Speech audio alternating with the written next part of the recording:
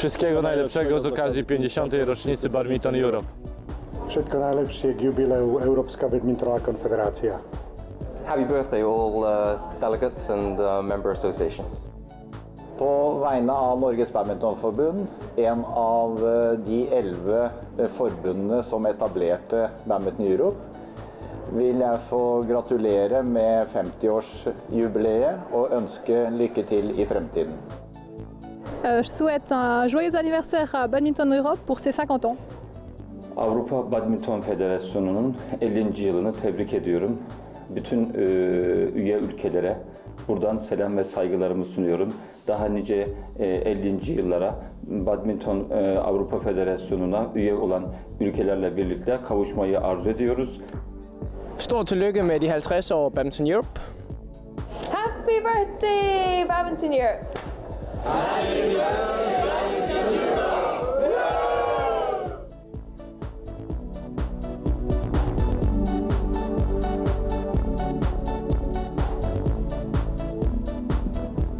Hello, everybody.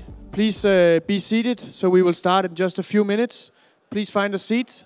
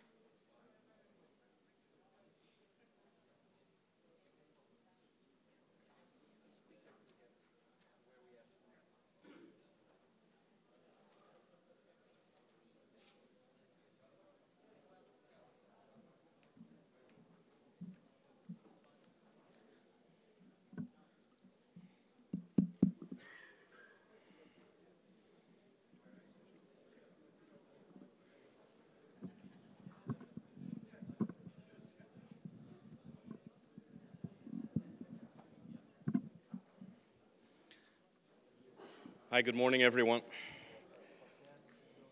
So, can I ask you to slowly move to your seats, or quickly if you want to? But uh,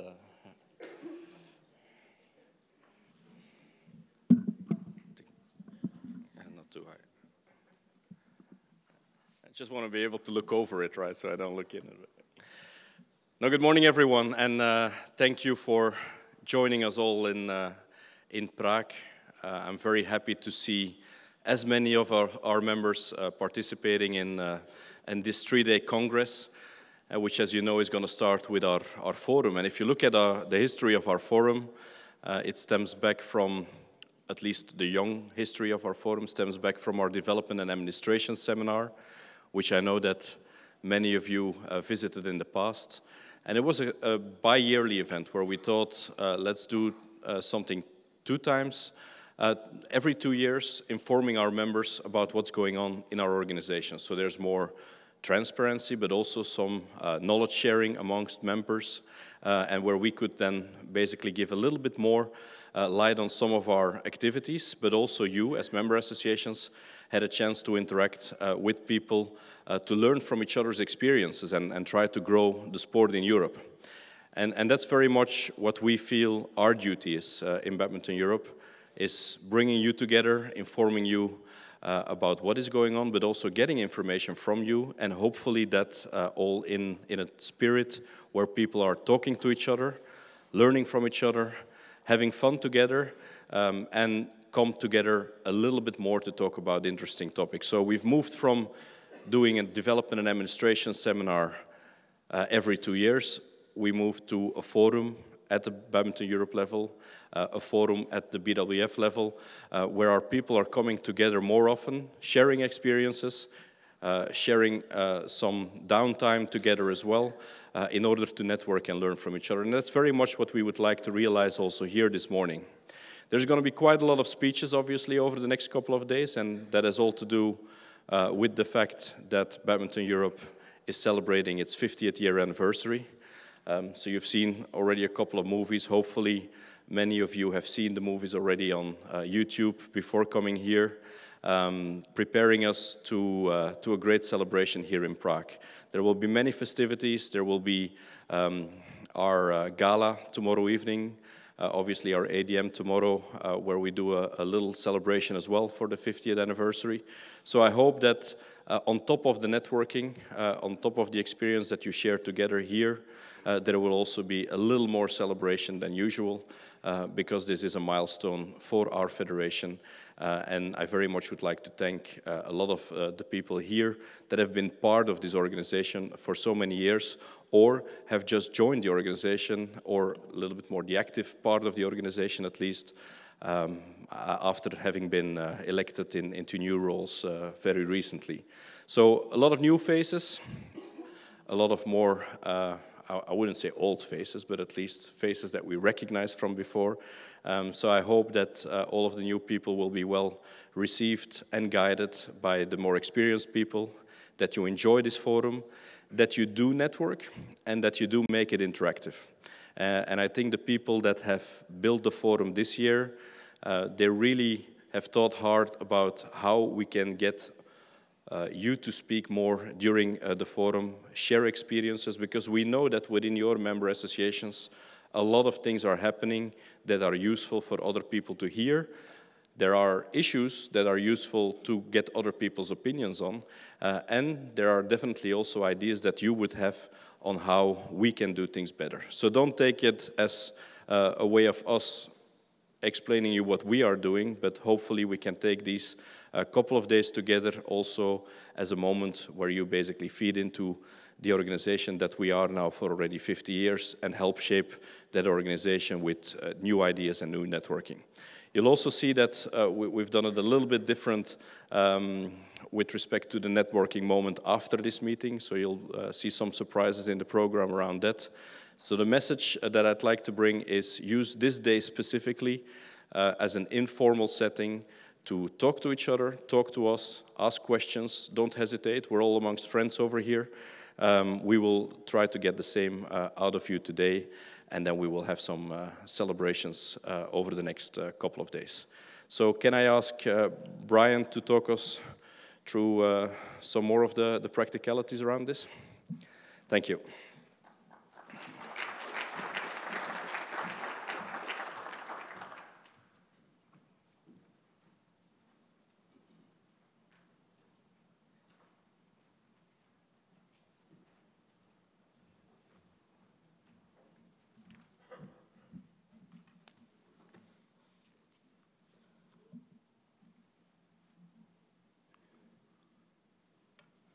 Morning, everybody. I'm very happy to see so many familiar faces here. Um, I'll take you a little bit through the program first of all before I, I start with my first presentation. Um, Gregory mentioned most of it, but I'll just, uh, I'll be your moderator first of all today. I'll take you through the, the, the different presentations uh, during the day. Um, I will be starting myself talking about uh, the member association analysis that was done at the end of last year. Then um, Emma Mason will talk about the, the BASIS program, which is a new initiative that was sent out just recently. Then there'll be a session on para badminton.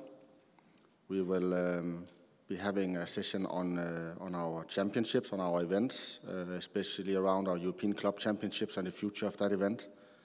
Um, then we'll be uh, talking about technical uh, officials education and, uh, and summer school will be on the uh, topic as well today. Uh, there'll be a, an item on, on women in badminton. Um, an interesting topic today will also be the new European Training Center, where there'll be two guys coming from Holbæk, that is the, the chosen host for the center, to present the facilities there. And we'll finish up up the, the, the program with uh, talking about social media. Uh, we have uh, Mark Phelan here as well, who's doing a lot of our, our social media and uh, journalistic stuff. So he will be making a presentation together with Emma from the office. And then Gurgi mentioned about the networking session that will happen in the end and a, and a question and answering session with the staff mainly. But let's get started.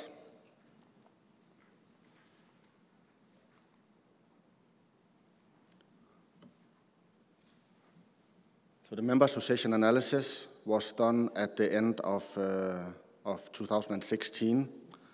And um, we actually speeded up the process a little bit in Europe um, because we wanted to have all your input before we made the strategic plan for, for, uh, for 2017.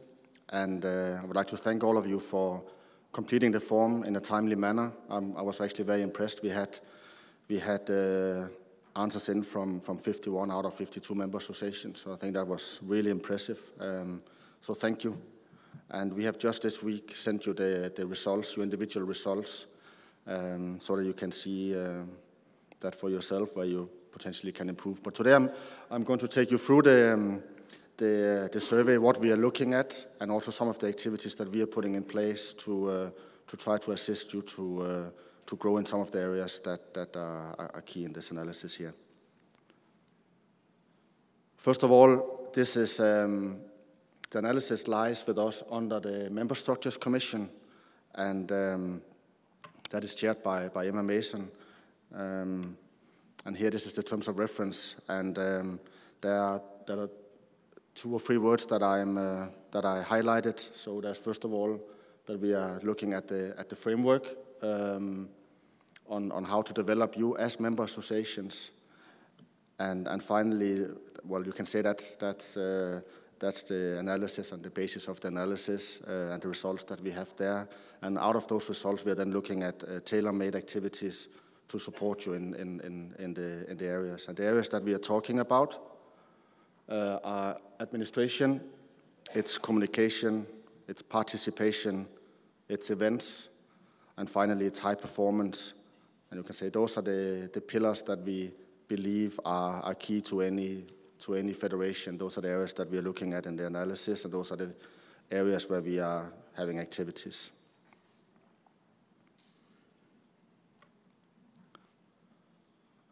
And if you look at uh, administration, the key areas here is that, uh, that there's a strategic plan in place.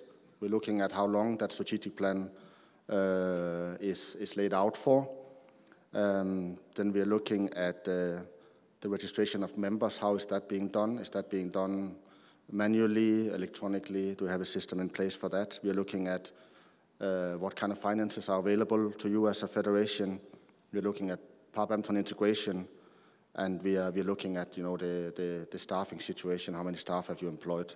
So those are the areas that are being looked upon, that are being measured, and uh, I'm just going to give you kind of an overall result of all members, um, and there you can see that, um, that we have, in that area of administration, we have 10 member associations that we have uh, classified as being advanced, 16 established, 12 developed, and, and 14 developing. Um, so it's, it's, actually, it's actually very much spread out, which is not that surprising, I guess. So what are we doing in the area of administration? We, are, we have just initiated the, the BASIS program. That, that's the next, next topic of, uh, of today's agenda, so I'm not going to talk a lot about that. And there'll be an administrator's course also as part of that presentation. But those are basically the two areas within the administration area that where we have activities that's going to support you in, uh, in your administration.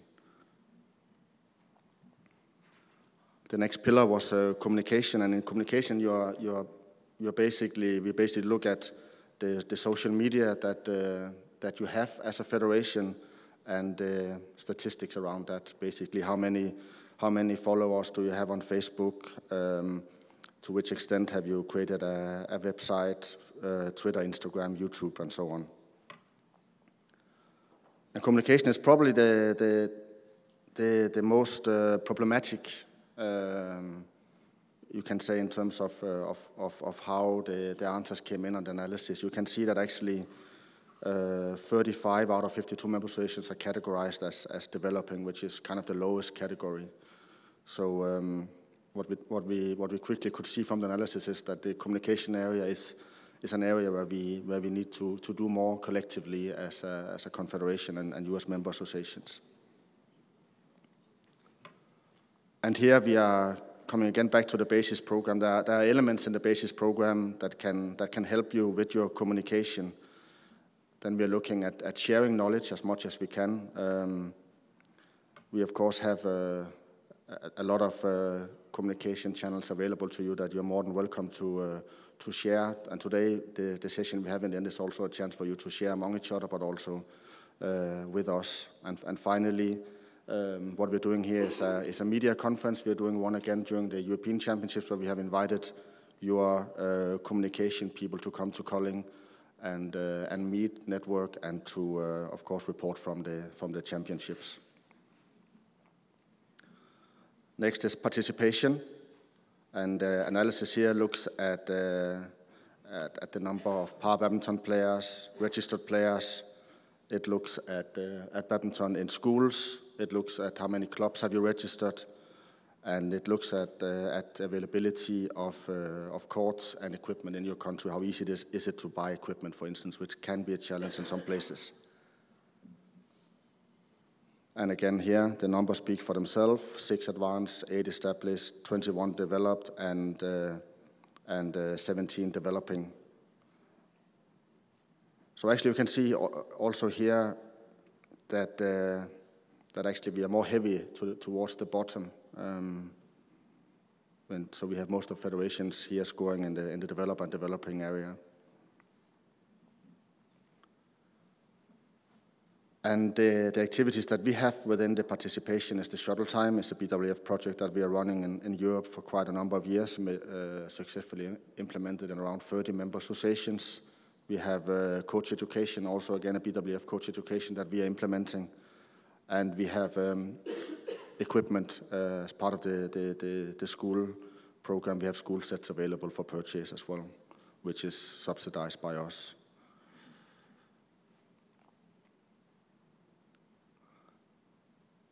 Then we have um, events, and events, what we're looking at in analysis is uh, the club structure, um, technical officials, nationally and internationally, and, uh, and which tournaments you're organizing for the different age groups, um, under 13, under 15, and, and, and elite as well. And the result here, nine advanced, five established, 24 developed, and 14 developing.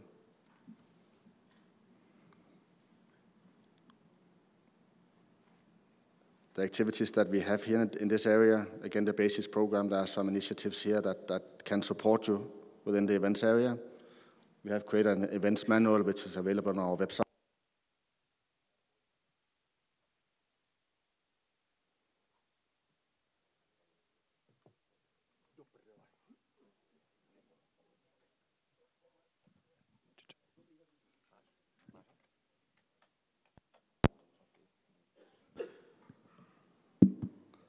Okay, we are back on. Thank you very much. That was very efficient. So we have a, we also have an administrator's course uh, for events under the World Academy of Sport that we'll come back to later.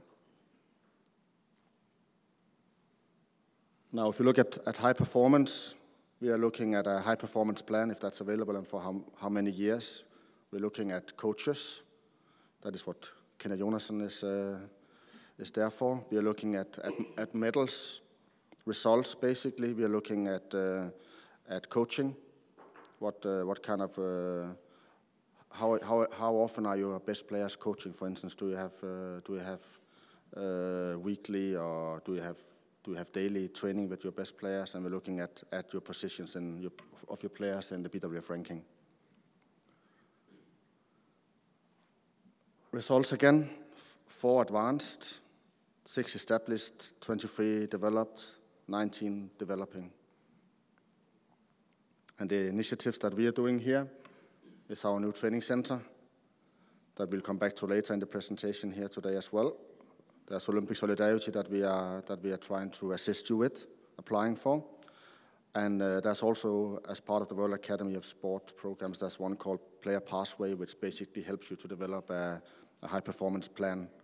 So that's, that's a, that course will be made will be established again later this year. So there's another chance to to um, to attend that if you if you do not have a high performance plan in your in your federation.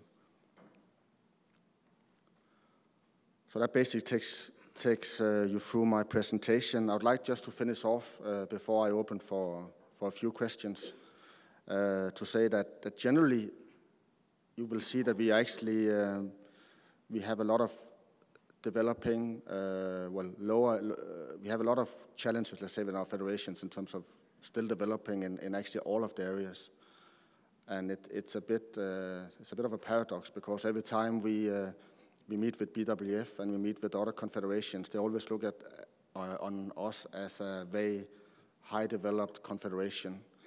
But if we actually look at our individual member associations, uh, we can see that, that all of you are very different, but a lot of you also have, have, have challenges, and the federations are, are often uh, run by, by just a very few people, not necessarily that many players. And then to do all the other things that we are that we're measuring on here is is, is, is already a challenge. Um, so so badminton generally, I would say in Europe is is very advanced in some federations, but uh, but not very advanced in many other federations. And we are we are here to try to help you uh, to build structures uh, as much as we can. All of you basically, we are trying to have something that we can offer to to all on all levels, if, if you are advanced or if you are developing. But there there's a lot of work ahead of us, and we should not lean back and say everything is great. We can do much better, um, so let's try to do better together. Any questions?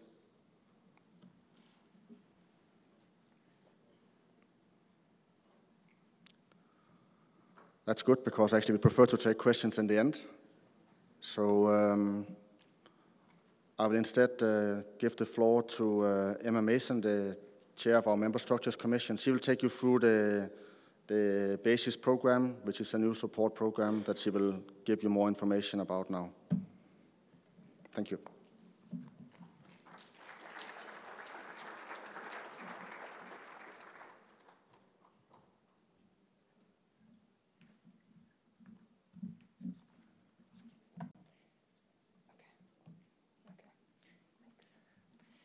Good morning, everybody. Um, Thank you for being here. Uh, as Brian said, I'm Emma Mason. For those of you who don't know me, uh, I'm now the chair of the Member Structures Commission.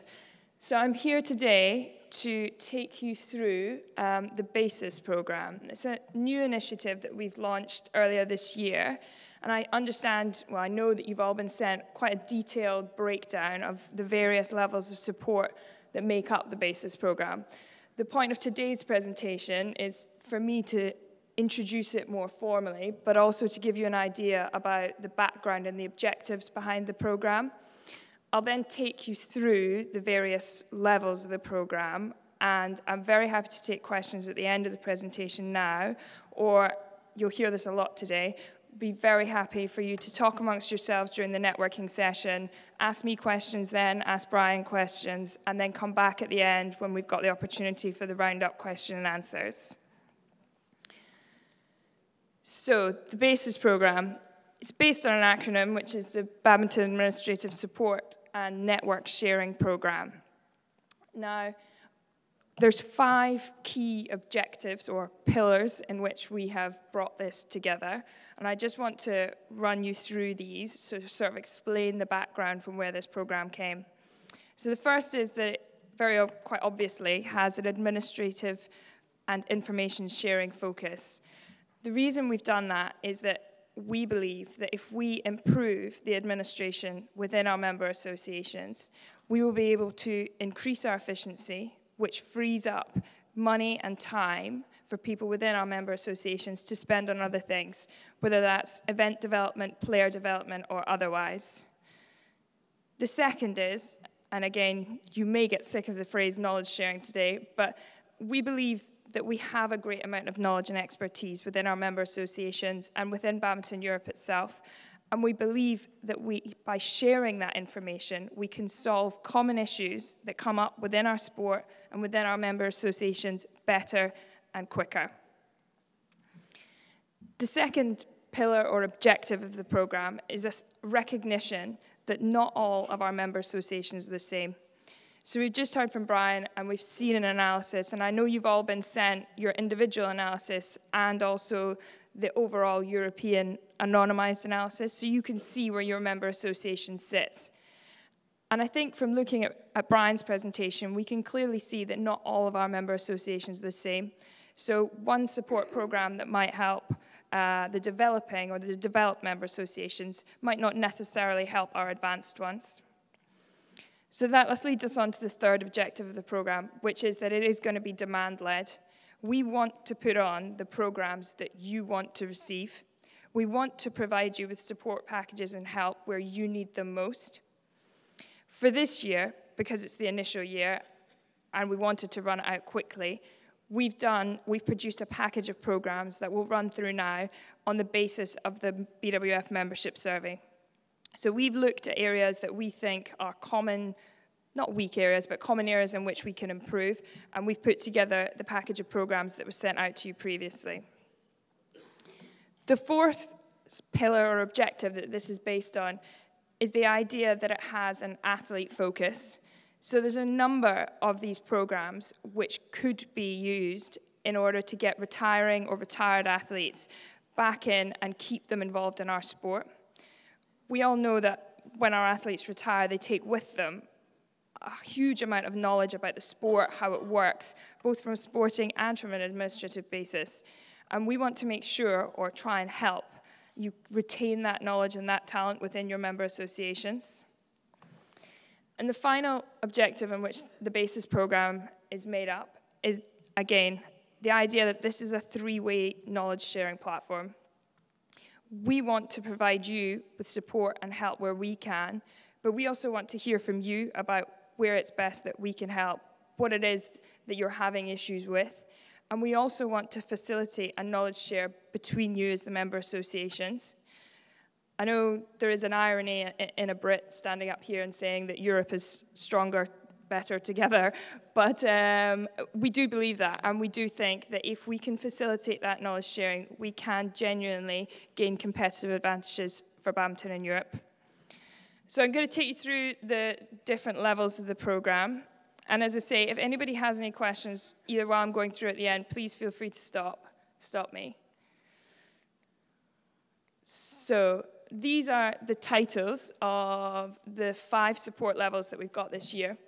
So there's going to be an internship program, a shadow program, representative visits, the World Academy of Sport Administrators course, which I'm going to ask Brian to talk you through later on, and then finally, the networking and information sharing sessions, the first of which is going to be held at the, later on in the program today. So take you through the first one, which is the internship program. So the idea behind this is that it will be an employee or a retired or recently retired athlete within your member association who will come to the BEC office for a period of between one and four months, which will be decided between Badminton Europe and the member associations. The idea behind that is when the intern is working within the Badminton Europe office, they will gain administrative experience of a variety of different tasks. They will work with a number of different people, from Brian, the Secretary General, um, down to the volunteers at the events that they may go to. The idea is that they will gain experience of how best practice in administration and sports, both within the Continental Confederation and also when they go out to events with our um, Badminton Europe staff. We will provide support, both financial and obviously educational, while we're there. Um, the full details of this is set out in the handout that was sent out to you, and I, I don't propose to run through these now. This is more to give you an overview uh, of the, the various options that we have in BASIS. So I think I can move on to, oh, this is the fun slide about interns. Um, so the next program level of basis that we have is the shadow program. Works on a similar idea to the internship program, but on a much shorter basis. So the idea is that we will have one person, either an employee, a retired or retiring athlete from your member association, come with Badminton Europe to one of the major Badminton Europe activities. So it'll either be summer school, our European Championships, or one of the coach education shuttle time courses. The idea behind this and the objective that we want to achieve is that that, in, um, that shadow person will be able to gain knowledge about how Badminton Europe runs its major events, what's required, what the steps are in order to run a successful, uh, successful project like Summer School or the European Championships. We believe that that knowledge that we can help give the person on the shadow program is equally transferable back into your member associations when you're running your major events. Again, Badminton Europe is going to be providing financial and other support, so we will pay the flight ticket for whoever is on the shadow program, and we will provide food and accommodation for the individual during it. As I said with the internship program, I'm not going to go through the full details. There's much more details in the handout that was sent to you uh, previously, but feel free to ask me questions either afterwards or during the networking session this afternoon.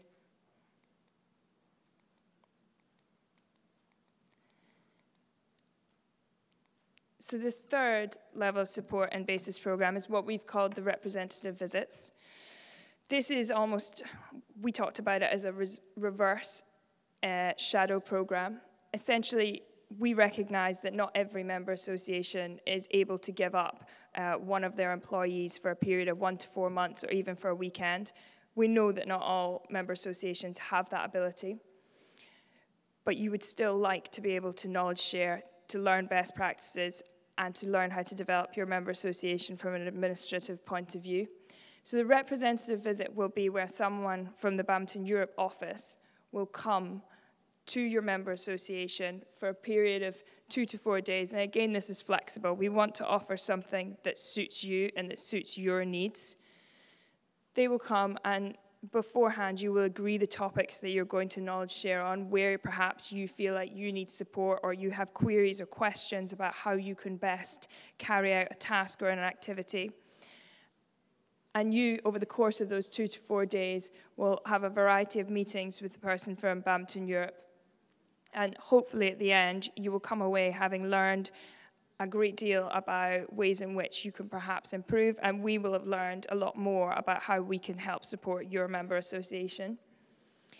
Again, Badminton Europe will be paying for the flight, the accommodation, and food for the representatives, so you won't need to fund anything in advance.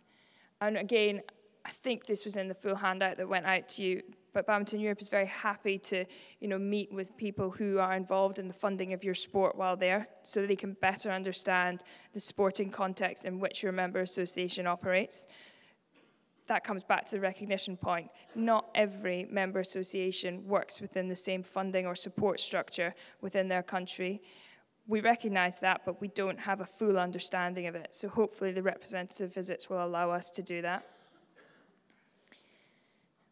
think now I'm going to ask Brian to come up on the stage and talk to you about the fourth level of support, which is the World Academy of Sports Administrators courses.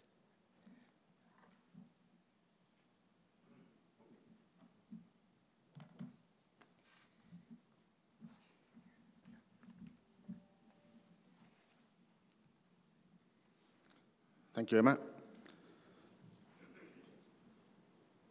So the World Academy of, of uh, Sport is an institution that uh, Badminton World Federation started to, to work with um, a few years ago.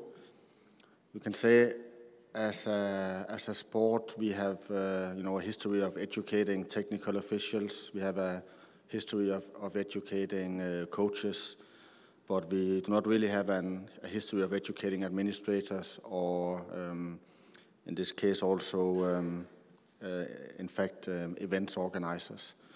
So with the World Academy of Sport, there are some uh, programs being offered now where we, uh, where we can start to educate, in this case, administrators as well. So last year there was a, um, there was a there was a, a course held in uh, in Malaysia by BWF where some of our staff went, to, uh, to learn how to deliver these, uh, these courses. So uh, there was a bit of homework to be done after that in terms of actually tailor, making the courses tailor-made to, to the audience, which will be will be you basically. So it's it's not a it's not a, a ready fit. It's a, there's a lot of topics, and then we have to kind of put the program together uh, ourselves. But we um, we got a lot of um, information and a lot of tools on on how to make the the, the course ourselves. So basically, what the administrator's course is, is doing is taking you, uh, is giving you information around strategic planning, around budgeting, uh, basically all the elements of, of running a federation uh, office. Um, and we can, you know, we can we can go in depth, or we can we can uh, we can uh, spend less time on areas. That's up to ourselves. Uh, what it requires to come on the physical course is that you first uh, that the that the candidates first fill in an online uh, an online course to kind of give us an, an, indication of where where are you, what is the background, what kind of what kind of level uh, of information do you, do you come with, and, and, and based on, on, on those online courses, we are then going to to finalize the actual course, and uh, we've actually already set a date for the course this year. So from 24 to 26 of November, you can put that in your diary. There's going to be a World Academy of Sport course, and it's actually going to be held here in Prague again. We're coming back. It'll be run in connection with our uh, European Under 17 Championships here in Prague. There's no connection between the two, but they're being held at the same time. So 24 to 26 of November. And um, as I said previously, this is, uh, this is something that's driven by, by BWF mainly. And for us, the positive thing is that also BWF is, uh, is supporting this financially. So I think we, we, and that's actually rather fresh information. So we put up here that we are going to pay 300 euro towards travel and food and accommodation. I think we are going to pay the full travel expenses, uh, even if it's more than 300 euro. Um, so it, it's, it's a fully funded uh, activity. So um, please make sure that you, that you send people that needs to, uh, to uh, that, that could benefit from being educated within administration. We're going to run an administrator's course and an events course at the same time. There'll be some areas that, you know, that are the same in the two courses, so we can run that as one session, and then we'll run it as breakout sessions. So those that follow the administrator's course will go to to, uh, with, with, some educators, and, and, others will go for the, for the events. A new, a new initiative, I think it's an important one. I think it's an interesting one. Um, so I hope you will support it.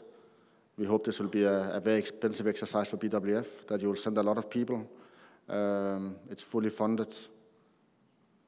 So please, please turn up. Any questions? If that's not the case, I'll give the floor back to Emma. Thank you. Thanks, Brian. So I will take you through now the final level of support in this year's BASIS program, which we have called Network and Information Sharing between the MAs. So the idea behind this is similar to the overall objective of BASIS, which is we know we have a lot of expertise, a lot of knowledge within our member associations, a variety of different levels, but we don't actually all get together in a room very often, perhaps once, once a year here at the AGM or a couple of times a year at the major events, uh, and not even always then. So we want to give the member associations opportunities to meet together and talk because we recognize that common issues come up throughout all of our sports, whether it's sports presentation at our major events, whether it's how to resource within our um, member associations, whether it's how, how do we have online applications for tournaments. You know, all these things come up time and time again within the member associations. And the idea with these sessions is that you will be able to meet together doesn't necessarily need to be all of you. You know, if you feel like having looked at the analysis that there's other member associations within your group who maybe have the same problems and you want to get together and talk about the best ways that you think you could deal with it or perhaps a way in which you found that you've dealt with it then that's what these sessions are aimed at doing we, as Badminton Europe, will provide you with a meeting room um, and all the equipment that you would need, and we'll obviously provide you with refreshments while there. And we will help facilitate the meeting if you want, in terms of taking you through what you want to talk about. But the idea is generally that this will be demand led. So if you want to hold a session where you talk to other member associations about sports presentation, as I say, then we will help you put one of these sessions on whether it's at a major event, whether it's a tournament that's being hosted in your country, anything, really we're open to hear your ideas about how this best can work for you. Um, as I said, we will pay all the on-site costs in terms of meeting room hire, IT equipment and refreshments, and one of us will be there in order to help facilitate the session. Uh, I think, I hope that you will see the value in this, that we can share our information better and we can get better and quicker solutions by doing this. I think, as I said earlier, the first one of these sessions will be later on this afternoon during the forum, and I'd really encourage you to reach out, not just to me, to Brian, and to the other members of the Member Structures Commission to ask about the BASIS programme, but also to talk to one another and to uh, communicate about what's going on within your member associations, whether there's common areas that you can help each other deal with, or whether there's things that you would like us to incorporate into the BASIS programme next year. I think that's the end of mine. I'd just like to close by saying uh, to thank Badminton Europe and also my Member Structure Commission colleagues for helping us put this together. I believe in the programme and its intentions and what we're trying to do here in order to improve administration within our member associations. Having said that, this is supposed to be a demand-led programme. So if you feel like there's things we could do better or that you want to see on the, on the BASIS program from next year, we're going to review it on an annual basis. I would encourage you to speak to me today, speak to me across the weekend, or send an email to the office and let us know your thoughts. And finally, I would very much encourage you to apply and to get involved. We are able to support you with these programs and we want to help you, so please do get in touch. That's it. Thank you. I'll give the floor back to Brian. Unless anybody has any questions, sorry, I should have said that. Does anyone have any questions for now? I'm not sure I want to say this, Ronnie.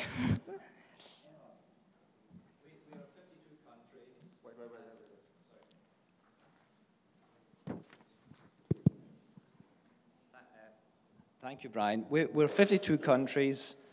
Uh, it, it's all a bit of an effort for all of us to make uh, the, the geographic move to a single place. And I, I think all of these ideas are fantastic. Knowledge management, knowledge sharing is a brilliant concept.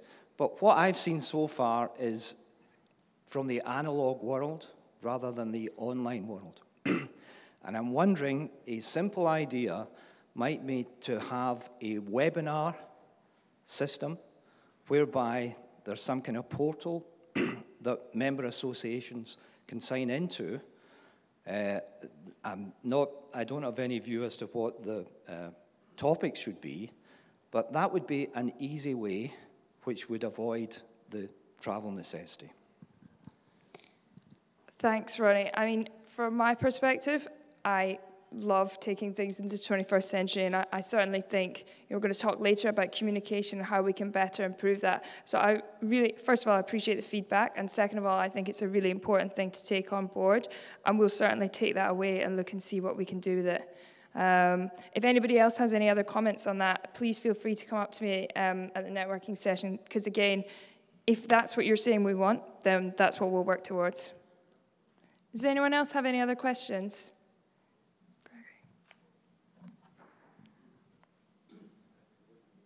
And so, sorry, a, bit to Ronnie's point, also answering uh, uh, your question, because I, I, think a lot of what we're looking for also within BWF, we're trying to put it more into a kind of a webinar context, and you'll see also that I'm part of the administrator course, but also part of some of the other courses that are coming up. We're at least going to start with a basis that is web-based rather than having to meet because it's, it's a very fair point uh, that we won't want people all traveling all over the place to get knowledge. There are other means of communications these days. So I, I think you will see a development towards that, and, and also especially with the World Academy of Sport initiatives. But some of the other development initiatives at BWF, we're really starting to explore that. And we'll see how it works, because it's, it's a bit of a, a question to us how our members will respond to it, but at least we will put out availabilities for, for us to be able to check uh, whether that is something that, that could work. So I think it's a very uh, fair point that we shouldn't be traveling if we don't have to. Of course, it's always nice to meet each other once in a while because that also strengthens uh, the, the, networking. So I think a fair balance probably is what we should be looking for, but I, I think it's a very fair point.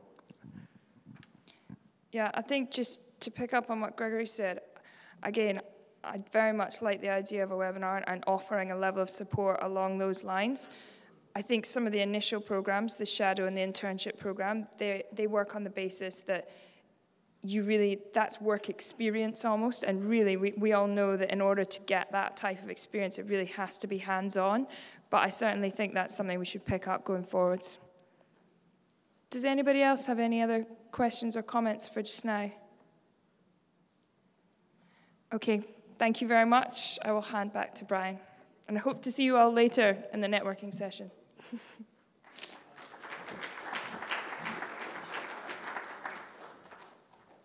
so thank you, Emma. And next, we're going to hear a little bit about uh, para badminton.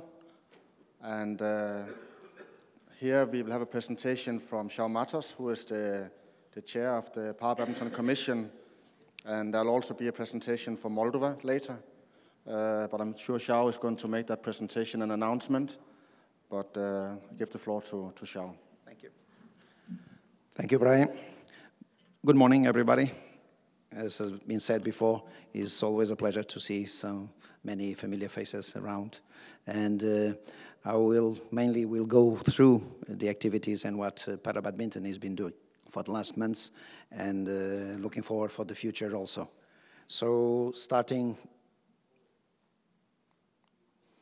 the clicker. It's on. Yes. Okay. Uh, just uh, an update on the information. Uh, we said it before. Uh, Badminton Europe applied to be a member, a full rights member of the European Paralympic Committee. And uh, in next June, it will be formalized in the General Assembly that will be represented.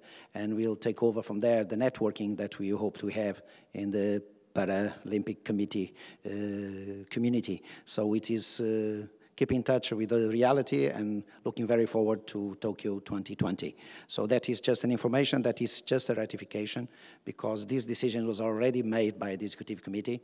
It's just to formalize it in this uh, General Assembly they have.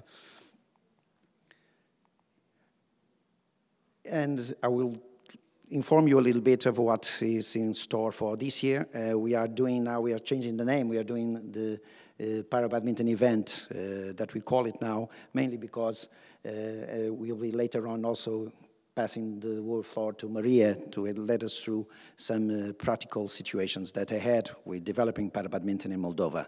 So that is mainly what I'll be talking about in this session, just to give you the, some information. So looking at the 9 to 12 of November. Uh, it will be in your mailbox, I think. It was sent out just very soon this week. An application to host the next uh, uh, forum. Uh, this is what we call now a badminton, para badminton event because we are doing two things together. Mainly, we are doing combined the training camp that is very much looking forward and was asked to have. This is just before the World Championships in Korea. So that main idea is to have this training together with our third badminton education course. Uh, this is, uh, has been fruitful in the future, in the past. So in the future, we'll trying to keep this education course for the coaches and for everybody related to para badminton because the knowledge about the situation uh, with uh, our sport in, in para badminton, it's really uh, very important for our members. It's totally different situations that we have in different countries uh, related to if they are organizing and managing in the, the para badminton activities or not, if it's a different organization. So it is also very important, the, inf information that you get there. So this is what you have in your mailbox. So please, I will uh, urge you just to take a look at it and try to set up uh, an application that we are very much looking forward to get from you. And then we'll try to really uh, organize it with you and have a fruitful event for everybody. So this is in your mailbox. Please have a look and come back to us with an application. That is the main object. This is a deadline for the 2nd of May, so please, uh, any considerations, any doubts that you have, please contact Tanya in the office and uh, on these aspects, on practicalities, if it is not totally uh, clear in the application to us, but I think is, everything is there that you need to know on what you need to have to, to really host this uh, event. And this is the, the situation that you have also uh, that is new for the training camp for the, the elite players from para badminton.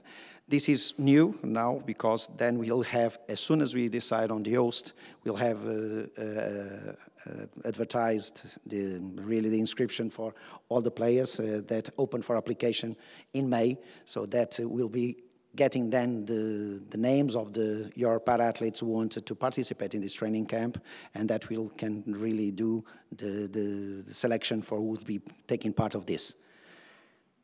That will be a deadline for that in July, so please look into that, see they put them in their calendar, uh, your para-athletes, and see if they are willing to participate in this training camp. So this is the main idea. This is uh, uh, in cooperation with the BWF, because then we'll be having for sure also some para badminton players from uh, other parts of the world. So this is important for the sparring, for the, the knowledge that we can get all the best from this uh, training camp just before the World, World Championships. Uh, as you say, it's uh, until May. And now I will very shortly uh, pass the floor to Maria. Will take us through their experience of really working with para badminton in Moldova. Maria?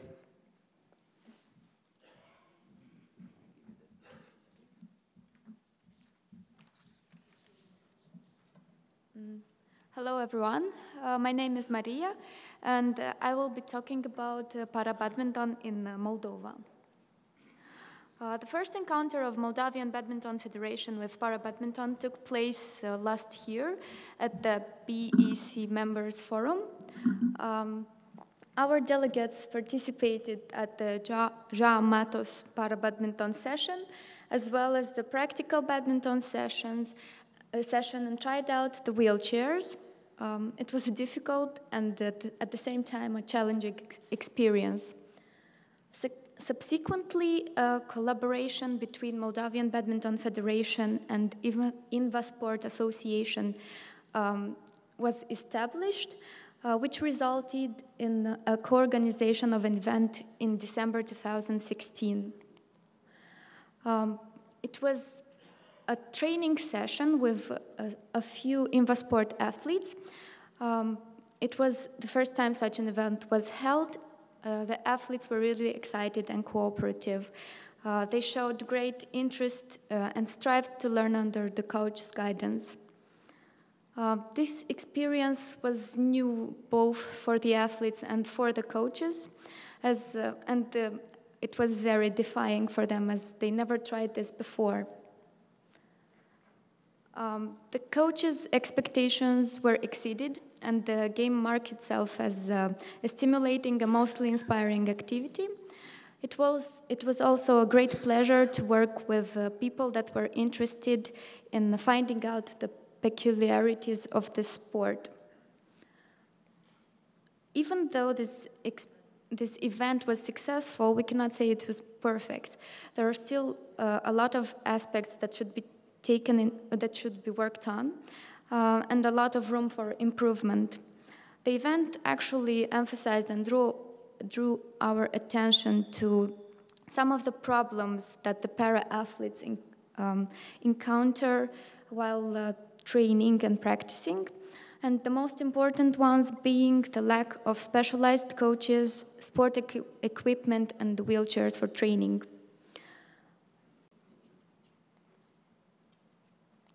Um, some of the difficulties and challenges concerning the para badminton in Moldova are related to the lack of information uh, regarding the sport. It is basically unknown, thus there is a need to promote it in social environments as a sport that improves inclusion and that can help persons with different abilities to realize their full potential and advocate for changes in society. Um, another obstacle is establishing a para badminton center where with um, experienced trainers, specialists, where we could um, train already engaged athletes and involve potential ones. Also, it is a challenge to organize local, uh, local competitions and to motivate uh, athletes to participate.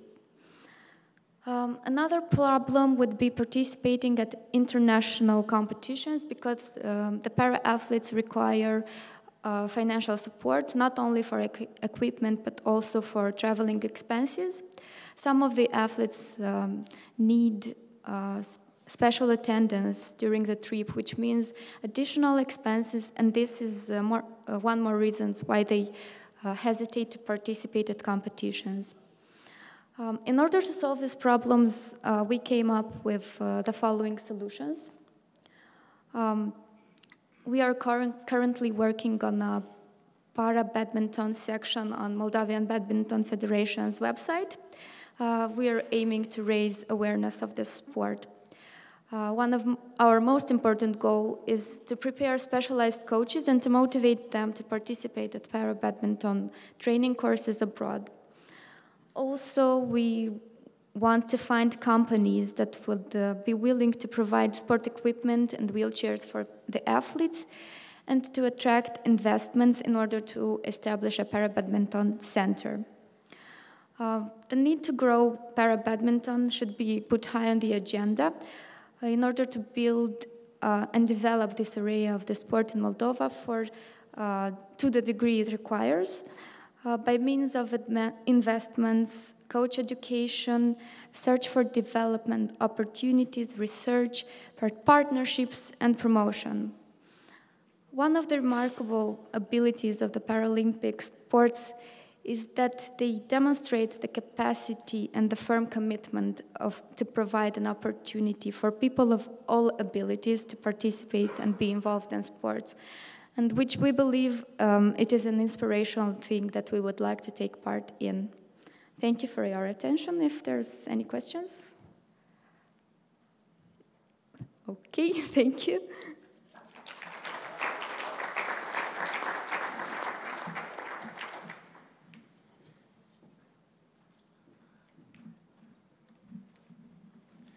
So thank you, Maria, and uh, I would like to really also to mention, uh, besides uh, Moldova, two other countries that make a great improvement in the last year.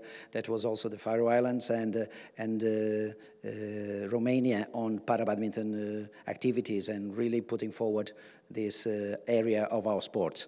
Um, that said, I would, would like to really give you a little bit more information on uh, the situation on para badminton, mainly related to the BWF, and that is for the World Federation uh, situation. On this, I will put forward here that we have also in our website the time frame that is uh, available for uh, how we should really develop and the, dead, and the, the main dates that we have until Tokyo 2020. So please take a look at it and uh, have an idea that that's how they will be getting the classification system and the, the, the parts of the, the para badminton that will be in Paralympics in 2020. All the deadlines are there. Just take a look and find out how it is uh, planned for the next months. Uh, on this uh, also, we have the information that they will be uh, providing from the BWF for the para athletes uh, some grants for international tournaments participation. Look it up. It will come out, as I believe, in April uh, on your mailbox for your para athletes, especially for the female players. Uh, this is now for only SL3 and SL4, uh, but then it is uh, an important step to help and get them international participation for the athletes that is so costly to participate all over the world. So this is just an information on the BWF side. And of course, also the, on the educational uh, part, they are doing the, a new para badminton coaching model that is being finalized and will be sent, uh, put out very soon uh, on uh, the education specifically for para badminton athletes. So this is an important step that BWF is also having on full integration also on this part of the education uh, system of BWF.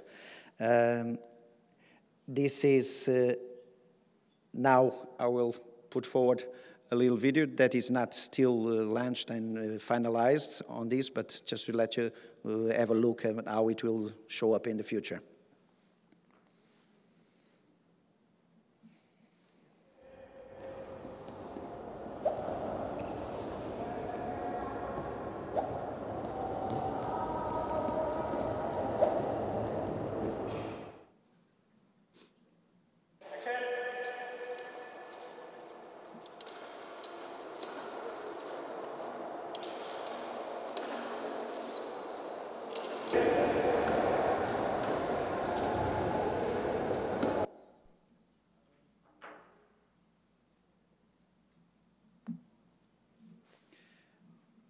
Uh, so this is just to give you the final uh, update on this uh, on this situation, and uh, of course uh, I would like to thank you for your attention.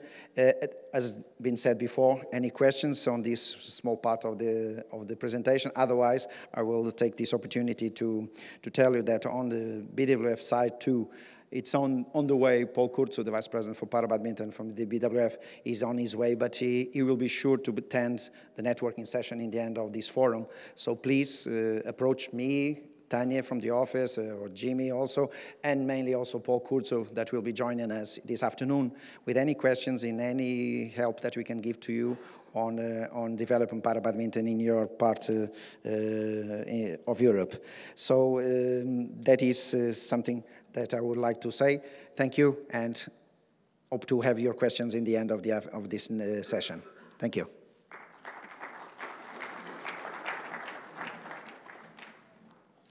Thank you, João.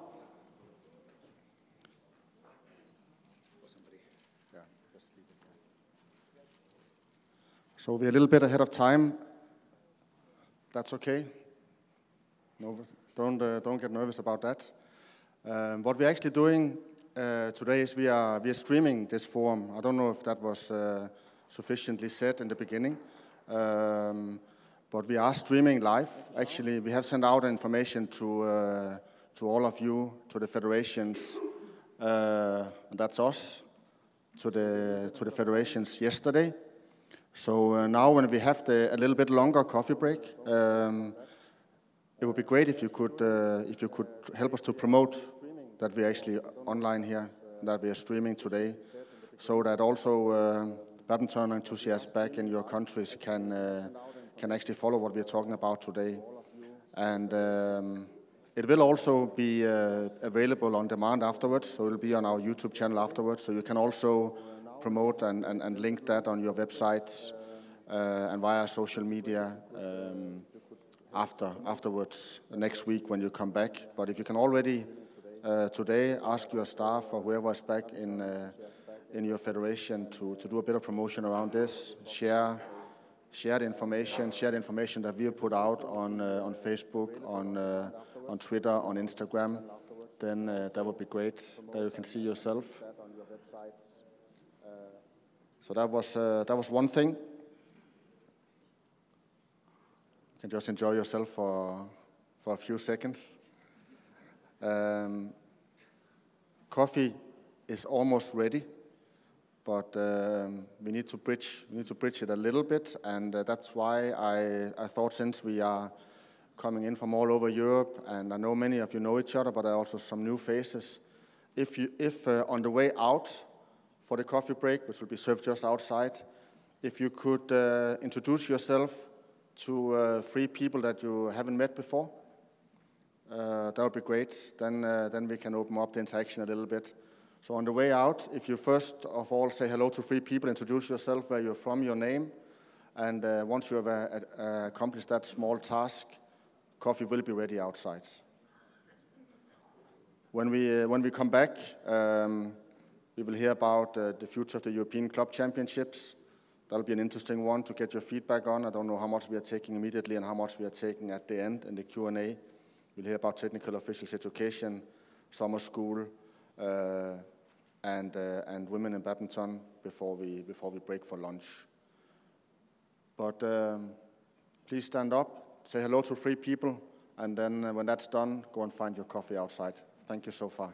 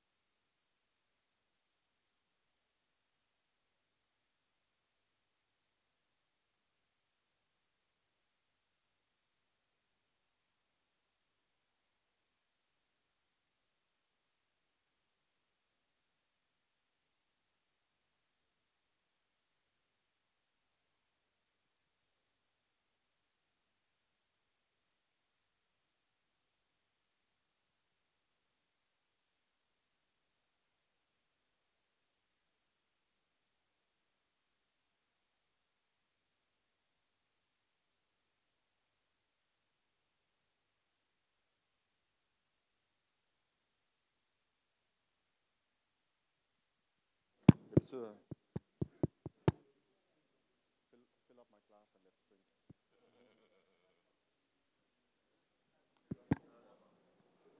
Okay, I think we are ready to reconvene. If you can hear me outside, please start to find your seats again.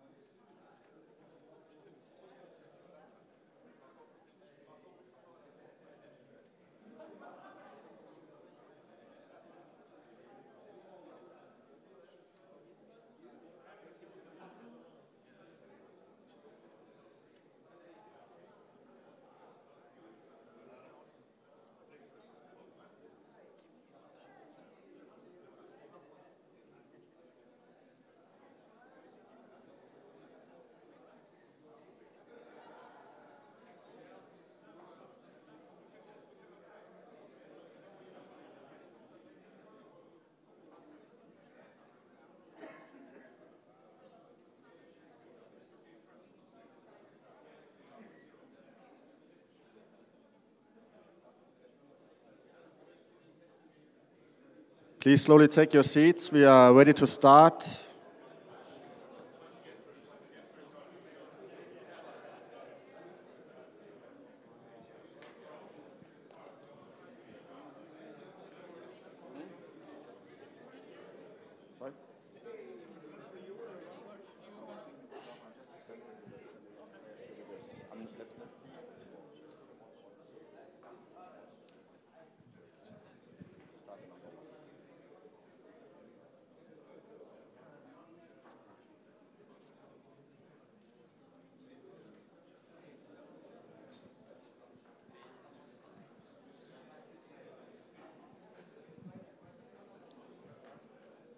We're going to place them.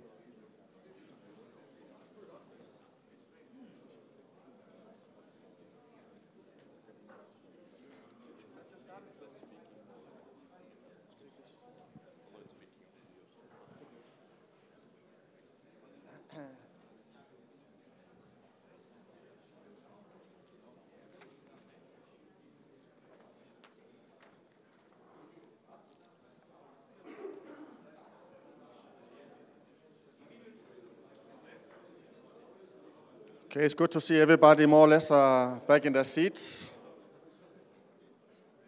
So before we continue with the more official part of the program, in the lead up to the Congress, we have uh, we made a few videos that you maybe some of you have seen on our social media. But it's basically some of our some of the people involved in the commissions in the board giving a, you know a small explanation about uh, what their role is, what they're doing, what they're working with. So we are going to uh, play a few of those videos for you now. It's probably less boring than hearing us talk all the time, so there's a little bit up on the screen. So, uh, Sophia, are we ready to play the first one? Thank you. Some of the people involved in the commissions, in the board, giving a, you know, a small explanation about uh, what their role is, what they're doing, what they're working with. So we are going to uh, play a few of those videos for you now. It's probably less boring than hearing us talk. Commission meetings are held twice every year. They're an opportunity for the Commission and board members to get together and discuss the objectives of the Commission and measure them against uh, the KPIs that they set in the strategic plan and look to see how they can progress their development areas of badminton. So in the commission meetings, we spend a lot of time uh, discussing new ideas and trying to find what's best practice for, for each of our areas. Also, I'm chair of the High Performance Commission, so it's really re reviewing our strategy, um, spending a lot of time looking at the operations around that, and then really a lot of discussions around the individual key strategic areas. Um, so, for example, uh, one of the key ones at the moment is the uh, European Training Center. So that's taken up a, a, large piece of our time the past uh, six to nine months in the planning. Uh, the past couple of months we've been going through the process of tendering and meeting all of the, uh, the bids around that and that's still ongoing. So that's really been a, a big piece of the work. Um, along with that, uh, the scholarships that we give a lot of the top young players, um, the training centers that we have had the past couple of years and uh, we're always reviewing and trying to improve things around that. So um, all, of that work keeps us uh, very busy.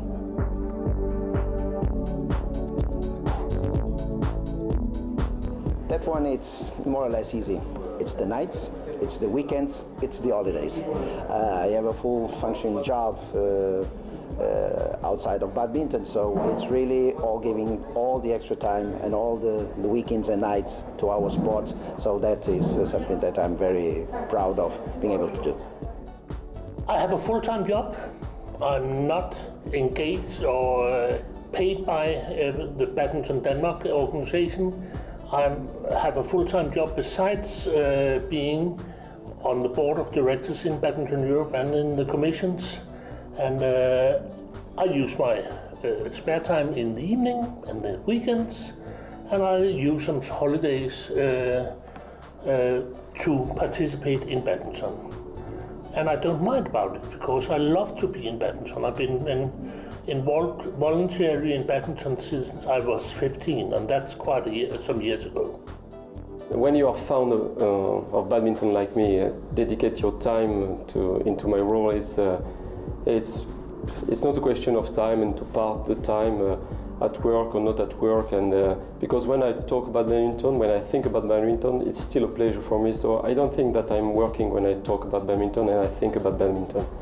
So maybe the link I can do it's uh, in my professional job as uh, working in education. So I think when I think about education, I always think about what can education can be in badminton. So this is my way of doing my role. I think it's uh, uh, every day, at every time, in any moment.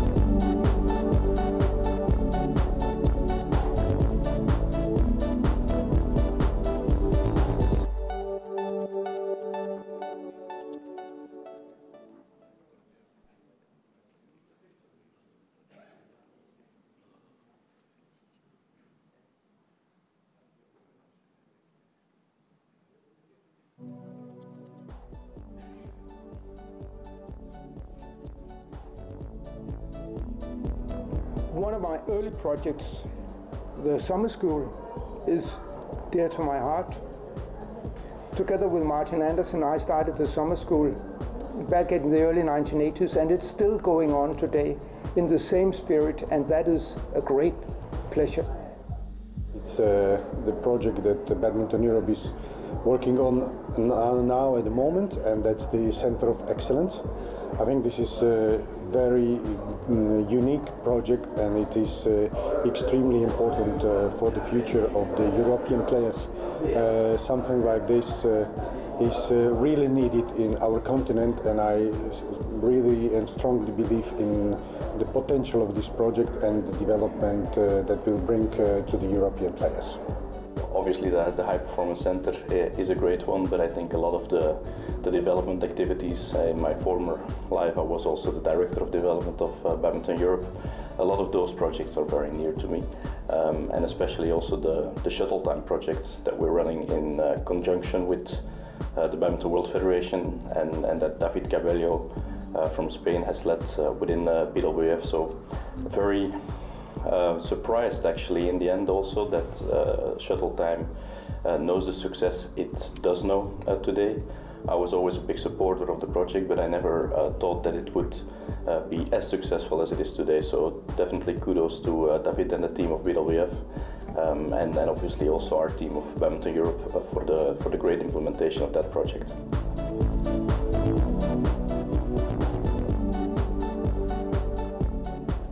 For main projects, uh, lately, of course, it is with the Commission, with the para badminton, that I uh, am happy to be involved. That is something that we really have to develop and go forward for. Looking forward to Tokyo uh, with the, the first appearance of para badminton, and that is mainly one of the things that I've been more focused.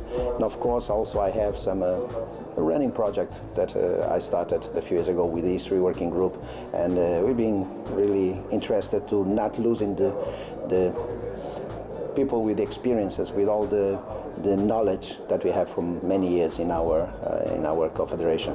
So that is something that I'm really uh, happy to be part of, and uh, uh, that I'm fortunate to be the one founding. So I'm keeping all these uh, people around us who have served so well the organization in the past.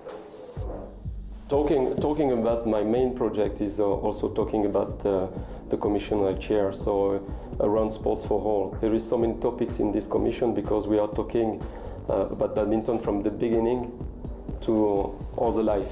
So I think my main project will still uh, be connected to my best memories. So I think that the summer school is a very good project and uh, to renew it it's always very difficult because very, a lot of people are very uh, kind to think about the summer school as it was for her or for them when they leave it. So I think summer school uh, can be my best project for the next few years uh, around education also.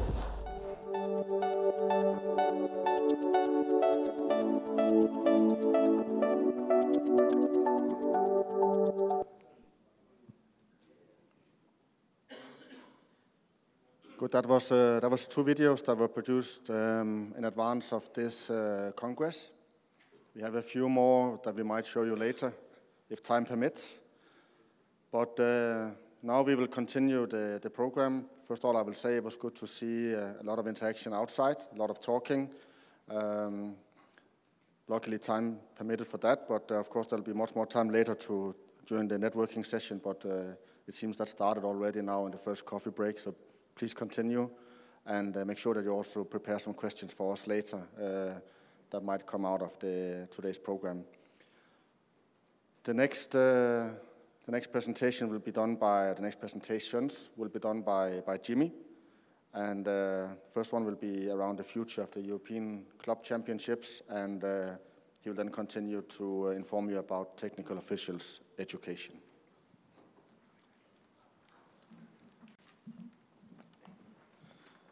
Thank you, Brian. Emma, can I borrow your high heels? Uh, our European Club Championships is an event going back to 1978, so closely approaching 40 years. Not to our very beginning, but it is one of our events that has been running for, for quite some years. Uh, unfortunately, it has shown the, the last couple of years that the amount of teams has been going this way.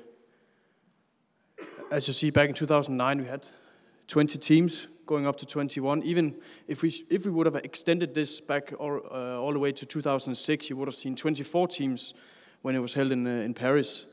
So uh, unfortunately, it shows that there is a there is a lack of interest, uh, a lack of participation in, in, this event. It clearly shows that uh, it's the same member associations uh, supporting the event year by year. And, and obviously, for that participation, we are, we are grateful. Without you, there would be no event. Uh, but the last many editions have been held in, in the same uh, country in Europe. Uh, that, be held, that was held in France. So, of course, a big thanks to, to the French Badminton Association for, for their support in hosting the event.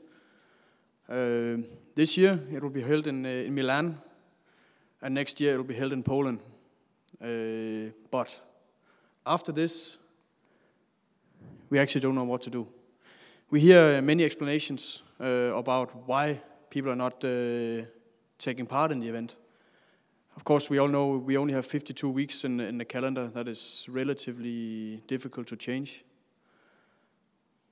It comes with expenses to travel to, to Europe Cup to play for, for five days, wherever it is. It's uh, funded many times by local clubs. Some associations are supporting their clubs, but, but not all it comes with the expenses for, for the players, and there are, there are no income. And if there is an income, then it's the income for, for the players paid by the clubs, meaning it's not, uh, it's not funding coming from outside. The, the tournament it doesn't give uh, world ranking points. Uh, that is not something we can influence. It's, it's a club tournament, so it's not possible for, for us to, to introduce world ranking points. Uh, it comes with less and less prestige to to win the the tournament, to participate in the tournament. We obviously we, we acknowledge that in some countries there is a prestige winning a, winning a title. It holds the it holds the title of a European Championship. So in some countries it does hold a prestige, but definitely not for all. And then we we see in especially in, in Asia we see more professionalism in team events, meaning that uh, people uh, travel to earn some, some good money, especially in, in, the Asian leagues. And I believe this is also something that we might see coming up soon in, in Europe. We saw uh, NBL in, in England uh, as a good example over three years. Unfortunately, uh, it was cancelled two days ago for going forward, which is also extremely bad for, for club badminton in, in Europe. So I have uh, one slide for you I would like to show you. This one. What do we do? For us, it has been discussed in our Major Events Commission. It is uh, one of our European Championships. We are, we are keen to continue the event, but it, uh, it, it requires hosts, first of all, and it requires participation, because if we don't have any, any teams, we don't have any tournament. So should we continue? That's, that's the question that was discussed in the Major Events Commission. It was also discussed in the board and it was it was quite clear that uh, there was no easy answers to, to this question, and therefore it was uh, it was also quite clear that this should be brought to to you, uh, our member associations, because you're the one who are hosting, you're the ones that are sending the teams, and of course if the, if you're if you're not hosting, if you're not sending your teams, then you don't have any event. So uh, this slide is one I very much would like you to, to give some thoughts. I don't expect any, any answers right now. Uh, give it some thoughts, go back to your federations, discuss internally. Do we want to continue with the European Championships? Is this something we uh, support? Is it something that we, we don't want to take part in? I don't need, I don't need to, to, to, to see the excuses again because those we already know and, and we fully acknowledge those. So we know where country to country stand. But if, if this is something that we need to continue, then we need your support. And if we don't have the support, then we might as well do something else, do something different. That can be a commercial activity, it can be a different kind of event. So we, uh, we are open for all kind of uh, ideas and inputs to you, uh, from you. Any questions so far? Any good ideas? I'm more than happy to, to hear them already now. But if not, feel, uh, feel free to discuss this uh, during the networking session or back in your, your MAs and, and come forward with, uh, with ideas and input. And now we're speaking events. It should not all be negative. So uh, why not make a, a small announcement? In uh, 2018, we have a, a big event in February, which is not yet allocated. It's the uh, men's and women's team championships, held together with the European Under 15 Championships. Uh, twice we have seen uh, great successes of, of, this event since the, the combination of it. Heard a lot of good uh, feedback, especially from, from the young players, being able to, to play alongside the, the big stars. We, we saw good examples in, in Basel in uh, 2014, where it was introduced, and also last year in, in Kazan in Russia, where they, it was held for the second time. So, any guesses? Okay, I'll show you. A small, uh, small few graphics from, from, from the city in which we will play next year.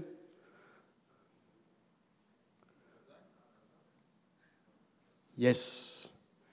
Why change something that is good? The National Badminton Federation of Russia has submitted a, a good bid, which is very similar to, to what we saw in 2016. We saw a great event. We saw big participation both in the team events and in the under 15. So we are we are happy to announce that in, in 2018 we're going uh, back to Kazan in, in in February to to play the European men's and women's team championships as well as the European under 15 championships. And of course, it's it's counting as a Thomas Uber Cup qualification for the Thomas Uber Cup finals in Thailand in May 2018. Any comments?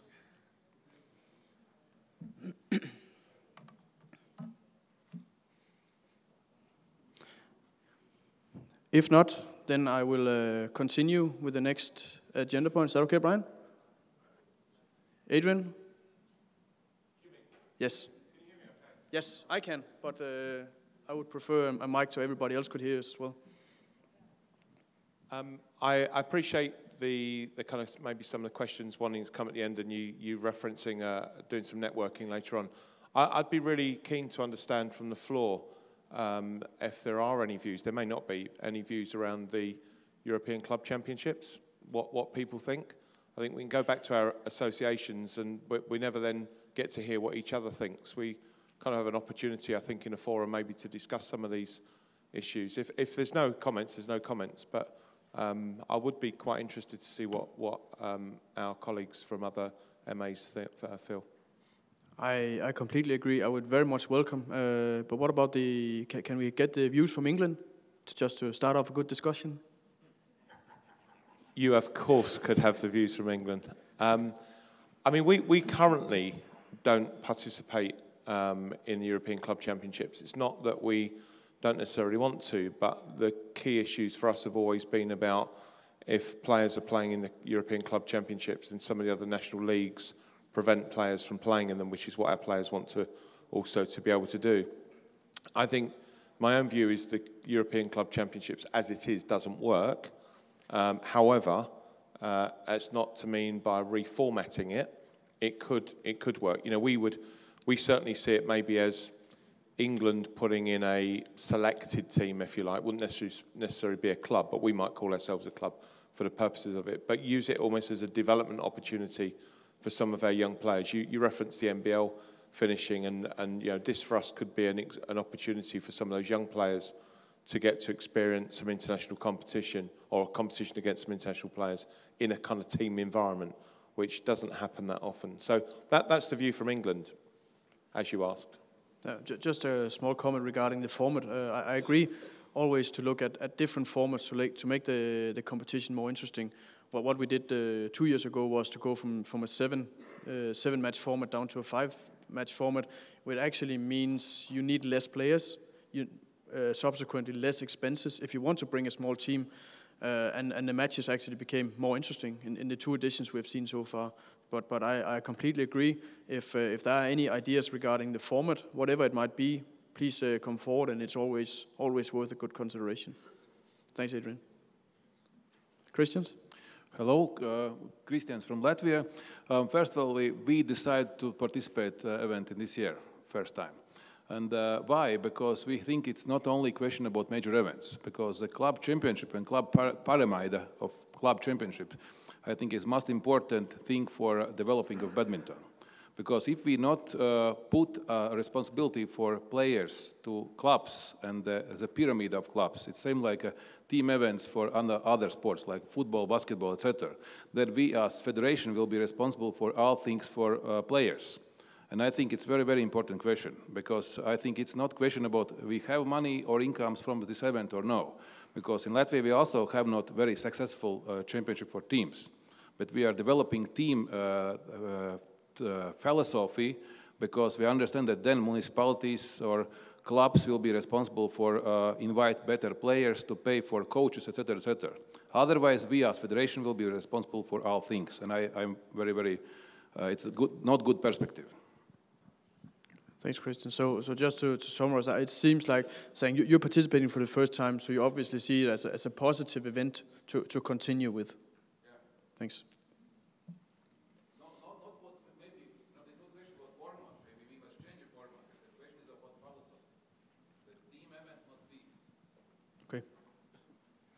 Uh, Ivan, uh, Gibraltar as a small nation, perhaps if you do reconsider the format, um, consider how it might benefit smaller nations, something similar to, at a club level, uh, similar to Sudirman Cup, where it's divided into divisions.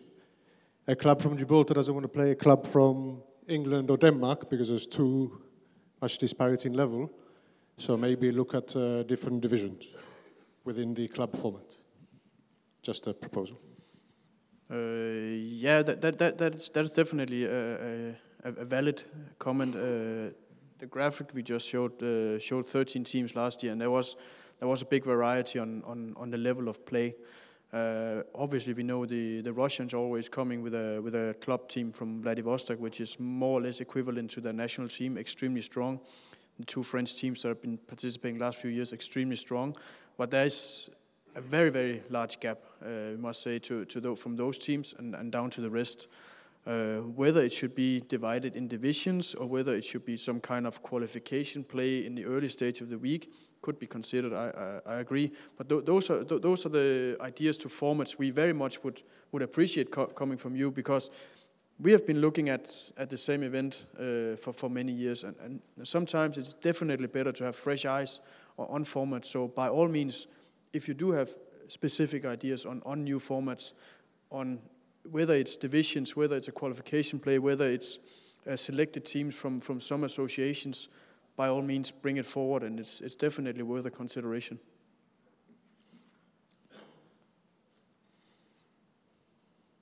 Belgium. Hi, Sven, uh, Belgium. Um, just one thought we had in uh, in Belgium. It was uh, the date where it's played because our Belgian national competition, it's for young Belgian potential uh, players, and uh, right in the, the, date it's organized. Uh, most of the time they are in exams at school, and so they can't participate. And then we have to see whether it's number two, number three, or number four in the Belgian competition to compete. And the team that is Belgian champion wants to go there as a team and not with uh, the second or third uh, players of the team. And so the date for us is, is quite uh, a problem. If it's in the neighborhood, it's not a problem. Uh, but the date, it's uh, quite a problem for our young players. Yeah, but uh, again, qu quite a valid comment. That's always been a consideration. When should this actually be played? preferably, as you say, we need the national champions from, from, from, the, from the various countries, and, and we need those players who actually became champions for the players. So we a lo logic thing is to play it after the the national leagues. The, right now it's it, it's played in June, which can collide with with exams. But is is is there a better uh, time of the year to play it? It has to be after the national leagues, I guess. Uh, should it be late in the later on uh, after the summer, later in the autumn? Do we still have the same teams? Do we still have the same players in those teams? or, or, or how is it? But, but, but do you have better ideas for, for the place in the calendar? Again, it is something that we, uh, we want to consider, taking into consideration to, because it, it's, it's impossible to, to reach a, a unanimous decision about how the perfect format, how the perfect uh, scheduling is. But as one of the slow uh, slides show, it's your event, and we want to do what is what you actually would like us to do. And saying we don't want to do an event if uh, if 90% of our MAs are not in, in favor of, of this event. So if you have a better format, if you have a better idea for, for placing it in the schedule, we are we are all ears by all means. Any further comments, questions? But thank you very much to, to the ones of you uh, participating actively here. This is, as Emma mentioned earlier, we really want uh, you guys to to engage into this, and, and, this was a good starting point in a, in a discussion. So, so thank you very much. And uh, during the Q and A session at the end of the day, if you have any further comments or questions, please come forward uh, or approach us during the, the networking session. Thank you. If we should just slightly continue then with the, uh, we have an agenda point upon the technical officials education. Uh, I just want to start up by saying uh, some of you might have seen on our website, uh, published one week ago, but actually Thursday last week we, we lost one of our dear colleagues, uh, one of our good technical officials in, in Europe. Uh, accidentally, you can say he, we are in, in Prague uh, this week. He, Ivan Skacha died Thursday uh, last week the age of only 57. He was a former president of the Czech Badminton Federation. He was a well-known character among technical officials, an extremely good and, and liked colleague by, by many in Europe. So given the circumstances, given the fact that he's actually going to be buried today, this is why the president of the Feder uh, Czech Federation is not with us now. He's attending his funeral. I would like to ask all of you to, to stand for a moment, moment uh, and have a moment of silence in the honor of Ivan Skacha.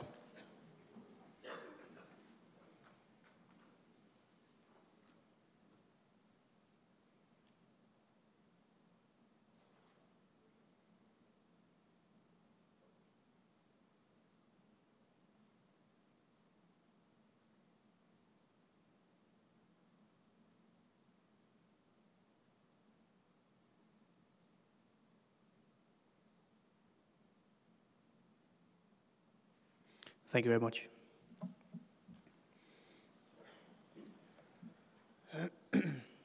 so, much of this might seem uh, logic to some of you. Some of you might have will see this for the first time, but uh, as it was also mentioned during uh, one of Brian's uh, presentations, we are not all the same. Uh, we come from, from different federations, but uh, at the end of the day, we are here to to promote and to develop the sport, and technical officials is, a, is an important part of it. So if I should just take you through a short guide of, uh, of how our technical officials education is currently done and how it's uh, displayed. Technical official has its own uh, own page, own side of our, our new website. It's just allocated just beneath our, our calendar. If you go into this section, you have a you have a section of, of the various uh, officials we're talking about, referees, umpires, line judges. This presentation will mainly uh, be around referees and umpires. So clicking on referees takes you to this side, and on the referees page, you will see on the left menu simply our procedure of how to educate our referees. And similar, when if you click umpires in the slide we saw before, you have a procedure of how to educate our umpires, the whole uh, ladder of, of how to do it. And there's also a, a list of where we educate, which courses, which appraisals, and which assessments are being done. So briefly, short, uh, shortly talking about uh, the education of referees, uh, what we what we do, obviously, as you know, uh, we don't need as many referees as we as we do for umpires. So every three years, it's been decided to, to run a, a course. Uh, the Belgian Federation has been kind to host us the last two editions during a Belgium International, both where the referees can, can be educated but also see, uh, be alongside a, a well-run tournament uh, so they can see how, how issues can arise and how issues can be dealt with. So they are, they're having some, some practical work alongside their theoretical uh, education. Uh, on our website, it can be found here, but if I just take you through step by step, as I said, one course every three years.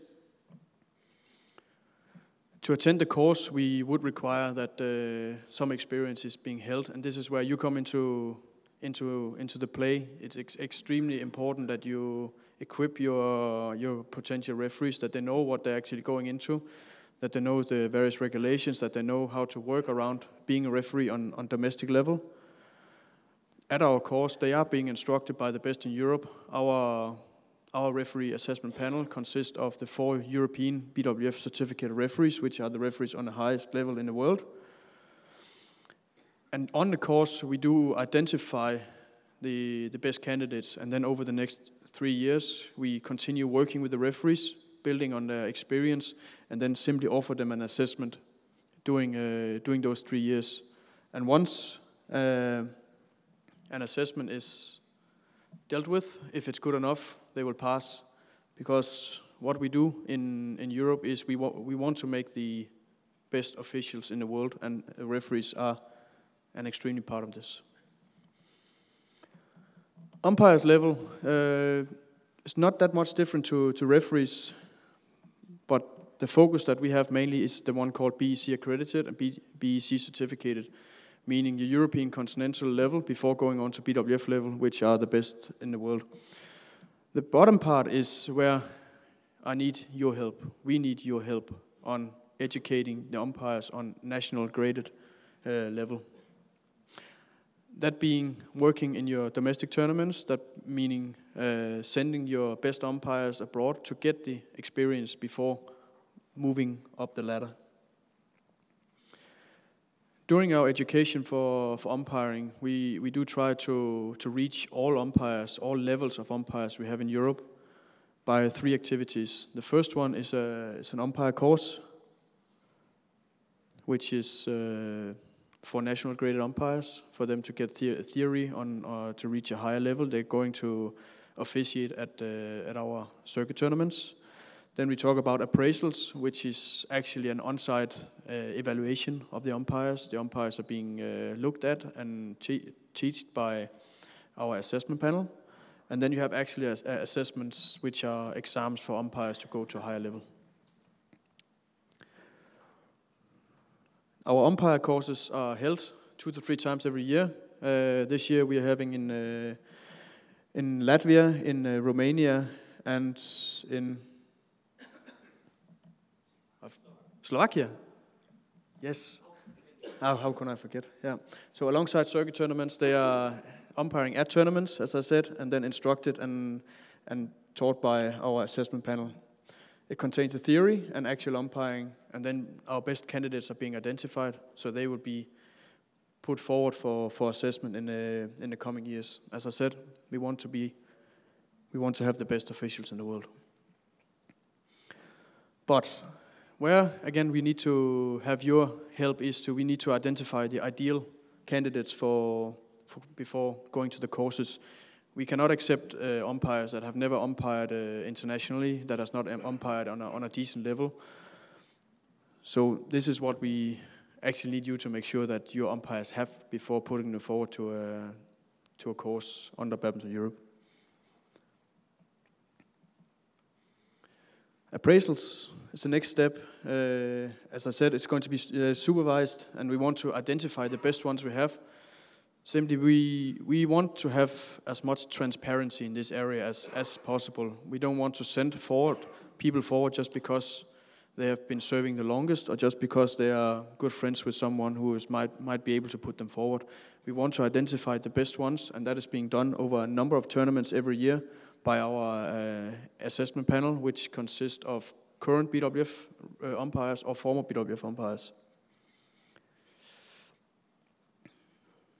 And we do it on two stages for the ones that are already uh, Badminton Europe accredited umpires for them to take to the next level, and the ones that are BWF certificated in order to put them forward to, to BWF. And when they are then uh, selected for an assessment. This is, uh, this is their exam. For, for the first level in Europe, it's strictly a practical exam. How do they perform? Uh, are they good enough to, to be recognized as international umpires? When then they are acknowledged as good enough to take to the next le uh, level, we start to introduce a written exam because we know this is what BWF will anyway introduce to them when they, we move towards BWF. Therefore, we, we decided to introduce it on, on our level as well, simply to, to guide our umpires, to prepare them as, as good as we possibly can. And just as a formality, uh, the final decision is, is taken in our, our major events commission, which are receiving the reports from, from the assessors. It's not going, it's not something that is going to be discussed in long terms, but simply we, we, we, we get a report from our assessment panel, and it's being brought forward to the to the major commission, the major events commission, who are giving the final sign off. If you have any questions, simply just raise your hand.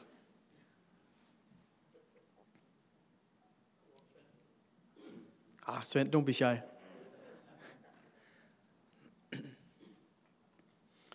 any questions, any comments? And if not, that's all for me. But again, during the networking session, by all means, uh, approach me or approach Pavel, who is uh, assisting in the office uh, when it comes to technical officials, or approach the young gentleman in the picture. He is actually appointed by our our board as an assistant to the uh, to the office working around technical officials. Sven is not only president of the Belgian Federation, he's also a BWF certificated umpire. So he's assisting us in, in, in our selections and our assessment procedures, and he's also part of our assessment panel. So he has a he's in, in frequent contact with, with Pavel and I in the office, and, and your help is, is much appreciated.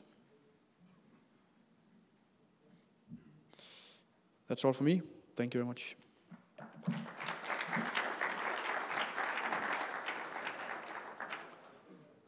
Thank you, Jimmy.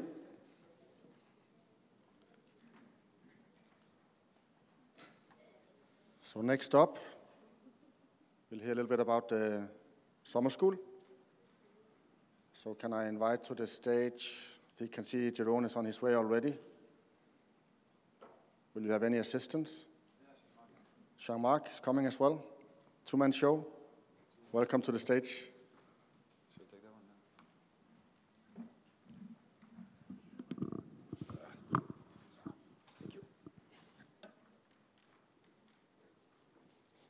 We, we're going to sing a song. You want a song? He can sing very well. Nobody knows, but he can sing. I'm not going to do it.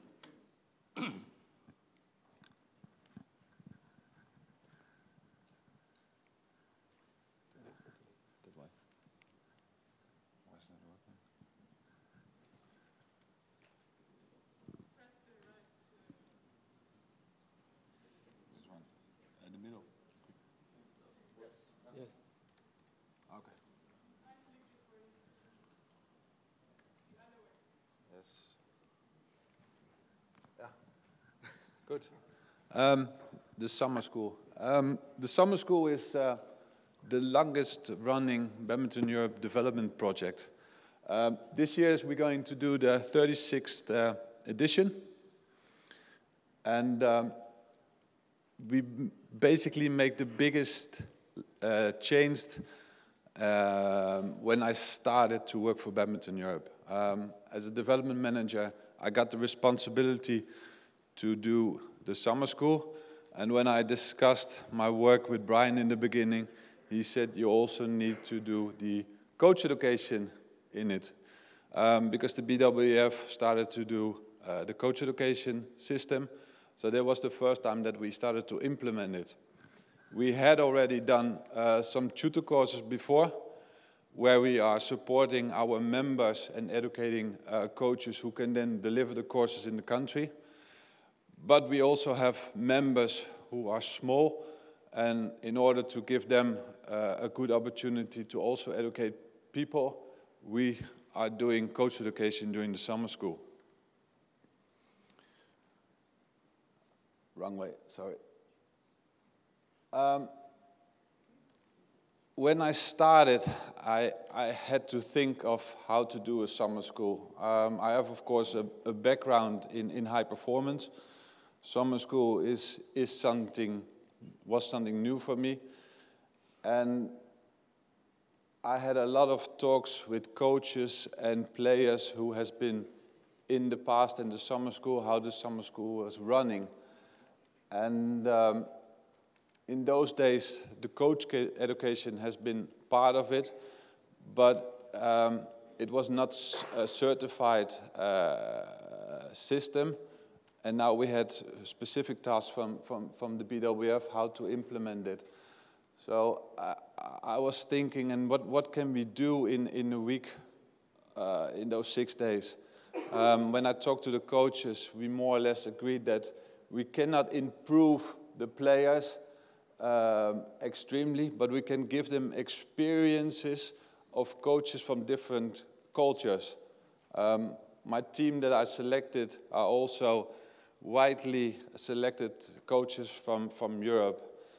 Um, other information that I received is that, that some players were working with the same coach the whole week. So I also made the change that these players got a lot of different coaches and got a lot of experience and then can select what they like to bring home. If you look at the schedule here, um, you can see that there's a, a lot of training. Um, in the last years, we have uh, had around 45 to 50 players, which is a lot. So we divided the, the, the 50 players into two groups of 20 or 25, depending on how many there were. Um, so one group is doing something uh, like stretching or some weight training, or it can be uh, an activity that they are doing in the group. But it can also be that they are, if we had a very nice location, do some swimming or some aqua jogging. Um, and the other group is working in the hall, and they are working with the staff coaches. So we have four to six players on the court working very individual um, with the staff coaches. Um, the feedback that we got on that was that it's very positive. And we also build in the, um, uh, the coach education. So the players are also working uh, with the coach who are, who are being educated. So overall, that was working fine. So for the players, more individual uh, coaching with, with the staff coaches. Uh, the players do not have the same uh, coach every time. And the players are experiencing different coaching styles. Um, we, as a team, we got feedback from, from the players what they think of the summer school. We got feedback from the coaches. Uh, Jean-Marc and me, we got feedback from the staff coaches. And they're, of course, very precise, and we have made those changes during the years. Um, what we would like to also hear from you as members is your feedback on our summer school. Because that's the only part that we are missing now. Um, we would like to get feedback, good or bad, or things we can change. If we then go on, for the coaches, uh, and how do I make this? This is work? No. Um, the coaches are not so much involved anymore as they used to be from the inf information that I got. Before they were doing a session every day, or more sessions every day with the players, where the staff coaches were behind and, and giving feedback on the sessions. Now it's more divided. Um, so many times the coaches who are being educated are sitting in a classroom, getting tasks, um, working with me, working with the staff coaches, and they will also deliver uh, sessions where they are working with the players and where I get di direct feedback from, from, from the coaches, uh, from the staff coaches. Another advantage is now that we give uh, a level one course and a level two course. Um, this schedule here is from last year, and as you can see on the first day, we also uh, build in a shuttle time course. a shuttle time teacher course. Uh, that was the first time that we did that. Um, because in our team we had discussions about it and, and we felt that for many uh, coaches it's also good to uh, experience shuttle time and the response was uh, good. Um, in, in, in the shuttle time course there's a lot of interaction between the, the, the coaches, they are delivering to each other. So we had a very good build-up of, of the team and they started to know each other uh, very quickly and very well. Um, then in this schedule, you can see it is tough because um, they're busy during the day, getting the sessions, delivering sessions. And in the evenings, we are doing uh, theory, where they do all the paperwork, where they have all the questions. And we prepare them for the next day. And what we see is they are working hard. They're working very hard and late. Good. So, so for the coaches, um, the change has been that they are able, because we also make sessions where they can observe the staff coaches work. Um, they can, of course, not interfere too much in the practice, but they can talk and, and, and get to know how the staff coaches are working. Um, that's very much appreciated. Um, then, after the deliveries, they get immediately feedback from the staff coaches. That's also received very positively. And then also the certification, a level one or a level two. Yeah. And again, we would like, Jean-Marc and I, we would like to receive feedback on, on uh, on what we're doing here. Maybe we make mistakes, maybe we can do things differently. Good. Going back to going back to this schedule. Um, this is how it how it's been the last years. And Jean-Marc, you would like to add on some things, some ideas? Yeah, for the last two years, uh, uh I've been as an observer at the summer school. And uh, when I have some discussion with the coaches there and also with some people outside when I come back because I have some sharing uh, after also, uh, what can we see? For the last two years, I've seen 17 countries of us, European countries. Around 46 players, 45 to 50, but almost 45, 46 players and almost 24 to 25 coaches. Uh, mostly the same countries are coming again. So we are missing some, what I, what, what I can say is uh, we are missing one of the biggest countries. But I remember me uh, a few years ago, not too long, not too far from now, a few years ago, I was in the summer school. And I get something from the summer school. And uh, I think if we want to improve ourselves and if we want to improve our level in Europe, we don't, have to, we, we don't only have to use summer school as a first step for me to go into the high level, and after I, fo I forget. So I think at the moment we are all together here, and I think that I can see Denmark, I can see France, I can see Germany, and uh, I would like them to be more involved into the summer school. But maybe not as a coach to be educated, but more as an experienced coach to come with a bigger knowledge and to help us to make the first step better and better. So I think if we get experiences from them on specific topics, maybe the standard level of the first step of the high level standard will be higher in Europe and if we are higher in Europe when we are young, maybe we expect to be higher at the higher level when we will be older at the senior level. So this is, this is maybe from my observation what I can say now. And I'm sure before starting the summer school, you can see on the, on the timetable that the summer school is starting on Saturday afternoon. I would like maybe to make the proposition to all of you to get half day before and to start on Friday afternoon around a specific topic coming from the biggest country from badminton.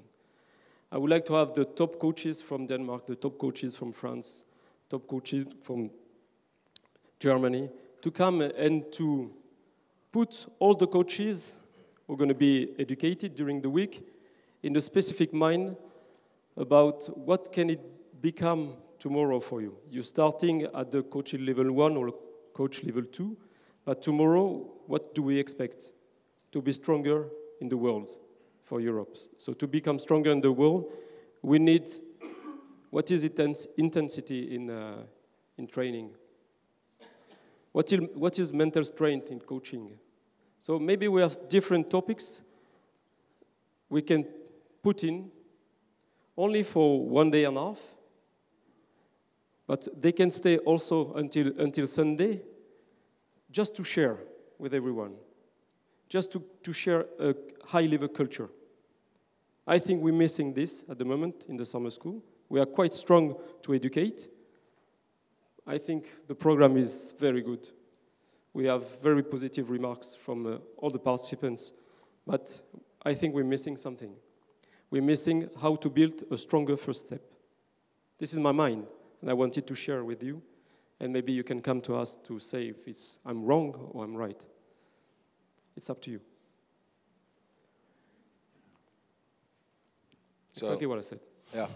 so basically, a sort of a name like a small summer university. Yeah. Where we start two to three days before, or one and a half day before. Yeah. Uh, focus on one subject. And for coaches and other people who are yeah. interested. Yeah. It can be. It, it can be also open to other countries to come, and only for the day and half, for the weekend. It's shorter, less expensive, but I'm sure that it can improve our European level. The discussion is open. Good. So if you don't have any questions or any input yet, we would like to receive that later in the Q&A. Mm. Good. Yeah. Thank you. And now, ISF? Oh, sorry, yeah. No, go, yeah. go, go. Yeah, you. Which one? Uh, that one. Oh, there's a question. Yeah, so, sorry, and, and, it's a question to you actually, and, and maybe for me should have for? for both of you. Okay. So uh, because we're now touching on, on the summer school, which is a uh, it's it's it's a high performance type of activity, and obviously we we are in a room with quite a lot of. Uh, administrators, of which some are coaches potentially, or work coaches and players. Well, but it, it is yeah. well. So the, it, the thing, so, yeah. sorry, um, it, it is under the Sport for All Commission. Yeah, whatever So, it, it sits. But my point is, do we survey the coaches that have participated in the summer school in a, in a kind of an official way, in a kind of an electronic um, a kind of survey that we sent to them to get their opinion on these type of topics? Because that, that could be an interesting one. And, and I'm sorry to just throw that at you now, but I think if we can keep interacting with coaches that have previously been on summer schools to basically get their input on some of those points, I think that would be valuable as well because we here can provide a bit of information, but probably those coaches uh, that have been, if we have a kind of a list of people that have been at a summer school where we periodically send some service to, um, that, that would be a good idea for us to make the summer school better. So it's just a, a suggestion. We, we, we received a, a lot of input from the coaches who, who took part. We also received a lot of feedback from, from, from the staff coaches. Uh, so, there's one more question. But it's a, it's a good idea to keep on coming back to them. Yeah, yeah. And Michael from Ireland. We, we do support the summer school both with players and with coaches and have done for many years. Uh, I was on the one, the second one ever, and 35 years ago. Uh, so it, we, do, we do understand its value. Uh, its value to the coaches, good suggestion from Mark, its value from the coaches coming back. They are our junior national coaches, typically, uh, but aren't wholly experienced. And having access to perhaps an international, more experienced coach, I think would, would benefit them particularly. Our feedback from our players, uh, as always, they are completely motivated when they come back from the course. it is a, it, it's an excellent training tool for them. It opens their eyes as to what is out there and the experience that can be gained from making friends internationally. And many of our players who have come through our system, our high performance players, have also been through the summer school. So we are a great supporter of that and would like, like it to continue without tinkering too much with it. I think the format's great, uh, but a good suggestion from Mark. Thank you.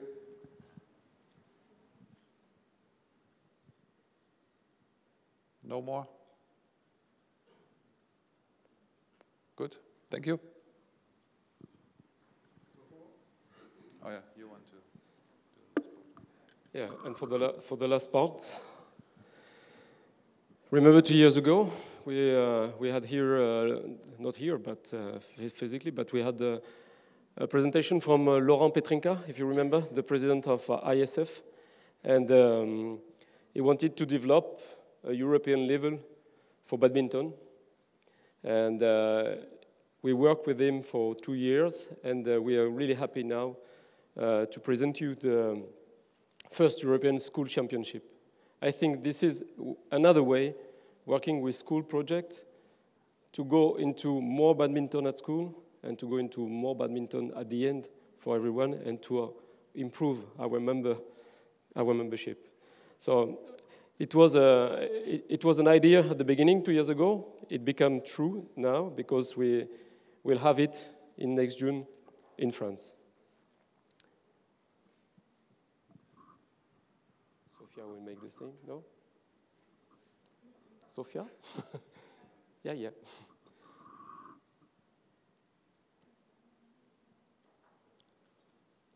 So you have everything on the, on the video.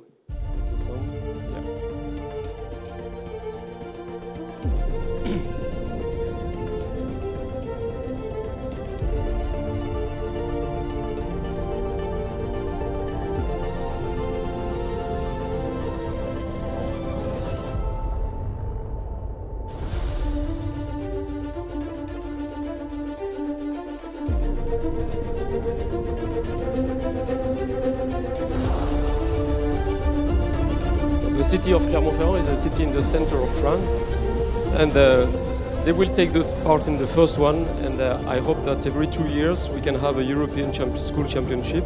That means for 2019 we are looking for someone, maybe with ISF.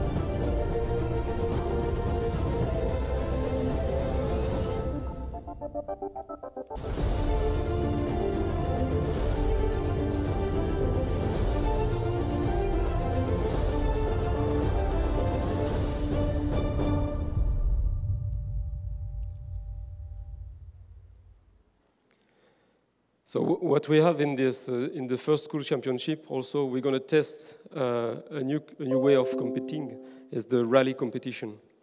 So the, we're, we're going to use a, a, team event, and we will play as a rally in a rally. So to uh, to 100 to 107 points, but we are we are still working on the on the regulation at the moment because uh, uh, we have uh, also worked with the young umpires and they will uh, and they, they will they will make everything all of the job they will do it in English. So everybody going to speak English, and around the competition there is also sharing with an Erasmus project, as you see. So the the youth from uh, Europe will have time to talk about education and uh, everything around badminton. And the last thing, it's not on the video, is the, we're going to have the demonstration with the new synthetic shuttle in this event also. He's arriving. So for school, it's less expensive, but it's a better way to play badminton. So we're going to test it in June in Clermont-Ferrand. So you're welcome if you want to be in Clermont-Ferrand for a few days. I'll be there, so you can come. voilà.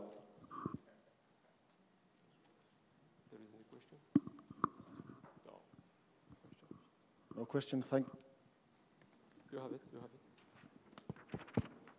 Thank you, Jean-Marc. Thank you, Jerome.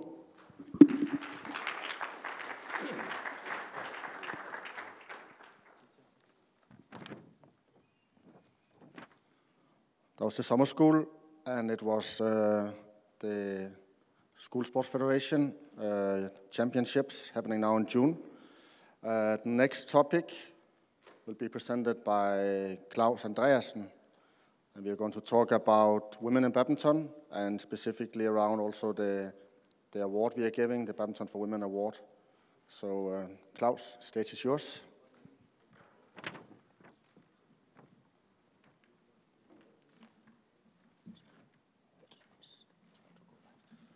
And thank you. And uh, as Brian and uh, Gregory has said, it's nice to see so many familiar faces, also all the new faces. And I'll try to do it in time until our lunch break, which should be at 12 o'clock.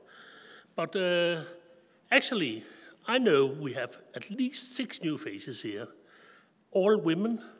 Tamara from Belgium, Aneta from Bulgaria, Joanne from Malta, Maria from Moldova, Sonia, Sonia from Portugal, and Jana from Slovakia. So a warm welcome to you too. I will talk you brief through our policies. Two years ago in Paris, we uh, changed the rules and trying to get women more involved, also stating in our rules. And in our terms of reference, we clearly say we want to strengthen and establish the role of women in European badminton community, encourage the development for female representation in all member associations. I would take you shortly through a BWF analysis made on gender representation and especially female representation, both the participation, the opportunity, the equity, and how women badminton uh, runs. We use the word equity and not equality. Equality, that's generally centers from providing the same topics to everybody, the same opportunity giving the same uh, thing to everybody, while equity uh, talking is talking about doing the right things for those persons who are involved. That could be one thing for one person and another thing for another person. You can see it here from the report. Also, uh, providing the same level for everybody wouldn't help Jimmy together with uh, Sharon because Sharon will be high up because of his height. No, we should try to give the uh, same opportunities or give the same possibilities to everyone to, to develop. The key issues is it's not a uh, women issue, it's a human issue. It's, we want to support and we want to support both genders. As, as Sharon Springer said, she's from the BWF uh, development uh, department. Uh, in the report we have used, it's vital to incorporate women into existing structures and systems rather to uh, create than creating parallel courses and groups that are limited to women. Only thus can we reach the end goal of women, not as female leaders, but as leaders. And uh, I think it's really wise words, and that's what we have been working with in the Commission for the last couple of years. And how are you doing in the MAs about that? We have tried to put some figures up on uh, figures or the numbers from your federations and how we are doing in BEC. And we have also looked at how we implement uh, teachers in shuttle time, coaches, and technical officials. And uh, numbers tells itself. In the board of directors, we only have 15% of uh, female representation.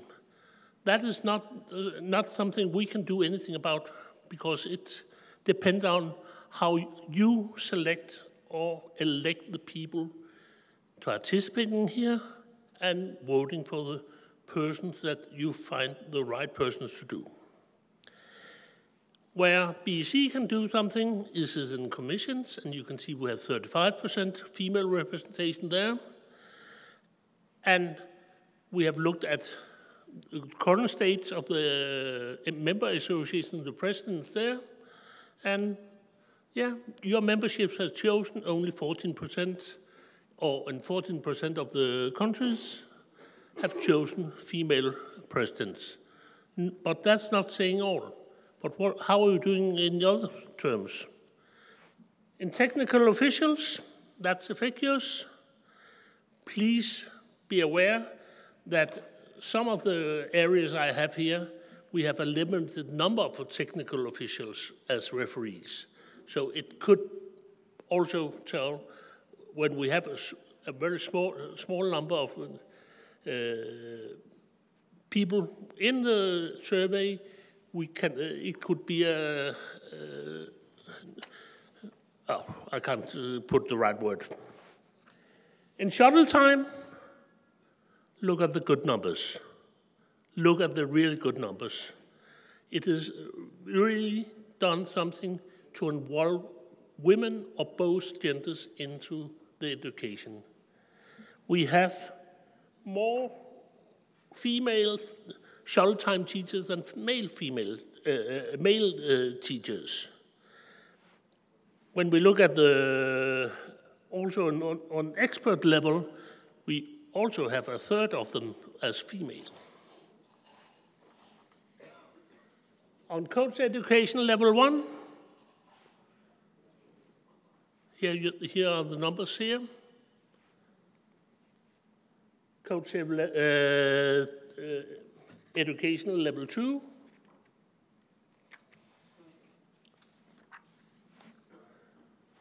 But we do not have many experts in all, so that could be the explanation that we only have, what's the number I can't read, 14%.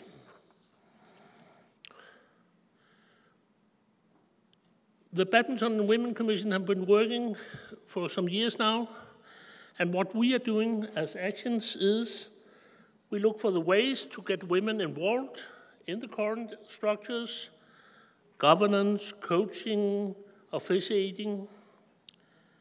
We implement measure, we try to implement measures to prepare women for leadership roles, target training, mentoring. That is some of the things we want both in Badminton Europe, but also we want you as MAs to do. Try to involve both genders in the sport of badminton. We do it in the on court, and we should do it off court too. We set, try to set meaningful objectives around the female participation. We shouldn't select women because they are women we should select them because they're the right persons.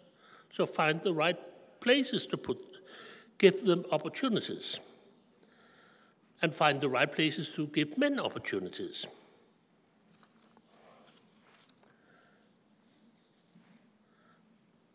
What we also have been doing for the last two years now, last year was the first year we introduced scholarships.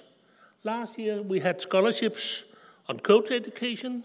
We had scholarships on uh, participating here at the AGM and the forum. And we had scholarship for technical officials. And you can see the member association who benefit of the scholarships last year. And this year, we have uh, broadened it out.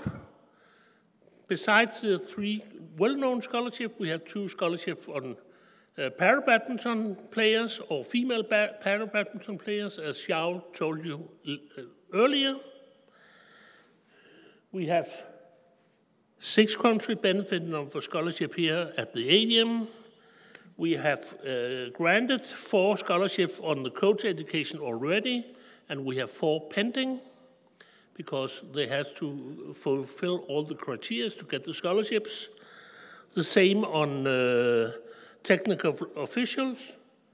Uh, we have now granted six scholarships there. And that's one of the way we want to help you to have female representation on the kind of, uh, different levels.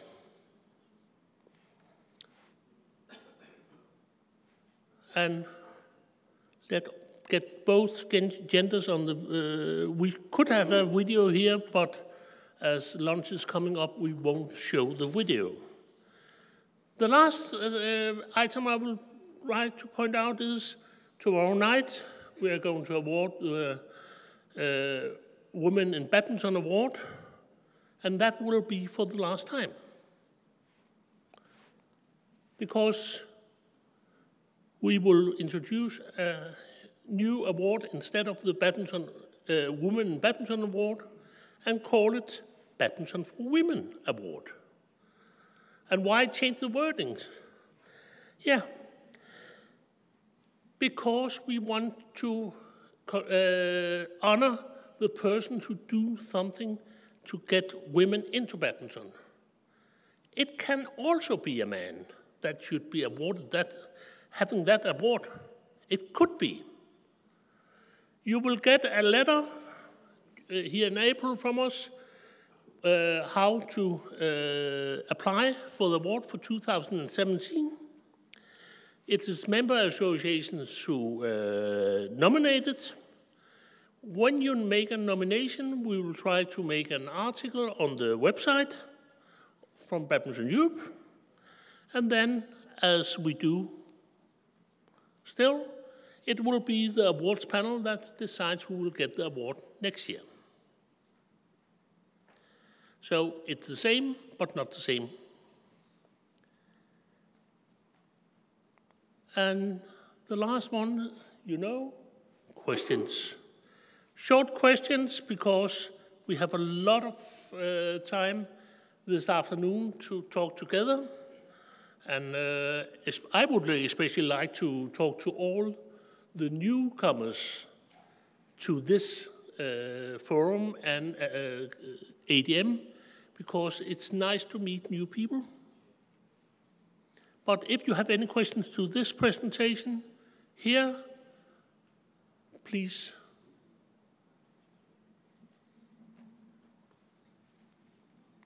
Doesn't seem to, doesn't seem to be the case, Klaus. So thank you very much.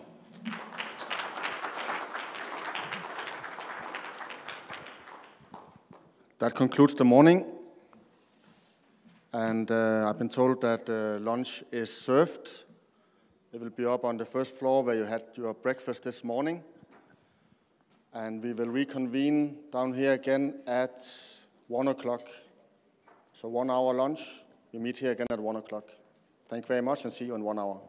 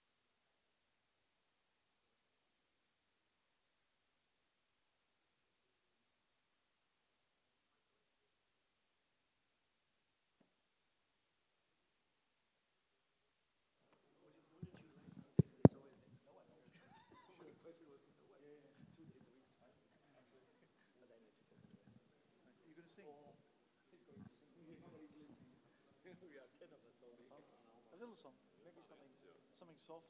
You can say, I did it my way. It Yeah, always works. you can say it in a way. Start me off. Yes. I think we've gone to the vodka tasting. Who? It was a bad idea to put it on at the same time. They were Gina with a bottle of Peter Tassel organized it. It's uh, it's uh, firewater from Bulgaria. Rustiban, Kruzan. It's part of the system. Yeah, but when I came back, you know, I launched my full but I said, oh, yeah. They said, okay. So, So it's one o'clock, huh? It's one o'clock. I already told, it was me and him here. There's no one here, right? Nobody. I wouldn't have thought, yeah. Maybe if they hear the speaker. No, they are in the. Cannot hear anything. Somebody needs to go there back and bring them. Do you want me to go and have a look?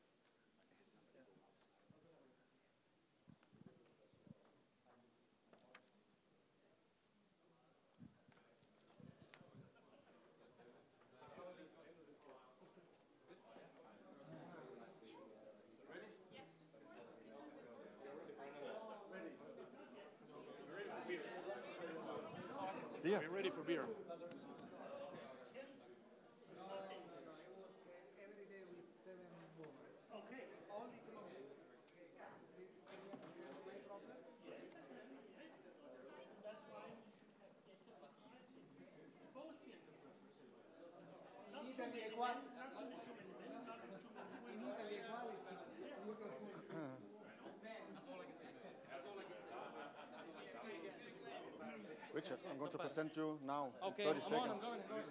Sorry, 30 seconds, come on. I've got a tea, huh? Ready? Let's go. Sorry. You're late. I know, to my, to my own event. Where's the president?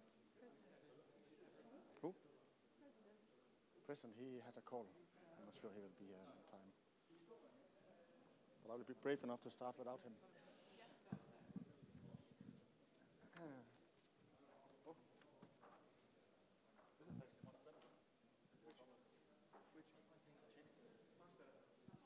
Done there is a lot better. Yeah, 100%.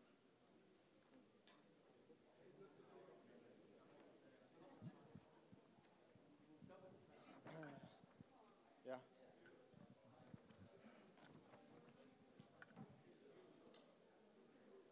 We are ready. We are ready to start in uh, two minutes. We'll start in two minutes.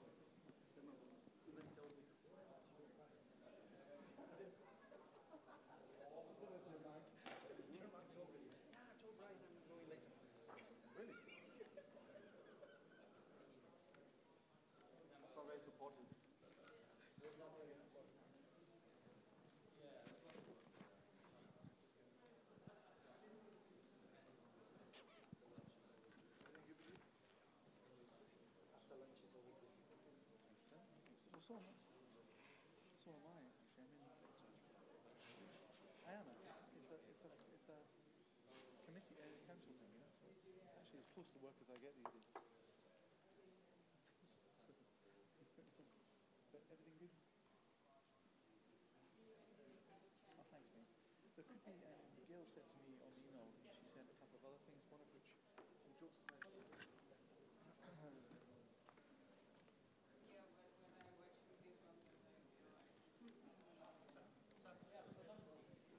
Okay, I think we cannot uh, wait much longer. It must have been a very good lunch. It's difficult to get people back in the room.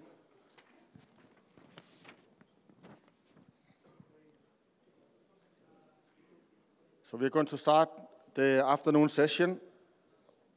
And uh, first up will be, I'll just take you through the program to buy a little bit of time for those still coming in from lunch. Um, so first we'll be uh, hearing about the new European Badminton Training Center. We have some guests from Holbæk who are coming to help us present uh, the, the, the, location and the facilities up in Holbæk.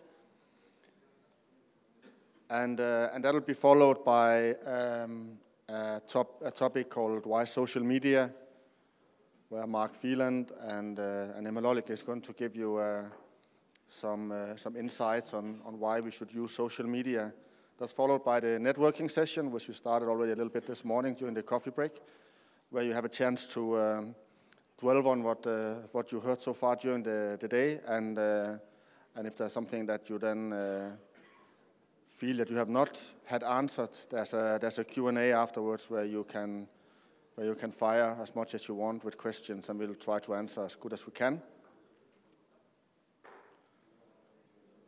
I think we are probably as many as we will be. So um, can I ask to the stage uh, Richard Vaughan? Richard is the chair of the High Performance Commission. Jeroen van Dijk, our manager, who will be who's working mainly with um, with uh, with our high performance and the, and the center. And from, uh, from Holbæk also, uh, I'm not sure if you need to take the stage immediately, you will sort that out between yourself, but at least I'll introduce you. So we have uh, Per Fauerbøl, um, who is uh, from the, from the uh, school and uh, that also provides facilities in, in Holbæk. Um, it's called Stenhus Gymnasium. I'm not, probably not gymnasium, it's probably not the right translation, but it's a high school um, and they're also offering other education uh, like the International Baccalaureate. Um, and also, uh, Carsten Damgaard is here next to him.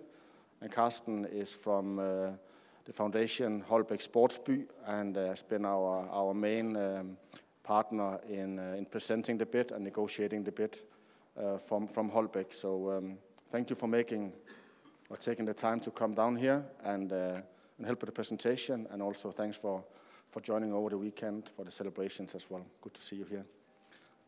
So, uh, Richard, over to you. Okay, I think uh, most people are back. So, as uh, Brian introduced, um, we're all going to do a small presentation on our various pieces. So, ladies and gentlemen, I'd just like to uh, thank you um, all for coming today. Uh, I'm chair of the, the High Performance Commission. Uh, a bit of background on me. I was a, a top badminton player so I was a coach, I was a manager, administrator across uh, many countries in Europe. Uh, I was a world number seven player in singles, uh, won European and Commonwealth medals. Um, I guess coming from a really small country, so for those that don't know, I'm from Wales. So Wales is one of the few countries that aren't here today. Uh, I received very little support in my, my development as a player. And I think um, the dream of having a European training center was, yeah, it wasn't even a thought when, when I was developing. Uh, from my own experiences, I, I guess I understand the struggles of many of the small to medium-sized countries. I think everybody here knows a really good, talented player that failed to reach their potential because there was nowhere for them to go to, to kind of grow, to, to learn, and um, to have that support in terms of uh, coach support, and, and the complete holistic uh, training environment. Uh, we now have that in Holbæk, in, in Denmark. Uh, Holbæk was announced last month as the, as the winning tender of the High Performance Center. Uh, it went through a very rugged uh, selection process where we had nine very good bids from member associations. Uh, Europe is already advertising for, for a head coach for the center. We've already had one uh, selection camp, and we have another one coming up in May. So it's uh, all moving uh, full steam ahead with the centers throwing the doors open next uh, September. So why Holbæk? Uh, as you'll see from the, the future presentations, I'll, I'll leave uh, Carsten to tell you more about Holbæk and, and the specifics. But uh, they had a very, very strong uh, bid. They had a great uh, collaborative approach between the club, college, and commune, which not only provides excellent settings and facilities, but it was also very um, competitive on price. Uh, Denmark, for those that don't know, provides uh, free healthcare. It provides free education. The college even has its own uh, education course in English. Uh, obviously, Denmark has a very strong badminton history. So within 30, 40, 40 minutes drive of, of the center, there are many top clubs for players to, to play, uh, to coach, and um, opportunity for sparring players the other way. So it was a really uh, strong bid all around. And um, I'd like to thank, in particular, all the member associations that, that were part of the process for submitting their tenders. Uh, there wasn't a bad one. They were all very, very strong, and it made the, the final decision very difficult. But I think as a board, we were, we were um, comfortable that the, the Holbæk um, training center bid was the strongest. So with that, I'd just like to invite uh, Carsten to tell us a bit more on, on the Holbæk offer.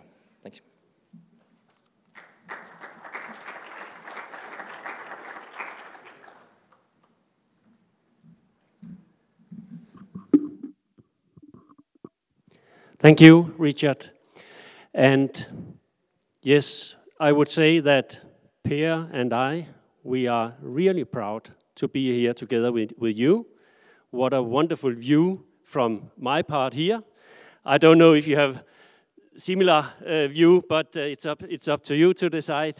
Uh, Richard, very uh, uh, price-wise, uh, competitive hour bit. You should have told us a bit before. now, first of all, thank you to, uh, to uh, President uh, Mr. Gregory, the Board of Directors, BEC staff, badminton friends uh, from all Europe uh, for inviting us here to your uh, weekend in, in Prague and a very congratulations with your 50 years anniversary. We are, it's a great honor for us to be here. Uh, I will present uh, our Holbæk Sportsby uh, to you and I will say, start to say that you are going to execute a unique high performance center of excellence. We are in the process to, pick, to build unique Holbæk Sportsby. Uh, so together we will make the platform for, for European badminton talents to grow on highest top level in, uh, in the world. Uh, at least we will do the efforts and, and we hope so. In Holbæk, we have some strong stakeholders working together about uh, in, in such a project, project like uh, Center of Excellence. We have uh, there Holbæk community. Uh, our community is uh, 71 uh, inhab in, in inhabitants, and Holbæk city is about 30 30,000 inhabitants. And I have the best greetings from our major in Holbæk. He has been a part of the bid as well as uh, Per and I and some of the other stakeholders. Holbæk Erhvervsforum is uh, the organization in Holbæk for about five, 550 companies, small, medium, and bigger companies working together with us on, the, on this project. We have Stenhus High School, Stenhus Gymnasium, Stenhus Sports College, which is one of the biggest high schools in Denmark.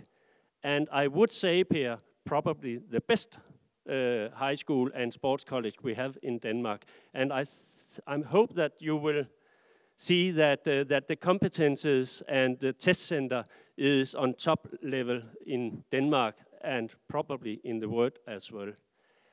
And no money, no cookies. We have our financial partner, Sparekassen Sjælland, which is very important in realizing Holbæk Sportsby and, uh, and this project uh, Center of Excellence. We really look forward working together with you and the BEC staff uh, to, to make the frame that we can higher the level of performance of European badminton players. Uh, the the infrastructure in uh, in Holbæk and uh, in uh, uh, regarding the Center of Excellence is relatively good.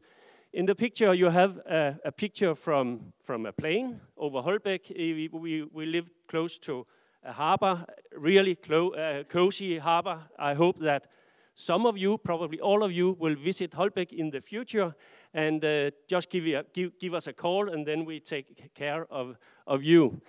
Denmark here, Zealand, and there we have uh, Holbæk. A bit closer, we Holbæk is on Zealand, uh, and uh, here you have the airport. And as Richard uh, told us, uh, 45 minutes from the airport, 15 minutes to the center of Copenhagen, and then around about 45 minutes by car or train to, uh, to Holbæk. So it's, it's relatively good infrastructure for international uh, badminton players. We come a bit closer. The pictures there again is from, from Holbæk, our old harbor with a lot of restaurants and cafes. And uh, in this springtime, as we have now in Prague as well, it's, it's really nice to be in Holbæk. There we have the main street with a lot of cafes and, and, and really you can spend a nice time there. And I'm not here to advertise Holbæk, but, and, and I would not say that, that, that the Center of Excellence players should not spend most of their time in, in those areas, but we have it when you, in, uh, when you visit Holbæk. We have the place here, and here we have Holbæk Station, and it's two kilometers from Holbæk Sports, Sportsby. So uh, it's rather close. Here we have Stenhus, where we have the test center and uh, badminton courts as well. Uh, so there again, the infrastructure is rather good. Here we have the highway from Copenhagen, and when you drop off the highway, you have by car two minutes uh, to the Holbæk Sportsby. The place where Holbæk Sportsby is uh, in process to be built, the machines are uh, they are working uh, on the area right now. It is 42 hectares uh, all in all, outdoor and indoor. It's soccer fields, it's paddle tennis, it's outdoor tennis, it's athletics, it's uh, petanque. We, we collect, I would say, all kind of sports facilities in, uh, in, in Holbæk uh, Sportsby. And there you have the building, and the building is going to be 22,000 square meters uh, indoor with different kinds of sports uh, facilities. You have there an overview uh, from Holbæk Sportsby and, and the surroundings. And I can say now that the soccer field there, it, it is some architect, architectural uh, designs. It's not going to be like that way in, when we are going to play football. Uh, we step inside the, the building. Here, the main entrance here. To the left, we have the arena, two handball halls in size. And when we have a European champion in badminton, for instance, we can do it here, the size to the roof, and uh, uh, spectators for uh, 3,000, uh, around 3,000 spectators. Uh, we can build it up to really nice uh, champions area. Here we have Holbæk Community Healthcare Center with all specialists that you can dream about. We have a restaurant and cafe, of course. Here we have the tennis center, tennis hall with four indoor tennis courts, squash here, uh, and here comes the badminton center with eight badminton courts and uh, will be at your at Center of Excellence disposition as we have agreed. And of course, we have a lot of meeting rooms. We have working station also for staff in, uh, in Center of Excellence and Badminton Europe.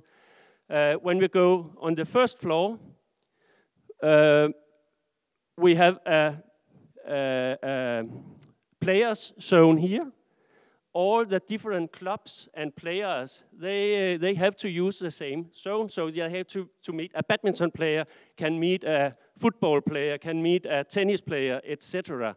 And both for high performance, top level uh, sport performance, and medium, and for those people who will just do sport for, for fun. We have areas especially for, for high performance uh, sports uh, people. Here we have an excellent swimming center with a 50 meter swimming basin. And here we have uh, some fun places. Here we have a warm, heated uh, basin. And here we have a family and uh, kids uh, basin. And here, of course, all the facilities after what we have agreed, uh, the, the badminton players, Center of Excellence players, have uh, access to, uh, to those uh, facilities. There you see a 3D model. There is some changing in uh, the badminton courts because here you have four tennis uh, courts and here you have the eight badminton courts. Together with Stenhus High School, Stenhus High School is placed two, three minutes from, from this building. We have altogether 23 badminton courts and the, uh, the arena where we can make the, the European tour tournaments when we want that. You can see here, here we have the Holbæk Sportsby. There we have Stenhus uh, High School, Holbæk Station, and the harbor and the center here in, uh, and here we have the highway where buses and uh, cars come directly to Holbæk Sportsby.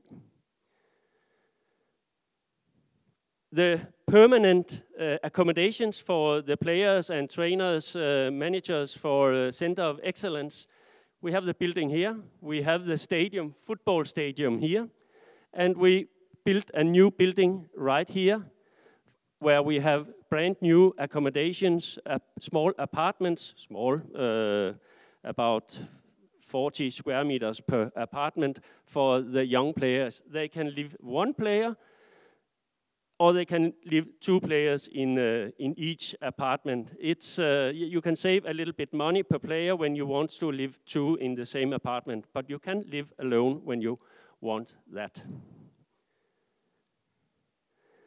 There you can see the accommodation, the apartment for, for the players, where we here have a, a lounge, a, a, kitchen room uh, where you can eat and or you can yeah, uh, do your laptop, uh, bathroom here, uh, storage, uh, relaxing room, and here you have the, the bedroom. And the rooms will, or the apartments I should say, will be furnished from our part. So they are ready when the players come to us from September, end of August, uh, something like that. Yeah, I will give to Per, and I come back to you. Thank you very much. Uh, I'm headmaster at Stenhus Gymnasium, 1,300 students. We have both a Danish uh, education and international IB, International Baccalaureate education. Right now we have students from 21 countries at our school on the International Baccalaureate. We also have exchange students from many countries in the world. Some of you might wonder about what's going to happen in September this year because all what you have been shown until now hasn't been finished yet. And the answer is that Badminton Europe will be hosted at my school for the first one and a half year. This is our new hall, and it's finished. The presentation of the new Center of Excellence was taken there. It's the same architect and the same uh, company who's building the Sportsby. We have, of course, as you can see, a badminton hall, six courts. We have an office for Badminton Europe. We have rooms for physical um, treatment. We have uh, meeting rooms for one for 30 people, players, and we have a big meeting room for up to 100 people. We have a dance hall up there for physical training without weights.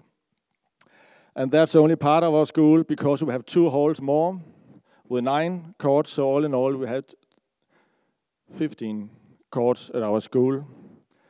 And uh, we have a lot of outdoor facilities. We have a training center if you have to use weights. And as you see here, we have a test center together with the University of Copenhagen. And we have employed a researcher uh, together with the university. So we have the newest equipment for testing physical. This is, as you know, the maximum aerob. And uh, so we can do all the testing. And down here, you might, I'm not sure you can see, it's Joachim Fischer. He's trying our functional badminton test, the Müller test. One of our teachers has developed a test for badminton. He has tested all the top Danish players and uh, a PhD. And uh, we can also test in functional test your players. And Christian is part of our badminton college together with this man, Peter R., former head coach in New Zealand. Next year, he'll be our new leader of our badminton college.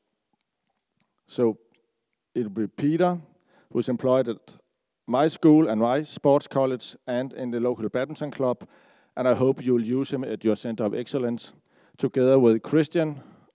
So he'd also like to help you at the Center of Excellence.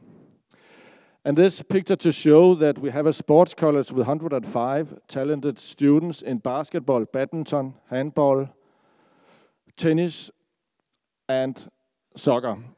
In fact, right now, our basketball club is competing to be the best uh, under 19 boys in Denmark. They are number two for the time being. So we have a lot of experience dealing with uh, talented young people in sports. They start at 7 o'clock in the morning doing physical training. Then they go to school until 3 o'clock in the afternoon. And then they practice again 15 to 20 hours a week. It's very important for young people that they can do their sport, but they can also get an education. And uh, they can do it in English at our school.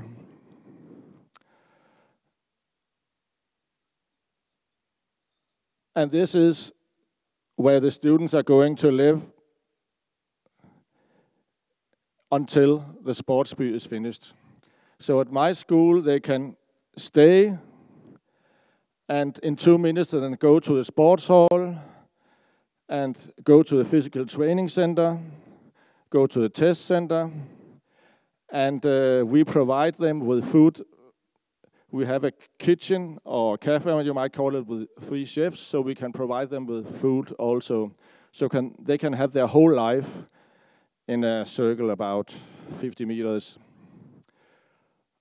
I think that it would be a very good start for the Center of Excellence to start in very close connection to my school because we have a lot of students they can uh, make social relations to so they don't feel that they are put away just outside everything but they can be a part of the life in our city and we can take care of their social uh, connections with other young people and i think it's very important to uh, see for life skills when uh, you have to train as much as these guys or girls are going to do.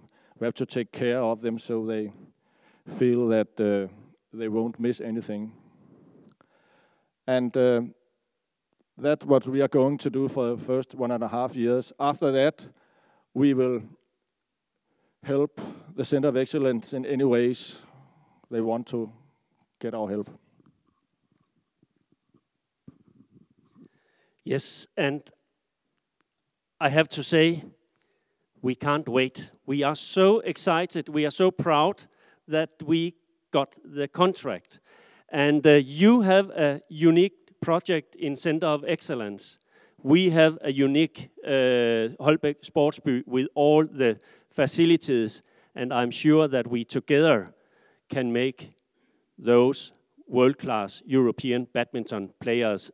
The last slide from our, from our side here, you have four, picture, you have four pictures, uh, two from, from inside. It, it is the design-wise which are going to, uh, which is going to be uh, implemented inside. I just have to say, and I hope that we can wish you all welcome in Holbæk uh, to our unique facilities. Thank you for the contract, and we will do our very best.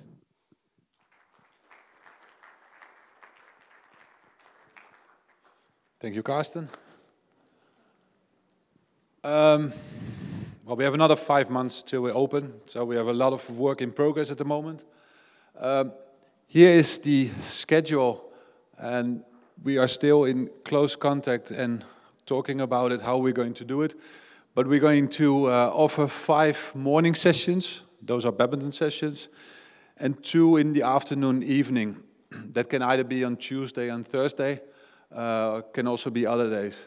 Um, as Per said before, there's a badminton college um, at the gymnasium, and we could also work together with them. So that's what we are going to offer them. Then um, we would like to have a head coach there. Um, is also work in progress. Um, an assistant coach. Um, also, because we're in Denmark, we're going to have part-time coaches involved. This is all uh, work in progress, as I said before.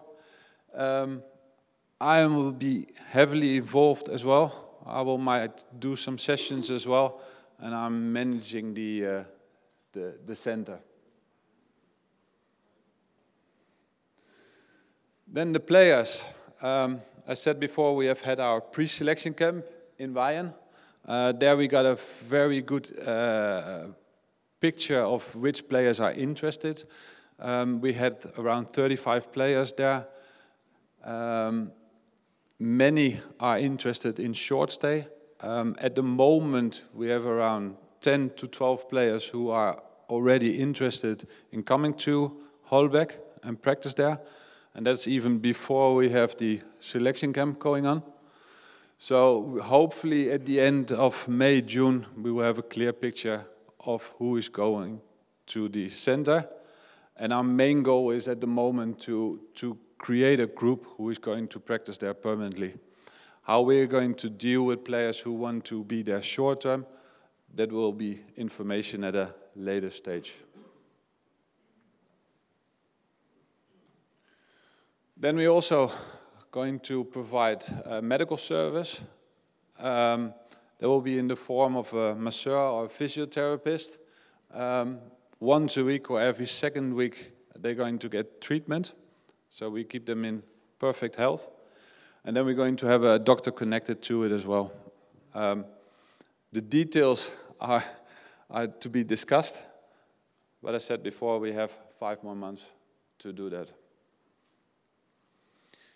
That was it so far from us.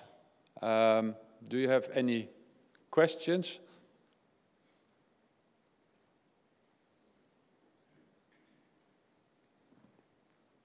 No? Thank you. Then, Brian? Sorry, yeah. I forgot that. Sorry.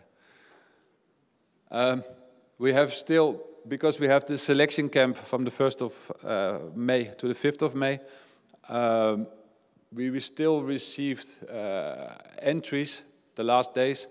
So we have made the decision to extend the deadline until Friday. So if you still have people, uh, players who are interested, they can still come to us and then we might select them for, for the selection camp.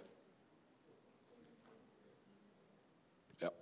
Sorry, I have a question about school. Uh, it's possible that uh, our new potential uh, players will uh, also uh, be students of your school, or how it's how it's will. If they have the abilities to uh, go to our IB college, then they could do. Yeah, we, but we also have foreign students who take their education at home where we support them at our school. If they are part of a system before they come, they can continue and we can help them with mentors. And sometimes it might be a good solution. Because as I know, the students from from Latvia and X is very interesting also about study, of course, both. But we will help them. Are they at high school level or are they at university level? University. We have close connections to a university uh, three ki- 30 kilometers from there where they have education in English. So we can help them to get in contact.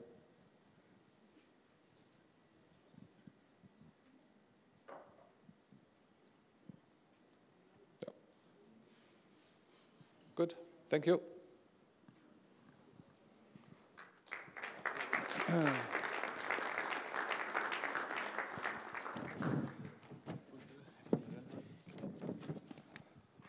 So thank you to, uh, to Richard and to Jeroen, Per and Carsten. That was our training center, which is coming up. Maybe just in addition to what, uh, what uh, Jeroen and, and the others were saying, I think this uh, weekend is uh, an excellent opportunity to, uh, you know, to discuss possibilities around the training center for your players. Um, I had already a few discussions with some of you um, where you have shown interest in the past, where maybe there are questions around how can we, how can we finance it, what are the practical implications. So I, I think use this opportunity to come and speak with, uh, with Jeroen, with myself, if it's more in, in terms of what, what happens in, uh, in, in Holbæk or at the school, you can go and speak with Carsten or Per as well. I'm sure they'll be happy to, to discuss with you over the weekend. But um, the, the key here is really to, uh, to um, you know, get a, a good group of, uh, of players together uh, in order to create another facility where we can build on the sub-elite of, uh, of European badminton.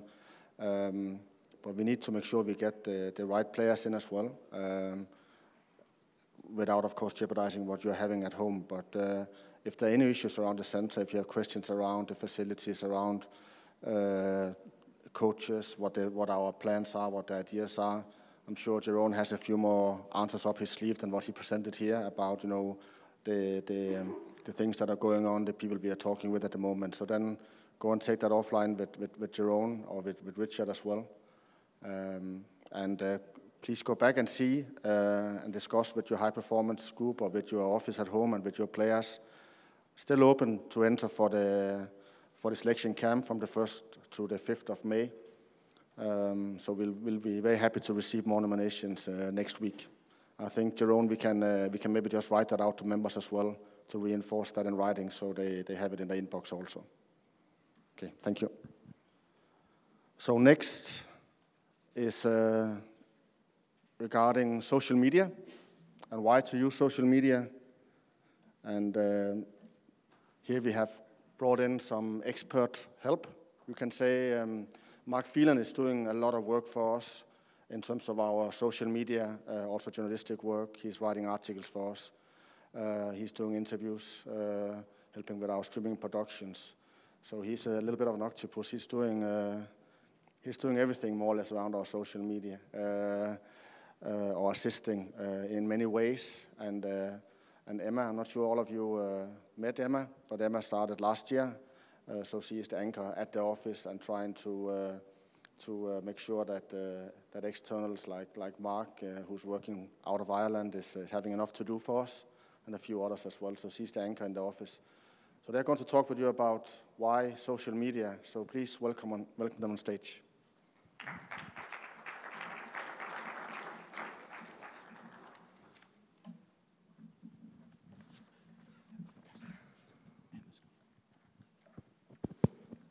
Okay, thank you. Um, I just push this. Yeah? Yes? Ooh, here we go. First, a little overview of what I will be talking to you about today. Um, we'll start with a short presentation and then go through what social media is and why it's different from just uh, the website, our website, your websites. And then I'm gonna tell you about what we did during the European Mixed Team Championships in Poland recently. And I'm gonna show you some of the tools that I, I'm using um, to schedule and make a strategy on social media. And then in the end, Mark will talk to you about a shared photo database. Here we go. Um, as Brian just mentioned, I just started this July, last July, so I'm still new. I feel like I'm still very new, but I am trying my best, and um, I hope that, yeah. Moving on. Mark is most of you might know me from being around at your circuit tournaments and so on and so forth. And uh, I am, what am I? I am, I'm a fan of badminton, uh, first and foremost, and it's in my blood, and uh, it's what I'm passionate about. And uh, through that passion, uh, I, have got involved with the AIPS, which is the uh, world governing body for photojournalism and uh, sports reporting. I'm on the Badminton Commission there with, uh, with Raphael Sachetat of Badminton Photo and a few others, where, where we try and uh, improve the media facilities for uh, badminton journalists at events. And I also do a lot of commentary, interviews, etc., as Brian said. And I've been uh, working uh, freelance with Badminton Europe since I think, I think it was the European Champion, Junior Championships in 2011, which was in Finland.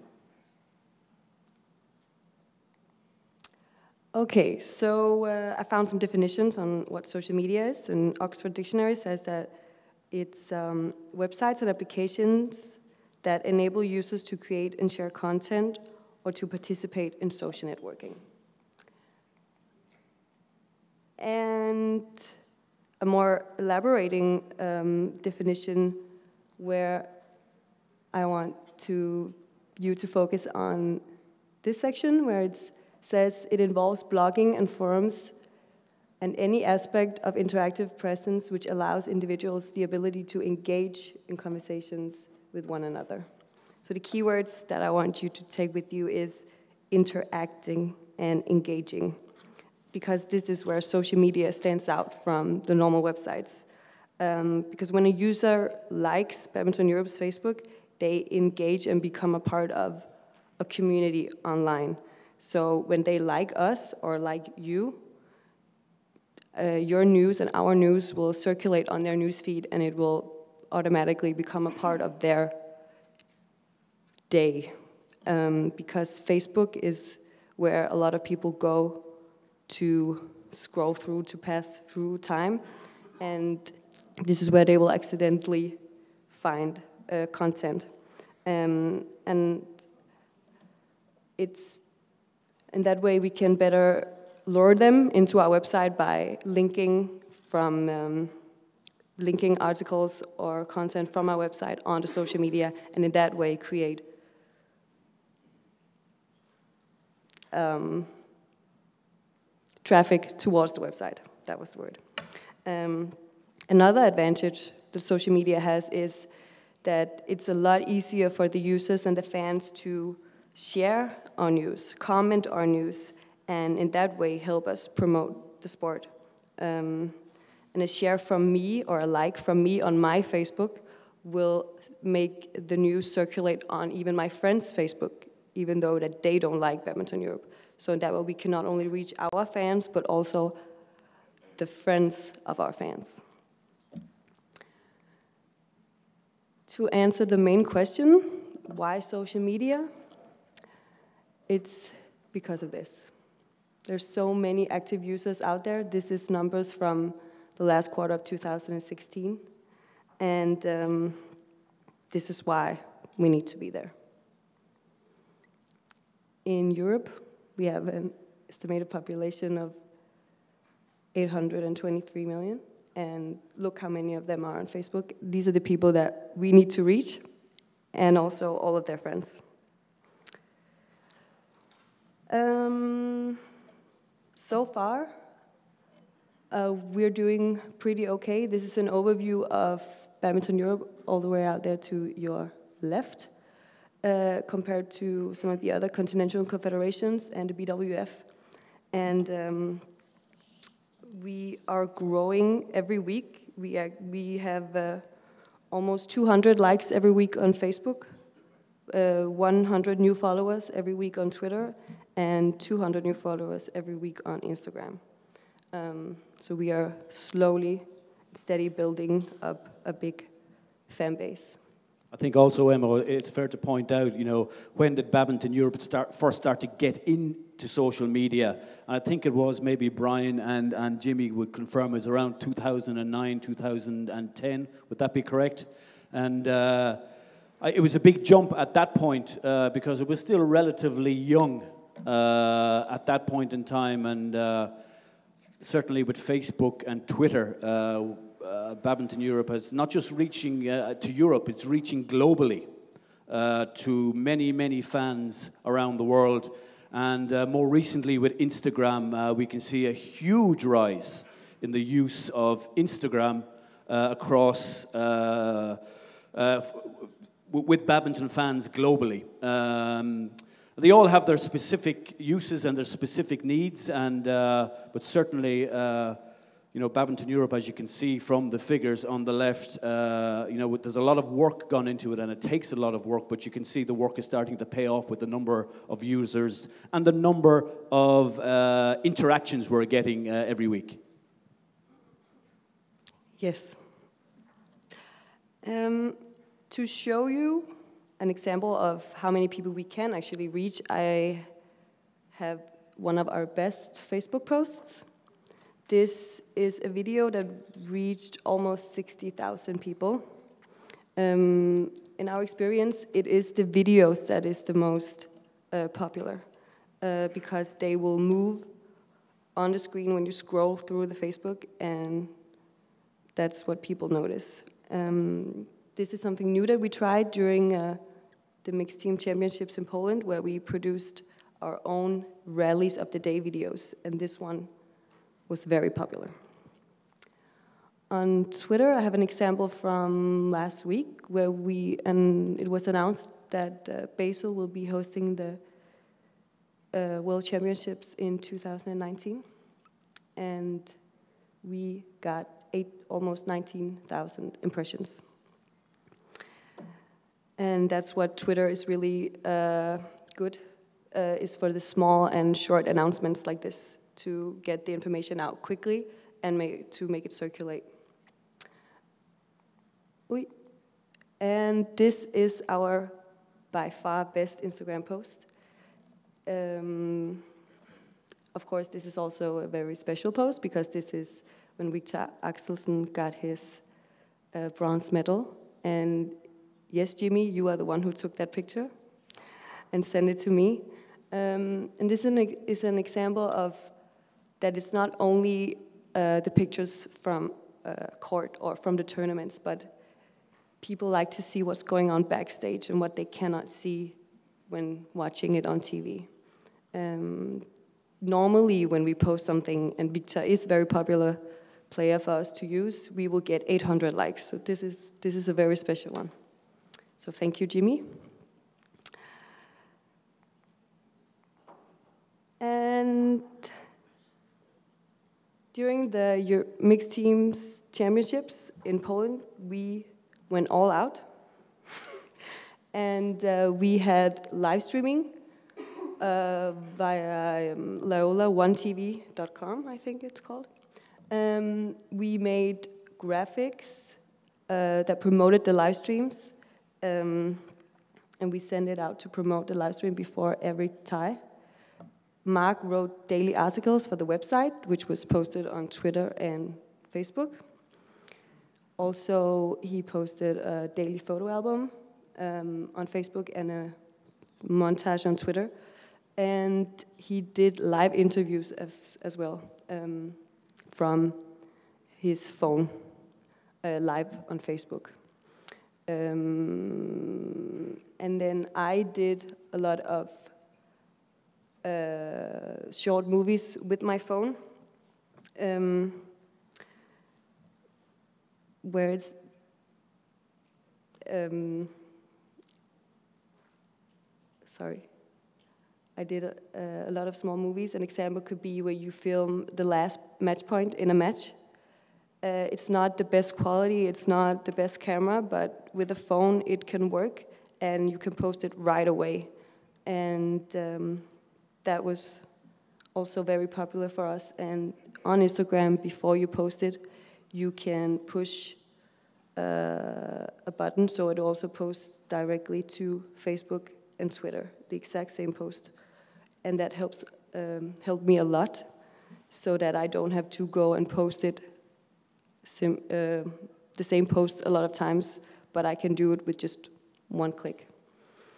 And of course, there is the new Instagram story, that Instagram, a new feature that they have, where the more informal content would go on. I am also using, only using this for big events. I'm also using it uh, today and we'll use it tomorrow.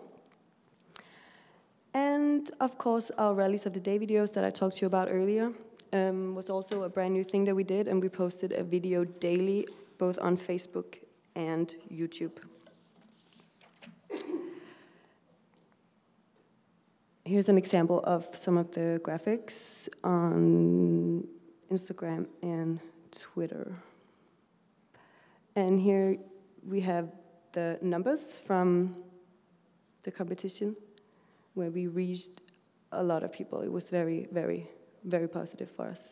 This is from Facebook, and this is from Twitter. And now I'm going to tell you a little bit about the tools that I'm using to make a social media strategy and what you need. What I'm doing to have a, to make a strategy is first of all I need to know who my followers are, where they're from, and what language they speak, and then I'm using scheduling tools to plan and schedule posts, and then I have a common thread that um, so that I have a common thread, which means that I have used the same hashtags and used the same picture and used the same words uh, throughout all of the so different social medias. Oh my God. Yes. And here we have,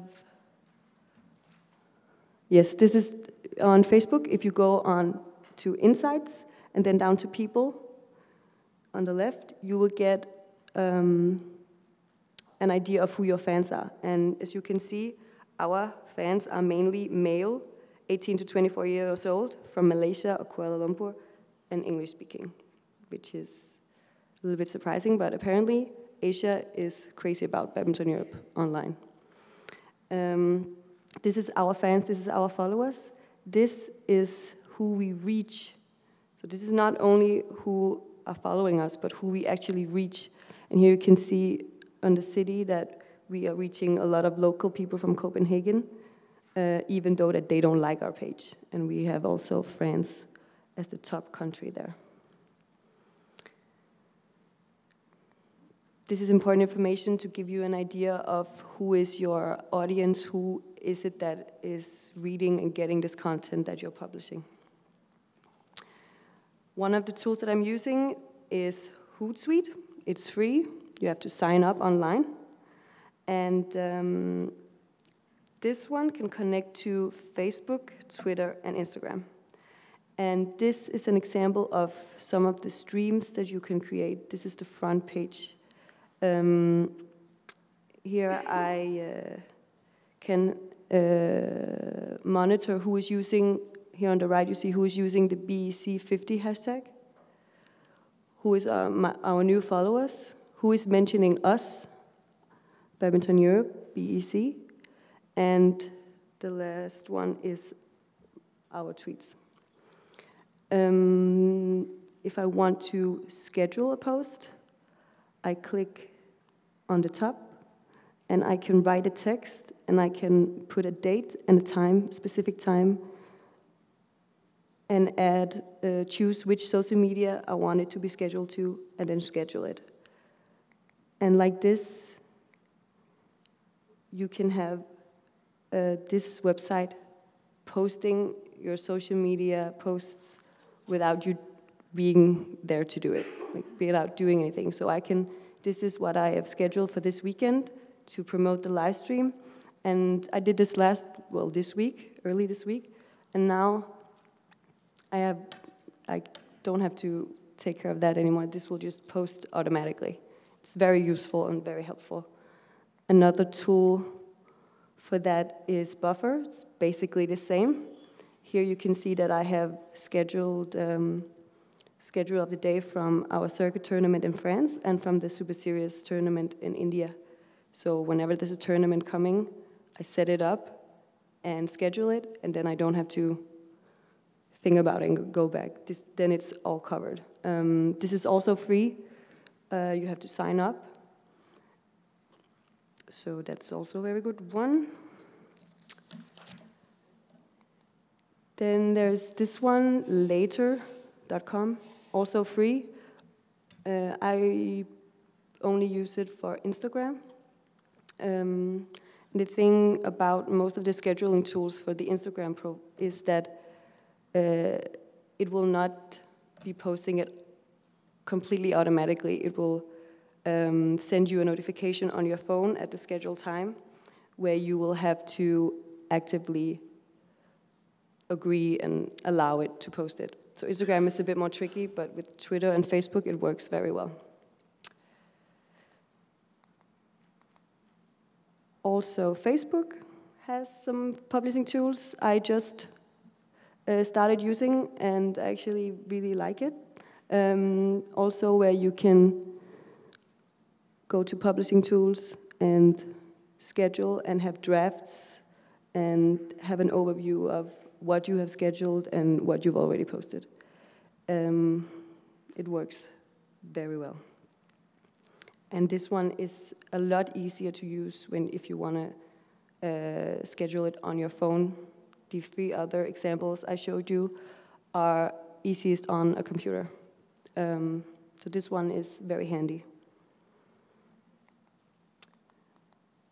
And now I want to give you an example of the common thread that I was talking about. As you can see, this is the same news story published on three different social media. Uh, I'm using the same picture and I'm using the same hashtags and the obviously the same headline. That's um, my picture this time, Jimmy. Yeah. I also credit you on the picture. Um, a good uh, reason to do this is also to get the fan to recognize the news uh, on all different social medias. Um, uh, so we can have the fans follow us on all of them.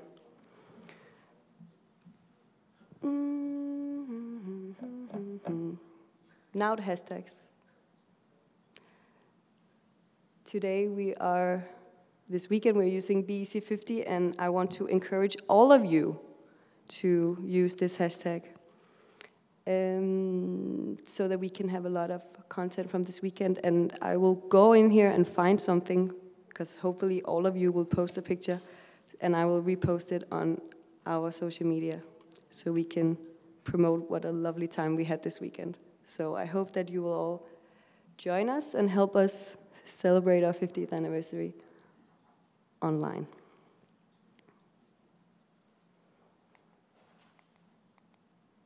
Yes.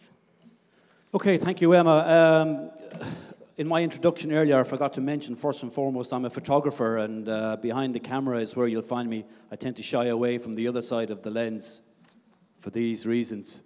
Uh, but yeah, um, over I think about 18 months ago, uh, I spoke to Jimmy, and I, I think I spoke to Brian about the need for us to come up with some kind of way of uh, organizing and uh, putting together in a historic database all the photographs that we have been starting to gather over the years. I know João, you know, has, has been very active in the past, and uh, I know putting this book together, trying to go back. Where is he?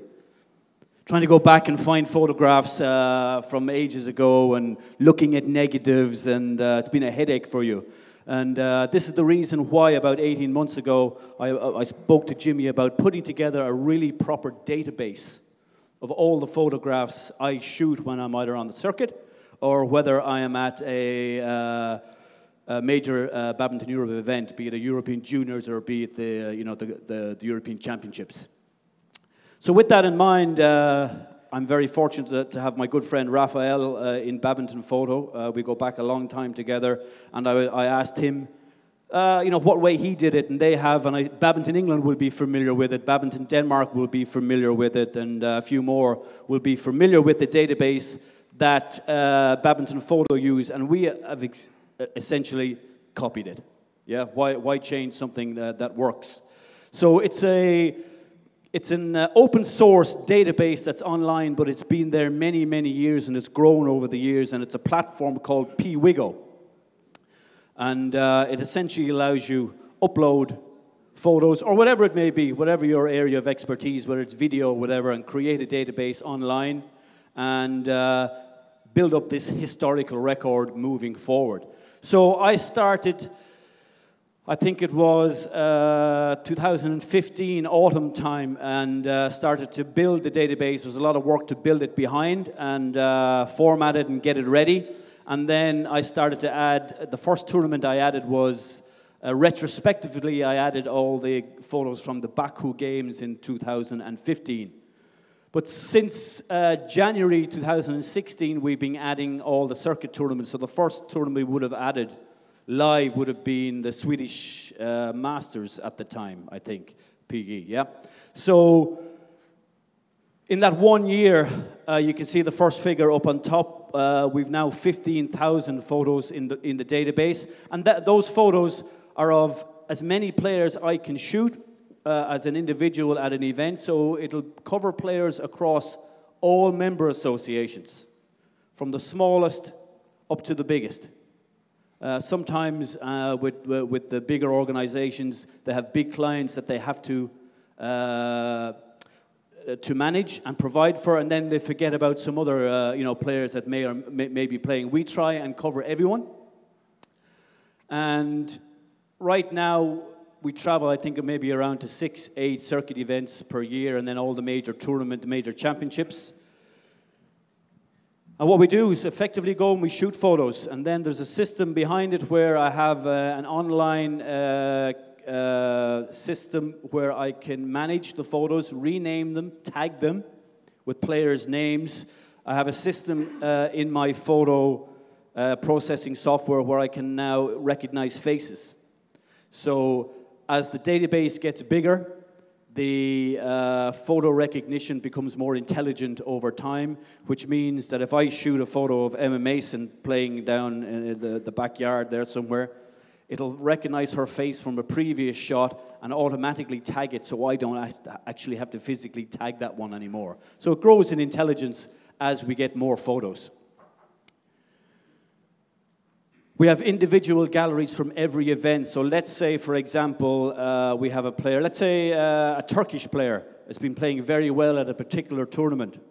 And uh, we want to find that picture from a semi final uh, that the Turkish girl or boy has won.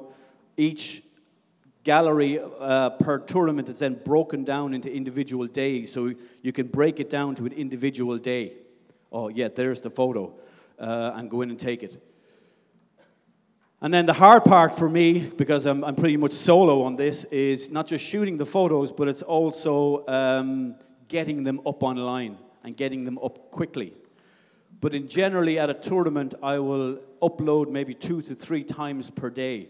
So if there's a morning session, you will generally within an hour have uh, 100, 200, 300 photographs up there online, ready to be used, all in high resolution, all without a watermark. And the good thing about this, and we started it at the European Mixed Team Championships, is where we invited all the members, member associations, to use that database. So that database is now there. Uh, and I think the way we're going to use it moving forward is when we have a major championship, obviously you can get a username and a login, Uh, not to be abused. If it, be, if, if, if it starts to be abused, you know, we can certainly curtail that and pull it back. But if somebody from uh, Moldova is playing in uh, a European Championships and gets a good win, and I have a photograph, you at that European Championships will have a login to be able to come in and find that photo, take it down and use it on your social media platforms to promote it, to talk about it, to get the news out there, and we'll even allow you in that case to send it to your national media in high resolution that they might create some buzz about it. Okay? So this, this, uh, this resource is now available, and of course, every tournament we grow to, we go to, it, it's, it's, getting, uh, it's, it's getting bigger and bigger. I also travel to circuit events, and for example, the first one I did this year was in Estonia, in, in, in Tallinn. Beautiful tournament, beautiful little tournament, uh, immaculately run and excellent to photograph.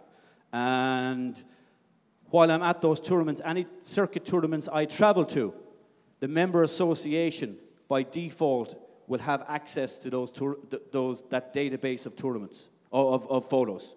So if I go to Germany to a, a, tournament, if I go wherever it may be, Scotland, England, Turkey, Belgium, wherever it may be, when I'm there, the member association will have an access and be able to use our photographs uh, from, that, from that tournament.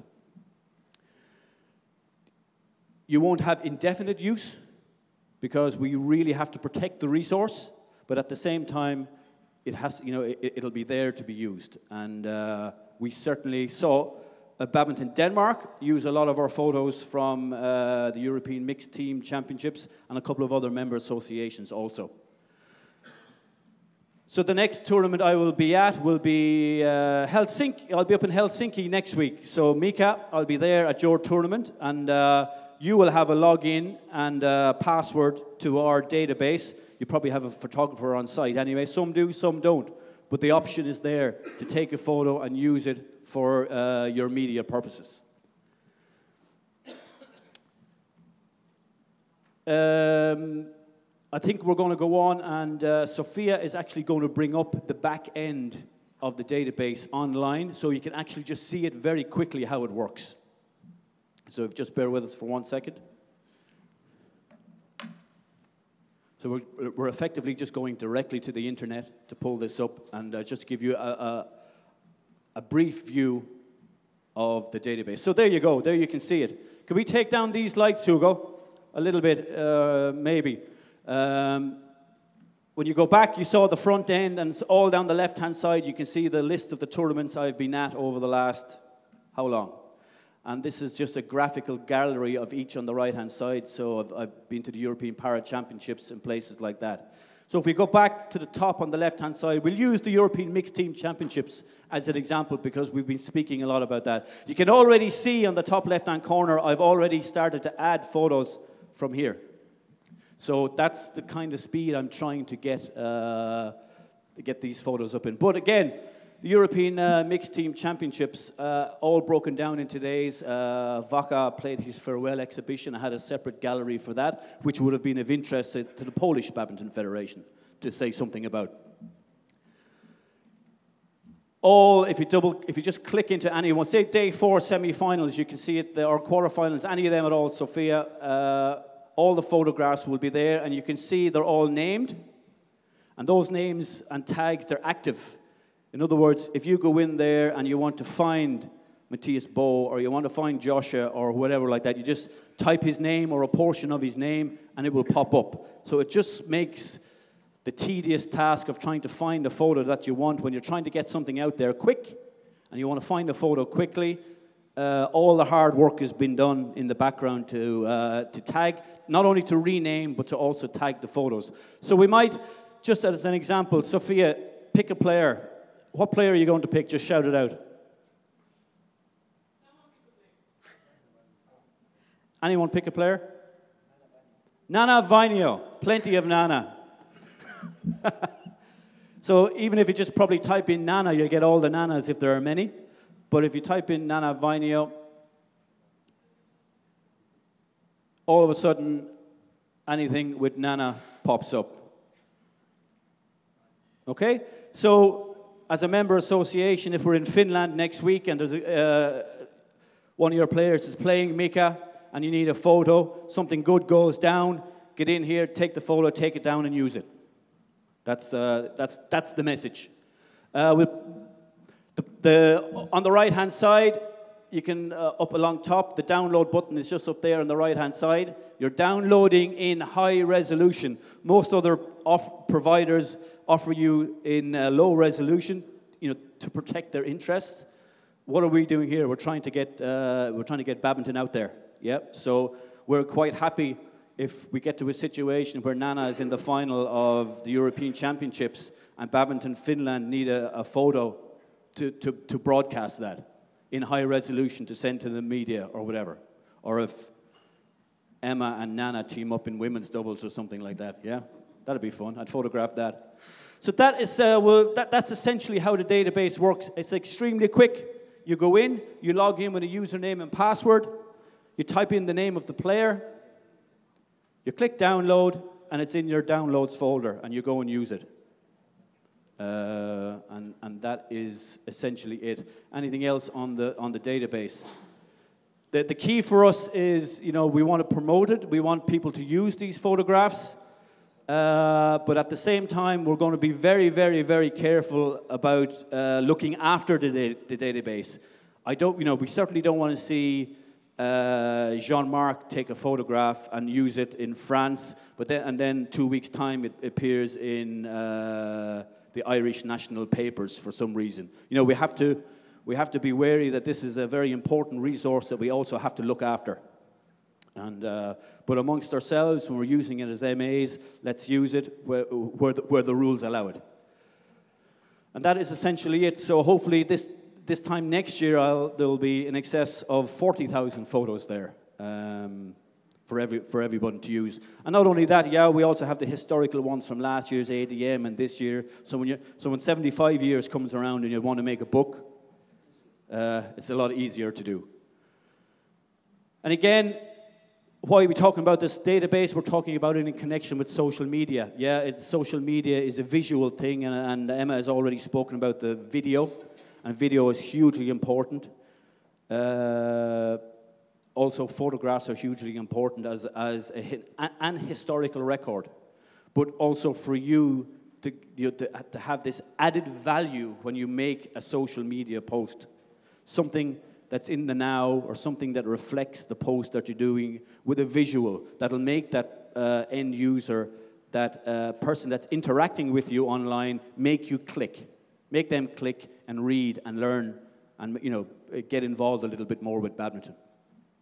So that's the database. Um, it's very, very simple. It works uh, even for myself. You know, uh, when I'm writing articles for Badminton Europe, rather than have to go back through my own records, I, I just jump into the database and find the photo I need very quick for an article and things like that. Uh, very, very, very useful. Saves an awful lot of time. Looking good there, Nanna? Yeah? Which is your favorite? Thank you, Sophia. Uh, and that's, that is, you anything else, Emma, that's it?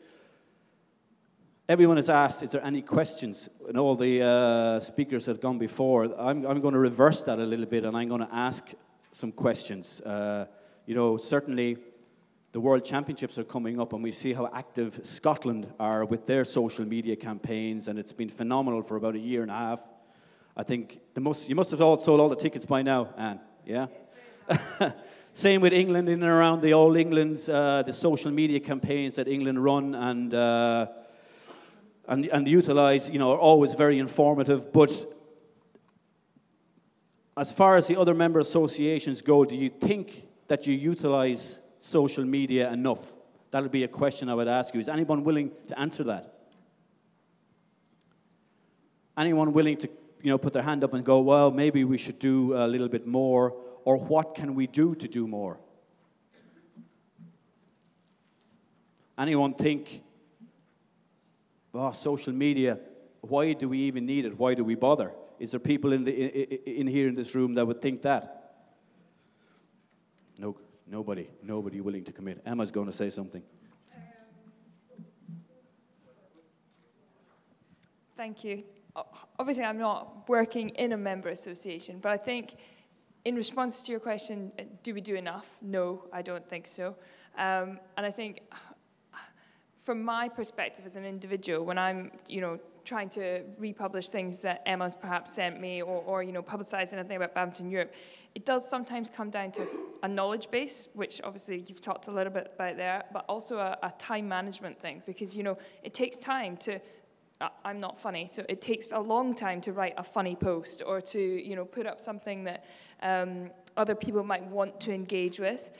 So again, answering your question, no, I don't think we do enough and I think we can do more, but probably a question I'd have for the two of you is, what can the member associations do to be more efficient with their social media? Because it's you know, sitting here, I grew up in, a, in an age where, you know, I, Instagram, Twitter, Facebook, that's, that's the normal, it's what I grew up with, but it's not necessarily that easy and it does take a lot of time out of somebody's day job. So Resources is the big thing. Yeah. yeah? And a lot of the member associations would have limited resources. Yeah, we, we certainly understand that. But certainly, say, for example, with the European Mixed Team Championships that we've uh, highlighted, uh, you know, Emma put together the graphic, you know, of, of all the matches with the nice, you know, a lot of work goes into those graphics. But I, I would certainly be conservative in saying that there was not many member associations that would have even just retweeted that their uh, team was playing in a match against whoever it was. Uh, it is. It takes a lot of uh, human resources. But when, when, we talk about social media, you know, uh, outside of a tournament or outside of a big event, what do you need to do? Maybe one post a week if you're a small member association. It's time. It's about time management. It's about getting yourself familiar with it. We're trying to make the tools available. You have all these scheduling tools that you can now. I remember you know, starting with Facebook and Instagram and Twitter and doing each one, at, you know, individually at a time. And I started at lunchtime and almost finished. It was time for dinner. Yeah. But those days are gone with these uh, little pieces of software that are free that you can schedule things. And you know, we're in a world where we need to schedule things. So I think I think that argument is starting to dilute a little bit uh, I do absolutely agree that you know we have some member associations where maybe you have one person in an office and so on and so forth, but it's about really finding that half an hour, or to make you know one post a week. It's about if I go to Finland next week and uh, I'm shooting at the uh, Finnish International in Vantaa, and there's a player from whichever small uh, member association there, and, they, and there's a folder there that they can use to create a little bit of hype about because your top level player is as much as is as important in your own home market as these guys winning uh, Thomas Cups uh, on the global scene. Yeah, and create a little bit of buzz about your top player, and it takes a lot of time. You know, when you start a social media account and you see 50, you, you know, you have 50 followers and you're going, what's the point? Yeah? But you have to keep at it. And that's what Badminton Europe have done. You know, they started off very small, but now we see the numbers that are following. And yes, there are a lot of Asian followers. But why? Because we'd often get messages on Badminton Europe, you know, oh, I, we love Badminton Europe because they are always involved in and giving us loads of badminton information compared to other confederations. Have I waffled on a bit, Emma? Sorry.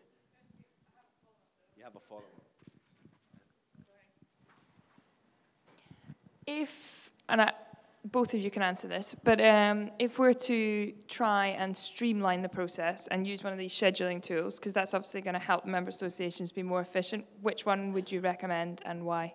Which one of the two? Yeah, the scheduling tools. Um, yeah, I use all of them um, because they fit Buffer, I like for Twitter. Facebook's own publishing tools I like for Facebook, and later.com I like for Instagram. But Hootsuite, the first one I showed you, can do all three. So it is nice to have it all in one. Um, so that's what I would recommend. The other, the, other, the other thing I'll say is that uh, it, it takes a lot of, for example, again at the European Mixed Team Championships, there was myself, there was Emma, there was Hugo, uh, my son was there helping out as well. You know, it took a lot of effort for all that work. Uh, so maybe as a small member association, you maybe say, well, look, we're just going to use Facebook. You know, cut your cloth to the size that you need it. Uh, and we're going to really get a good Facebook presence and try and build on that and then go from there. Um, and then to answer, you know, to answer your question, you can just post directly on Facebook, something like that. Um, just to answer your question, first you asked uh, if we use Facebook enough and social media enough as, as asso associations. Coming from one of the smallest, we're from Malta, and uh, we use um, social media quite a lot. Yeah. And we would like also to not only um, update our, our followers about local competitions and Badminton Europe competitions, but also to get more people who are not yet involved in badminton and to start following actually as fans, as supporters. And, and I think that um, uh, coming also from um, um, my profession on, on marketing as well, um, I think something that might help us to get even more interest, um, to get more interest to, to, the general public basically, is to maybe uh, give more content that we can actually not only the competitions and the, the things that are happening, because if someone is not following badminton and uh, we post about any, any competition that's going on, maybe we cannot pick their interest. But if we say, um, uh, post a video about, um, I don't know. Like what? What do you want? Something, something um, um uh, like, I don't know, interesting facts about shuttles, for example. How is a shuttle made up? How, yeah. Well, I why? do know, again, you know? we so have... that we can, we can first get those people interested. Okay. Then we, we start getting more, more followers. And if all, all the associations do that, of course, Badminton Europe as well will get the results from that as well. Okay, points taken. I do know we have some interesting, funny videos coming after, you know, uh, that take a little bit of time to uh, process, Hugo. Um, you know, you know, little teasers and tidbits and little things like this with, you know, funny questions to players, not just the normal what was the match like, you know, more interesting, uh, generic uh, short videos that everyone will then be able to repost and things like that. We're working on that, but again, on your point about you know those factual little uh, things like how many feathers on a shuttle, what's the fastest smash, all of these things. These are things that interest you. Yeah. Okay. Richard. Oh. Go ahead, Martin. yeah, thank you.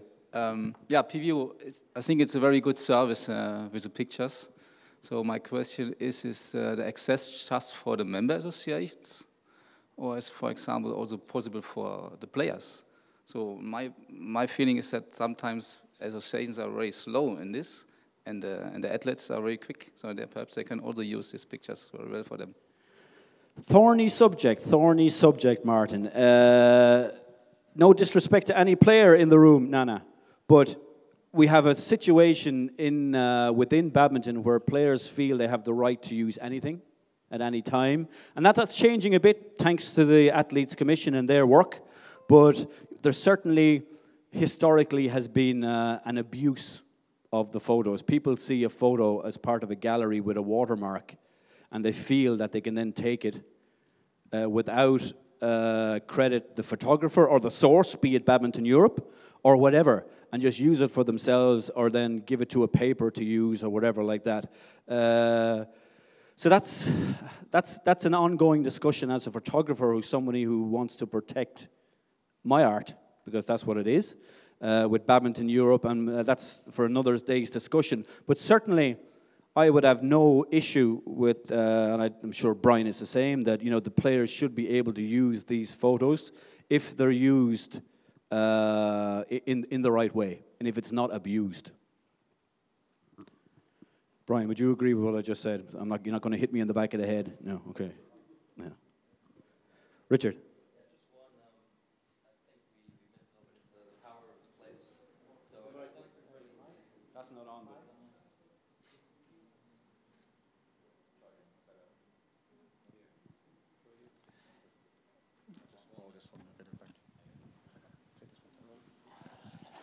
Um, just the power of players in terms of social media from an MA's point of view. So you know, basically being able to use the players as, um, as a, especially smaller to medium MAs that don't have the resource to, to basically be the, the front light. I think everybody likes to have a, a close uh, uh, communication and link to players. And I know in Ireland, where I was before, Scott Evans has been uh, great for the sport from mainstream media to uh, the badminton uh, populace. You know, he's a well-known character, and I think the characters are pretty essential for social media.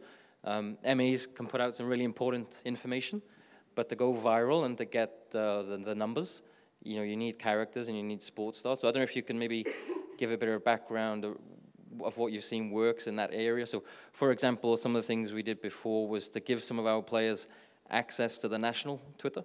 So they would um, kind of tweet for the MA for the week and give a behind the scenes um, kind of idea of training, the interaction, and, and, and everything else. And I think it was really interesting for your average uh, badminton fan. I don't know if you've seen any. Yeah, any I certainly, I certainly have seen a lot of the badminton brands handing over their Instagram account maybe to a player that's on, you know, at a Super Series event and things like that. And that yeah, they do it. They've done it at all the majors, and that seems to be a hugely popular thing because you, you're, you're starting to get behind the scenes, yeah, and you're you know you're starting to get interesting uh, uh, information coming from these tournaments, not just the same front of house uh, stuff that we would tend to see week in, week out. You made a very valid point, and I sort of touched on it earlier, Richard, that uh, you know, within your own individual member associations, you might think you're a small member association, but your top players are very important in that, in your member association, no matter what the le their level may be internationally.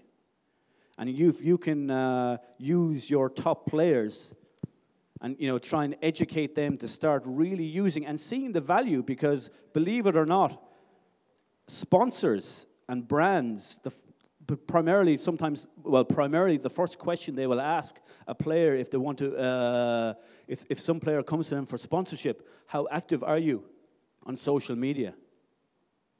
Most of the brands and sponsors nowadays have social media guidelines for players and potential partners. So it's hugely important and and as you point out richard the member associations should really piggyback off that and use that to their own effect, to stuff that's relevant to you. To you. Yeah. Uh, Mark and Emma, I think I'm, I'm, I'm sure I speak for everyone in the room to say that you're doing a fantastic job, and that was a first-class presentation. Will your slides be put up on the Badminton Europe website so we can have access to them? For sure. Yeah.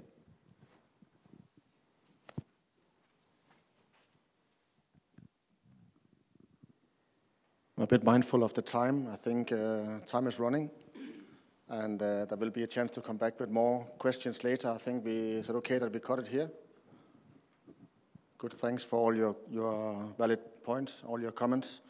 Emma, are you taking over from here? And thank you to, to Mark and, uh, and Emma. Very good.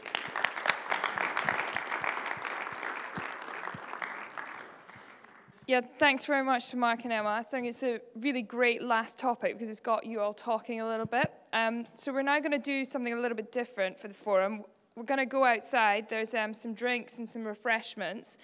And what I'd like you to do for the next sort of 45 minutes before we come back in for the last Q&A is have a drink, share some stories about today, talk to your colleagues about what you think worked, what you liked from what you heard today. If you have any other questions about some of the programs that were talked about, whether it's social media, para badminton, or the BASIS program, feel free to talk to the BEC staff, to the board of directors, feel free to talk amongst yourselves, but please come back ready to, to ask some questions because um, the BEC staff are going to, who are responsible for executing all the programs we've talked about today are going to be up on stage to answer your questions. Thank you very much and go and enjoy a drink, please. Uh, yeah. Back in at 3.15,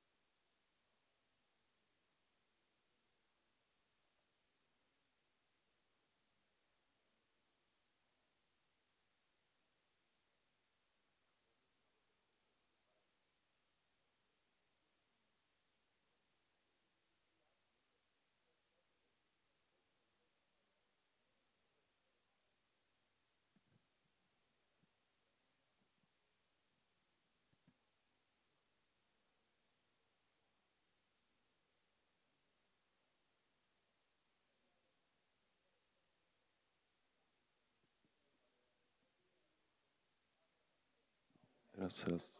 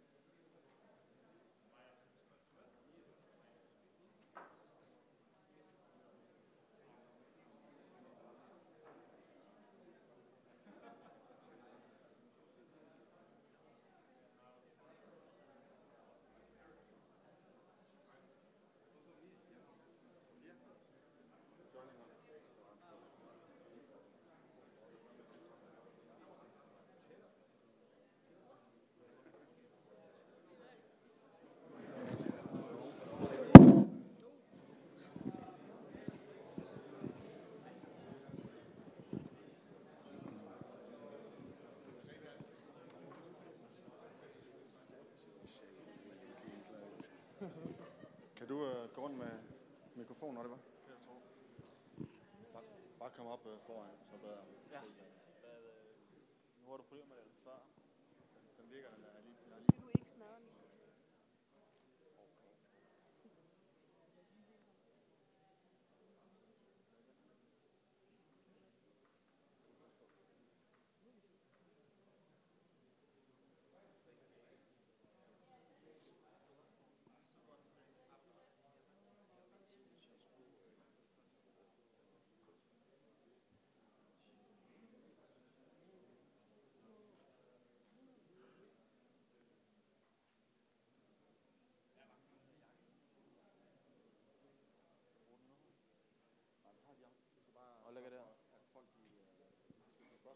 Ja.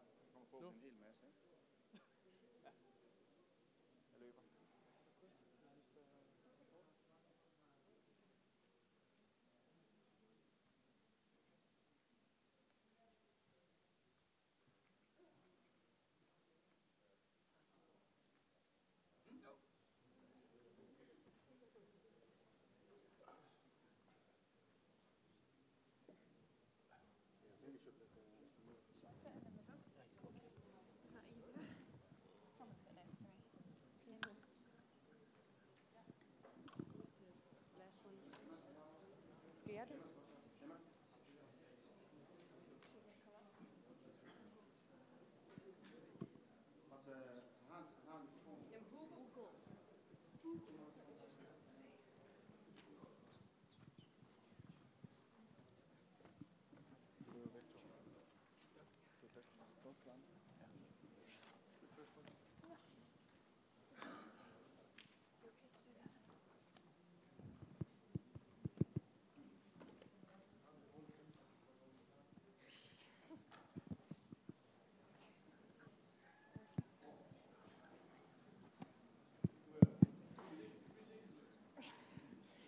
Okay, everybody, thank you very much for coming back in. I hope you all enjoyed the drinks and you had a, a good little chat with everybody who's around.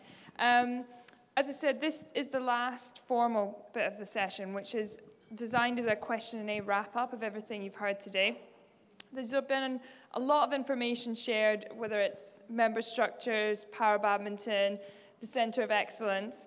And I've got up here the, the BEC staff who are responsible for executing those programs and so who you deal with on a day-to-day basis. They're here to listen to any feedback you might have on the, on the presentations that were made today. Feel free to comment on the format as well and uh, to share your opinions about what's worked, what's not worked. But also, as we've said a lot today, we very rarely get together as uh, 52 member associations. And so this is really our opportunity to, if you have any questions or queries that you want raised, this is the forum um, to do it in. And hopefully we can have an open discussion amongst friends. So can I kick this off and ask if the floor has any immediate questions for any of the BEC staff? Can I have Adrian? Thank you. Uh, it's not a question, uh, but more a just a comment really, and uh, maybe a suggestion. Uh, firstly, thank you all very much for a very informative day. Um, if I may, without being too unkind, uh, much better than last year. So well done to you all on on that. Um, I would though maybe like to put a suggestion in that we find more time to discuss some of the topics as smaller groups. It is quite difficult in such a with such a huge audience here to, to really get into some debate, and particularly, um, you know, when maybe some issues are more important and more challenging to some nations than they may be to others. So maybe some, I, I don't want to be, uh, maybe just sizing some of us or understanding some of the challenges that we have at different different stages and of our of our uh, of our evolutions might be quite important. So just just a suggestion for next year, but but great job today and thank you very much. Thanks very much, Adrian, for the comment. Jimmy, can I ask you to sort of comment on the, on the format we put together? Because I think breakout, se- breakout sessions is really what you're talking about, smaller groups, and perhaps maybe we can do that next year. Uh, no, as, as Emma said, we are always uh, all ears to, to new suggestions, new formats. What, what we tried this year was to actually want to be more interactive. Uh, I just briefly spoke to, to Derek outside, and I, I agree with the comment saying that the setup of tables might have been uh, useful doing a little bit different. So you don't just need to sit and watch uh, each other in the back of the head, but being more interactive in small groups as well. That could maybe become handy in, in putting the table uh, set up differently. Uh, but Adrian, if I can ask you just a small favor, put uh, put it in one, two lines uh, back home to us, so so we really have some some some good input that we can work with go, going forward. It is saying not now it's now it's it's words, but if you can have it put in writing, we we really want to evaluate uh, on this how we did, how how, how you want us us to do. We, we are here for you guys. We we brought forward what we feel felt necessary to to feed you guys with of information, but if you feel a need of having other kind of information, and specifically in a different way, or, or maybe even in, uh, in smaller groups, as you say, we are definitely all ears and we want to do this for you.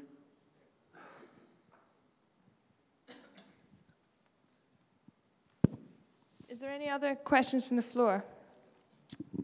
Thank you. I will not come up to you. I will stay here.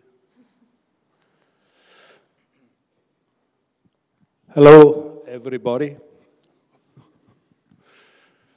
I'm uh, René Toft. I'm president of Badminton Denmark.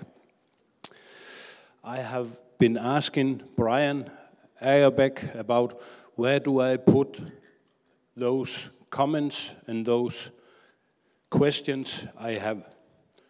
Then I have been told now. And therefore, I'm staying here now because I was very much in doubt about doing it now. What do the staff has to do with, with my question, with my comments? A little, a little. The politician, much more, I think. Because a lot of question has to be uh, answered by politician also in our organization. Um, in 1900, we are back in the last uh, decade, 1917, 70, uh, suddenly there was an uh, comments from Cosmos, from Apollo 13. Houston, we have a problem. Why that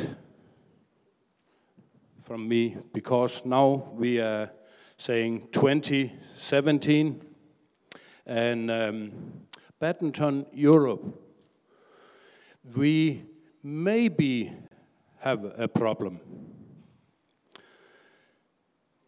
Apollo 13, they couldn't do anything other what they have done, getting uh, it back to Earth, saving the three uh, astronauts.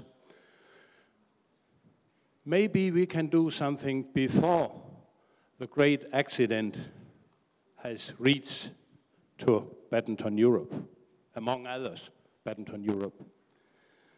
And I'm, I'm saying that because of, um, I am not sure it's a good uh, thing who has happened with the new structure with tournaments all over Badminton World Federation. I'm not sure. Uh, maybe we will first see it in three, four, five years, because it's what is going to happen about our tournaments, international tournaments, uh, from 18 to 21. And when I'm saying that, I, I have to uh, say to you, we, we had made an offer to Badminton World Federation. We, we think it was a fantastic offer. Um, maybe one of the best. We wanted to go up on level, on level two, but we didn't get it. We had it combined with a tournament on level five, Grand Prix Gold tournament. We didn't get it. And when I'm looking on where where, where are the tournament uh, taking place from 18 to 21. We have no more tournaments in Europe. And the German has been taking one of their, their two, and Spain, congratulations with that, have uh, got uh, that one. But we have not more tournaments in Europe.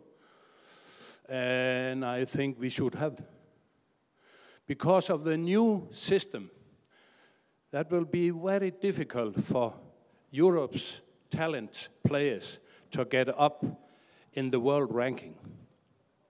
When when they uh, wish to go up in that, they have to be, they have to be, uh, be really good players, I know. But now, as I look upon it, we have to send much more players out to Asia to get points, to make uh, uh, uh getting up on the world rank. They have to go out to the tournaments in Asia. And we, know, we all know it's very difficult to win tournaments out there and to get good points to the world ranking.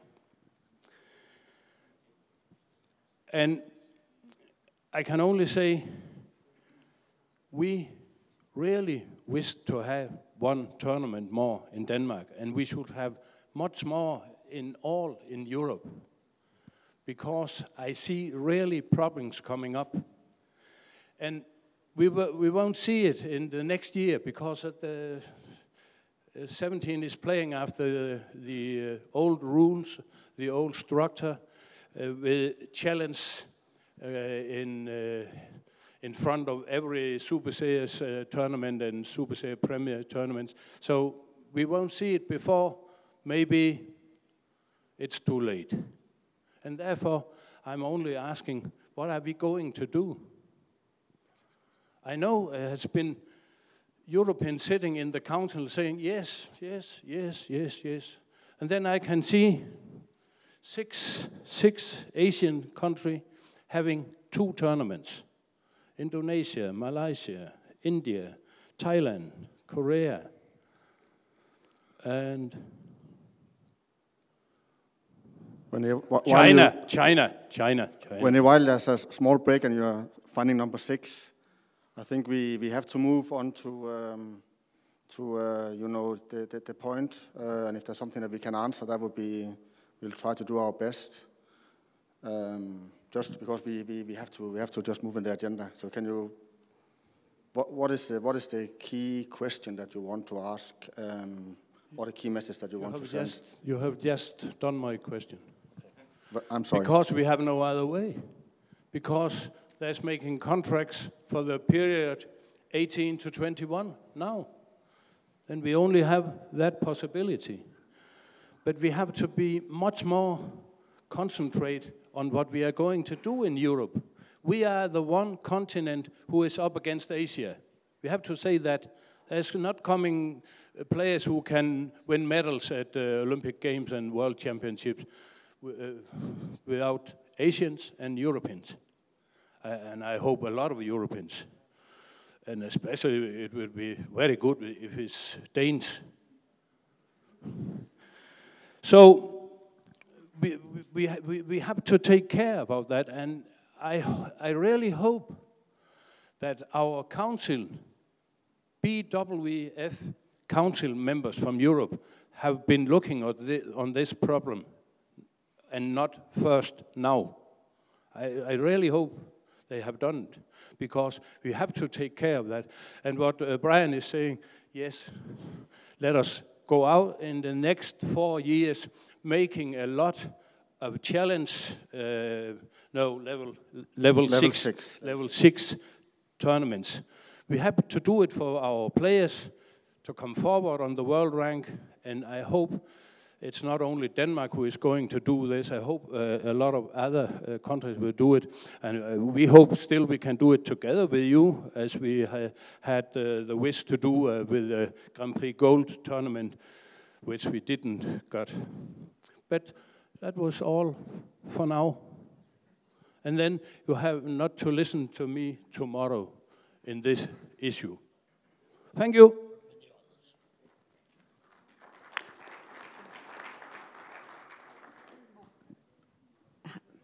Hello. Oh. Hello, Anne Smillie, Badminton Scotland.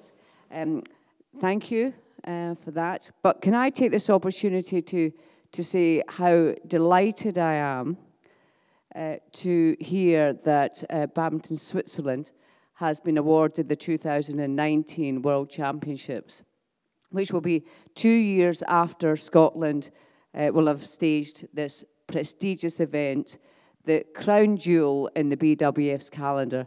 And I congratulate the um, European members on the uh, World Council uh, for doing what they did that resulted in an overwhelming majority for this event to be held once again in uh, Europe. So um, I do take on board what you say, uh, but we must be mindful that Europe, Europe v Asia, we still struggle uh, with regard to funding, sponsorship, and the like. So, but be rest assured that the um, European Council members on BWF, I'm confident, are doing what they can for Badminton Europe.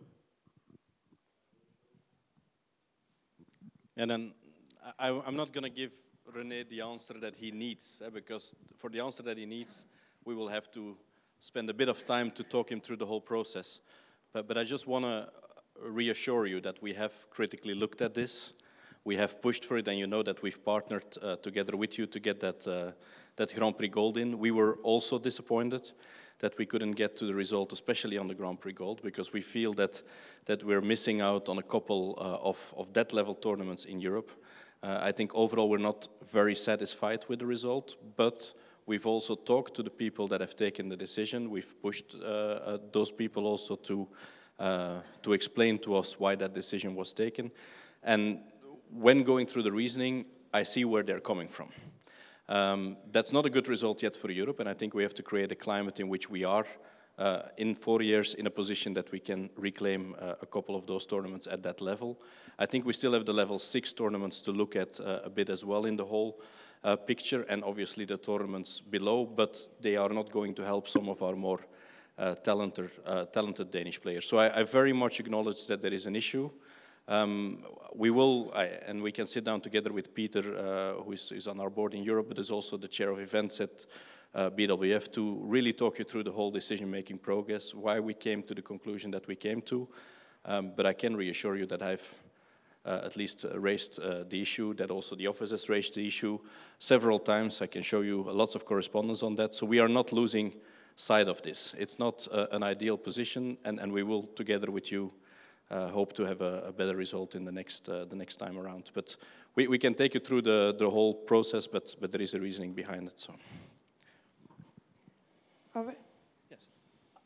Um, first of all, um, I wish to take the opportunity to inform you a little bit more. Thank you very much, Anne, for uh, addressing uh, the information around the World Championships.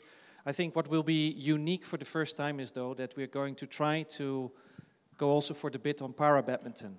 And for the first time in the history, we hope to get, obviously, once para badminton will be awarded, and this we still have to go through the process, within one and the same dates, the same venue, we will have the badminton World Championships and para badminton World Championships at the same time, same venue, same town, uh, for the first time in history. There's no other sport who did ever do that. Normally it was always after a World Championships or or soon after something that para badminton or a para sport took place, but this is the first time that we're going to do it together in the same uh, venue. So maybe uh, we're always uh, looking forward then to, to, to get your support and to also talk to your para badminton council uh, at home uh, to your people to basically support also our bid, which will take place uh, where we have to bid in until August 2017, where after the decision has to be taken. I just want to complete that information.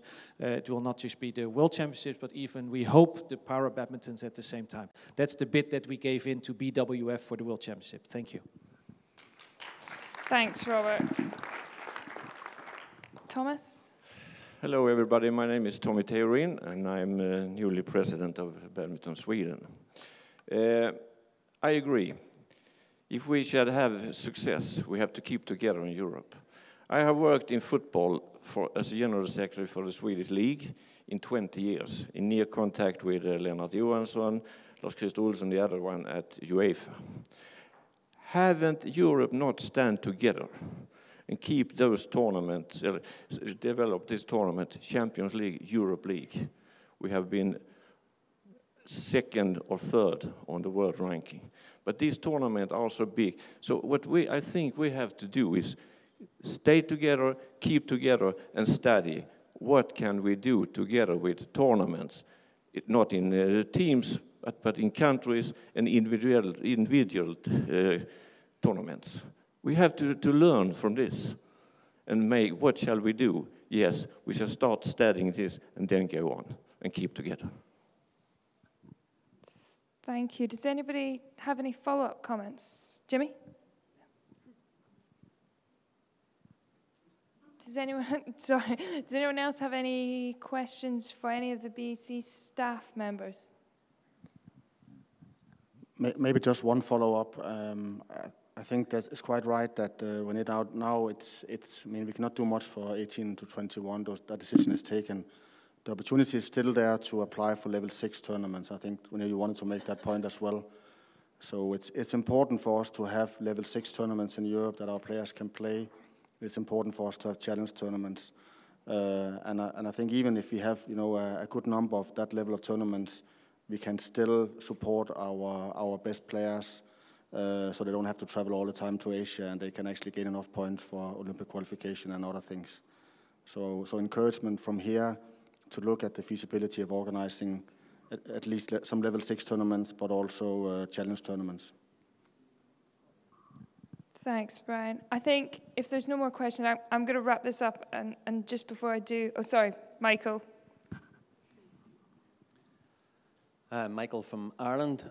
I would just like to ask I know we talked about the club, European Club Championships early, earlier just want to make the point that have you thought of a Masters European team event? You do have, or we do have the European individual event, but a team event strikes me as quite a good way to increase participation in the individual events, both in Europe and at home. And have you had any thoughts on that? No.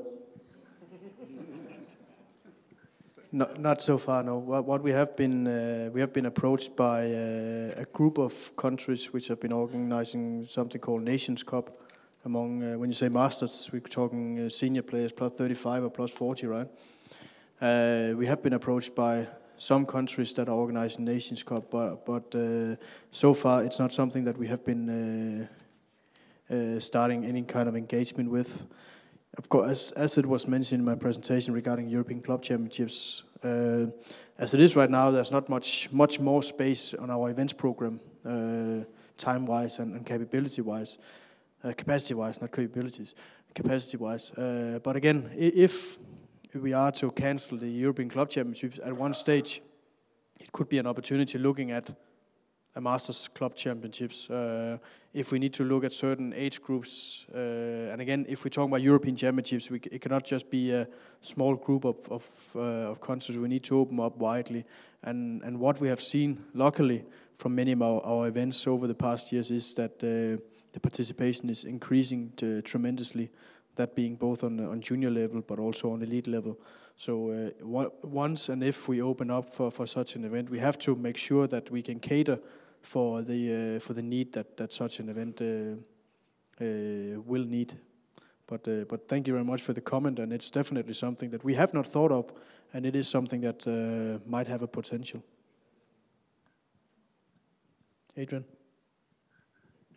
I'd just like to support that request from Michael. Actually, um, I think, excuse me, I think Masters badminton is uh, is certainly growing. We, we're, we're experiencing a huge growth um, in England.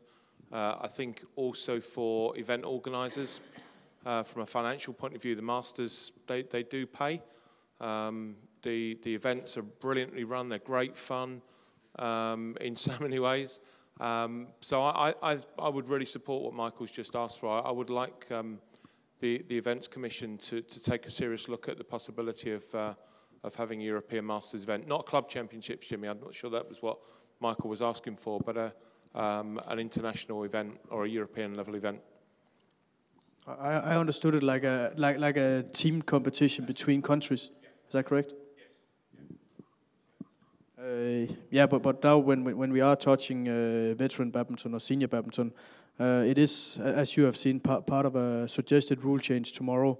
Uh, and, and let by all means have a good discussion if you have further any further questions about that on tomorrow's agenda. It is an issue that is uh, an, an, area where we we see an enormous increase in the participation and that also, also going to, again put a lot of uh, stress and work on an, on a potential organizer, and that's also why we uh, we suggest making a kickback to the organizer financially because it is it is a big event to organize, and that's why we we know it's it's increasing. Thereby, the workload is also increasing, and thereby we suggest that uh, some financial kickback is also going back to the organizers. And I guess that could also be a, a possibility should we introduce a, a, team event for, for that age group as well.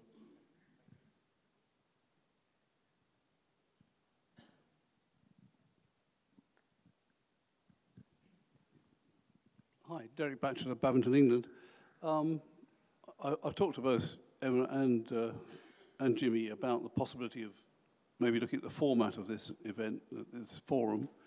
Um, one was the idea of actually moving, uh, as I said to Jimmy, um, perhaps into round tables so you actually get a chance to discuss things. But the other one I discussed with Emma briefly was perhaps having workshops where you could actually take two out of three. So if you weren't interested in a particular subject, you just opted out of that one and did the other two.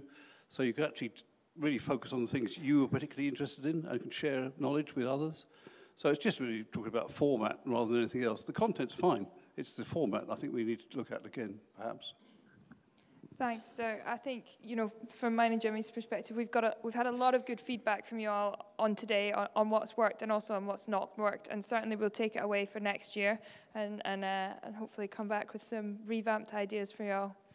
Um, I think unless I think we're done on questions.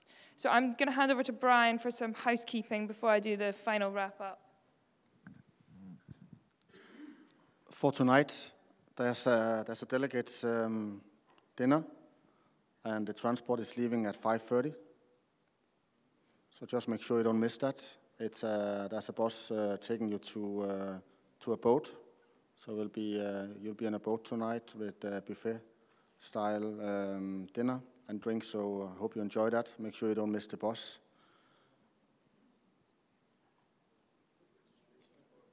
Hmm? Then I've been told to inform you all that the slides are already put on the website from, uh, from today's session, so you can find that on the Badminton Europe uh, page under, under the AGM. There's also some uh, slides around the forum. Registration starts tomorrow at 9 o'clock. And uh, we'll use the same meeting room here for the AGM tomorrow.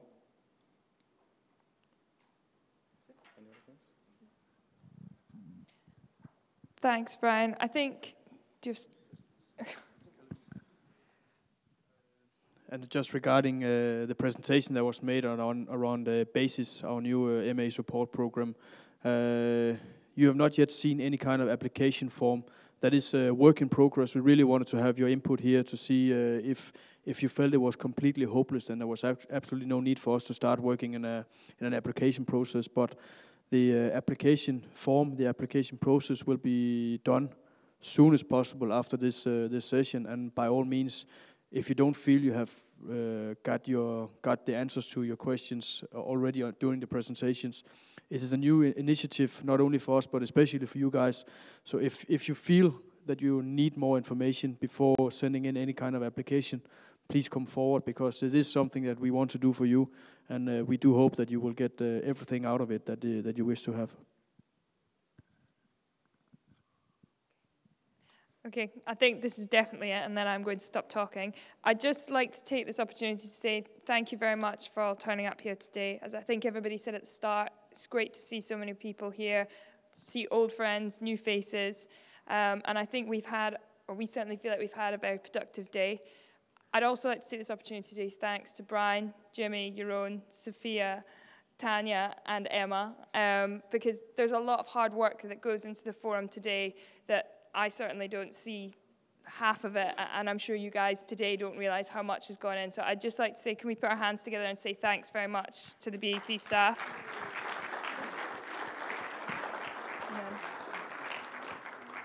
And then I'd just like to, if you guys want to, Gregory, can I invite you up on stage to close the forum, please? Thanks, guys.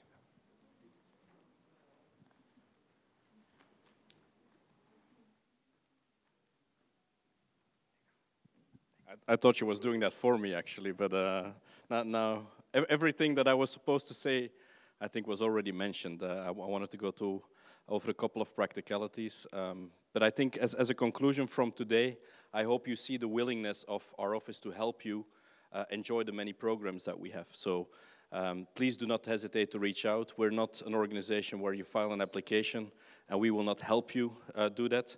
Uh, we're um, an office that's there for you and to help you uh, and even uh, to clarify some of the programs that we have up front. So please do that. Take that opportunity. Um, we'll uh, also happily take all of the feedback that we got and, and also around some of the tournament structures back. It's that kind of feedback that can be given to us at any moment, informally and formally, and I'm happy that, uh, that René, for example, took that up. But do approach our organization as an organization where those kind of comments are always taken in a constructive way, and we will seek to represent you in the best way possible uh, at each of the levels. So I'm very happy that we had that conversation. Uh, just want to echo a couple of the messages. Very uh, happy with Switzerland. Looking forward to a couple of presentations tomorrow. Uh, about events that will happen this year uh, in Europe and, and, not in the least the World Championships in, uh, in Scotland. So I hope this has been informative for you. Uh, I hope you met a couple new people as well, at least I have. Uh, and congratulations to the many new presidents in the room. And it happens every four years that we have uh, a bigger amount of new presidents or new representation than in the other three years because of the Olympic cycle and some of the elections falling together with the cycle. So very enthusiastic to start another Olympic cycle with you. Um, and don't forget, uh, very enthusiastic to celebrate the 50th anniversary of our organization. And you'll see that celebration coming back tonight, that team uh, being there tomorrow. Uh, we have some, some good surprises for you uh, over the next couple of days, we hope. And uh, let's, let's have a, a, good party tomorrow together uh, with hopefully some dancing and some live music uh, so we can really celebrate uh, the 50th uh, anniversary in a, in a proper way and thank uh, a couple of people that have played a significant role. So don't want to take too much of, of your time because I know you have a bus to catch, probably want to relax a bit, but I do look forward to seeing everyone tonight on the boat. Hope we have a nice time there, and then I'll see you tomorrow at 10 o'clock as Brian said, registrations uh, open as of 9. I don't know whether we mentioned the dress code of tonight, um, but just smart casual, don't, don't overdress for the night. Uh, people ask me to point out a couple of examples of good dressing and bad dressing, but I'm not going to do that. Uh, so, uh, smart casual, uh, however you uh, interpret that, uh, that concept. So, we'll see you all tonight, and thank you very much.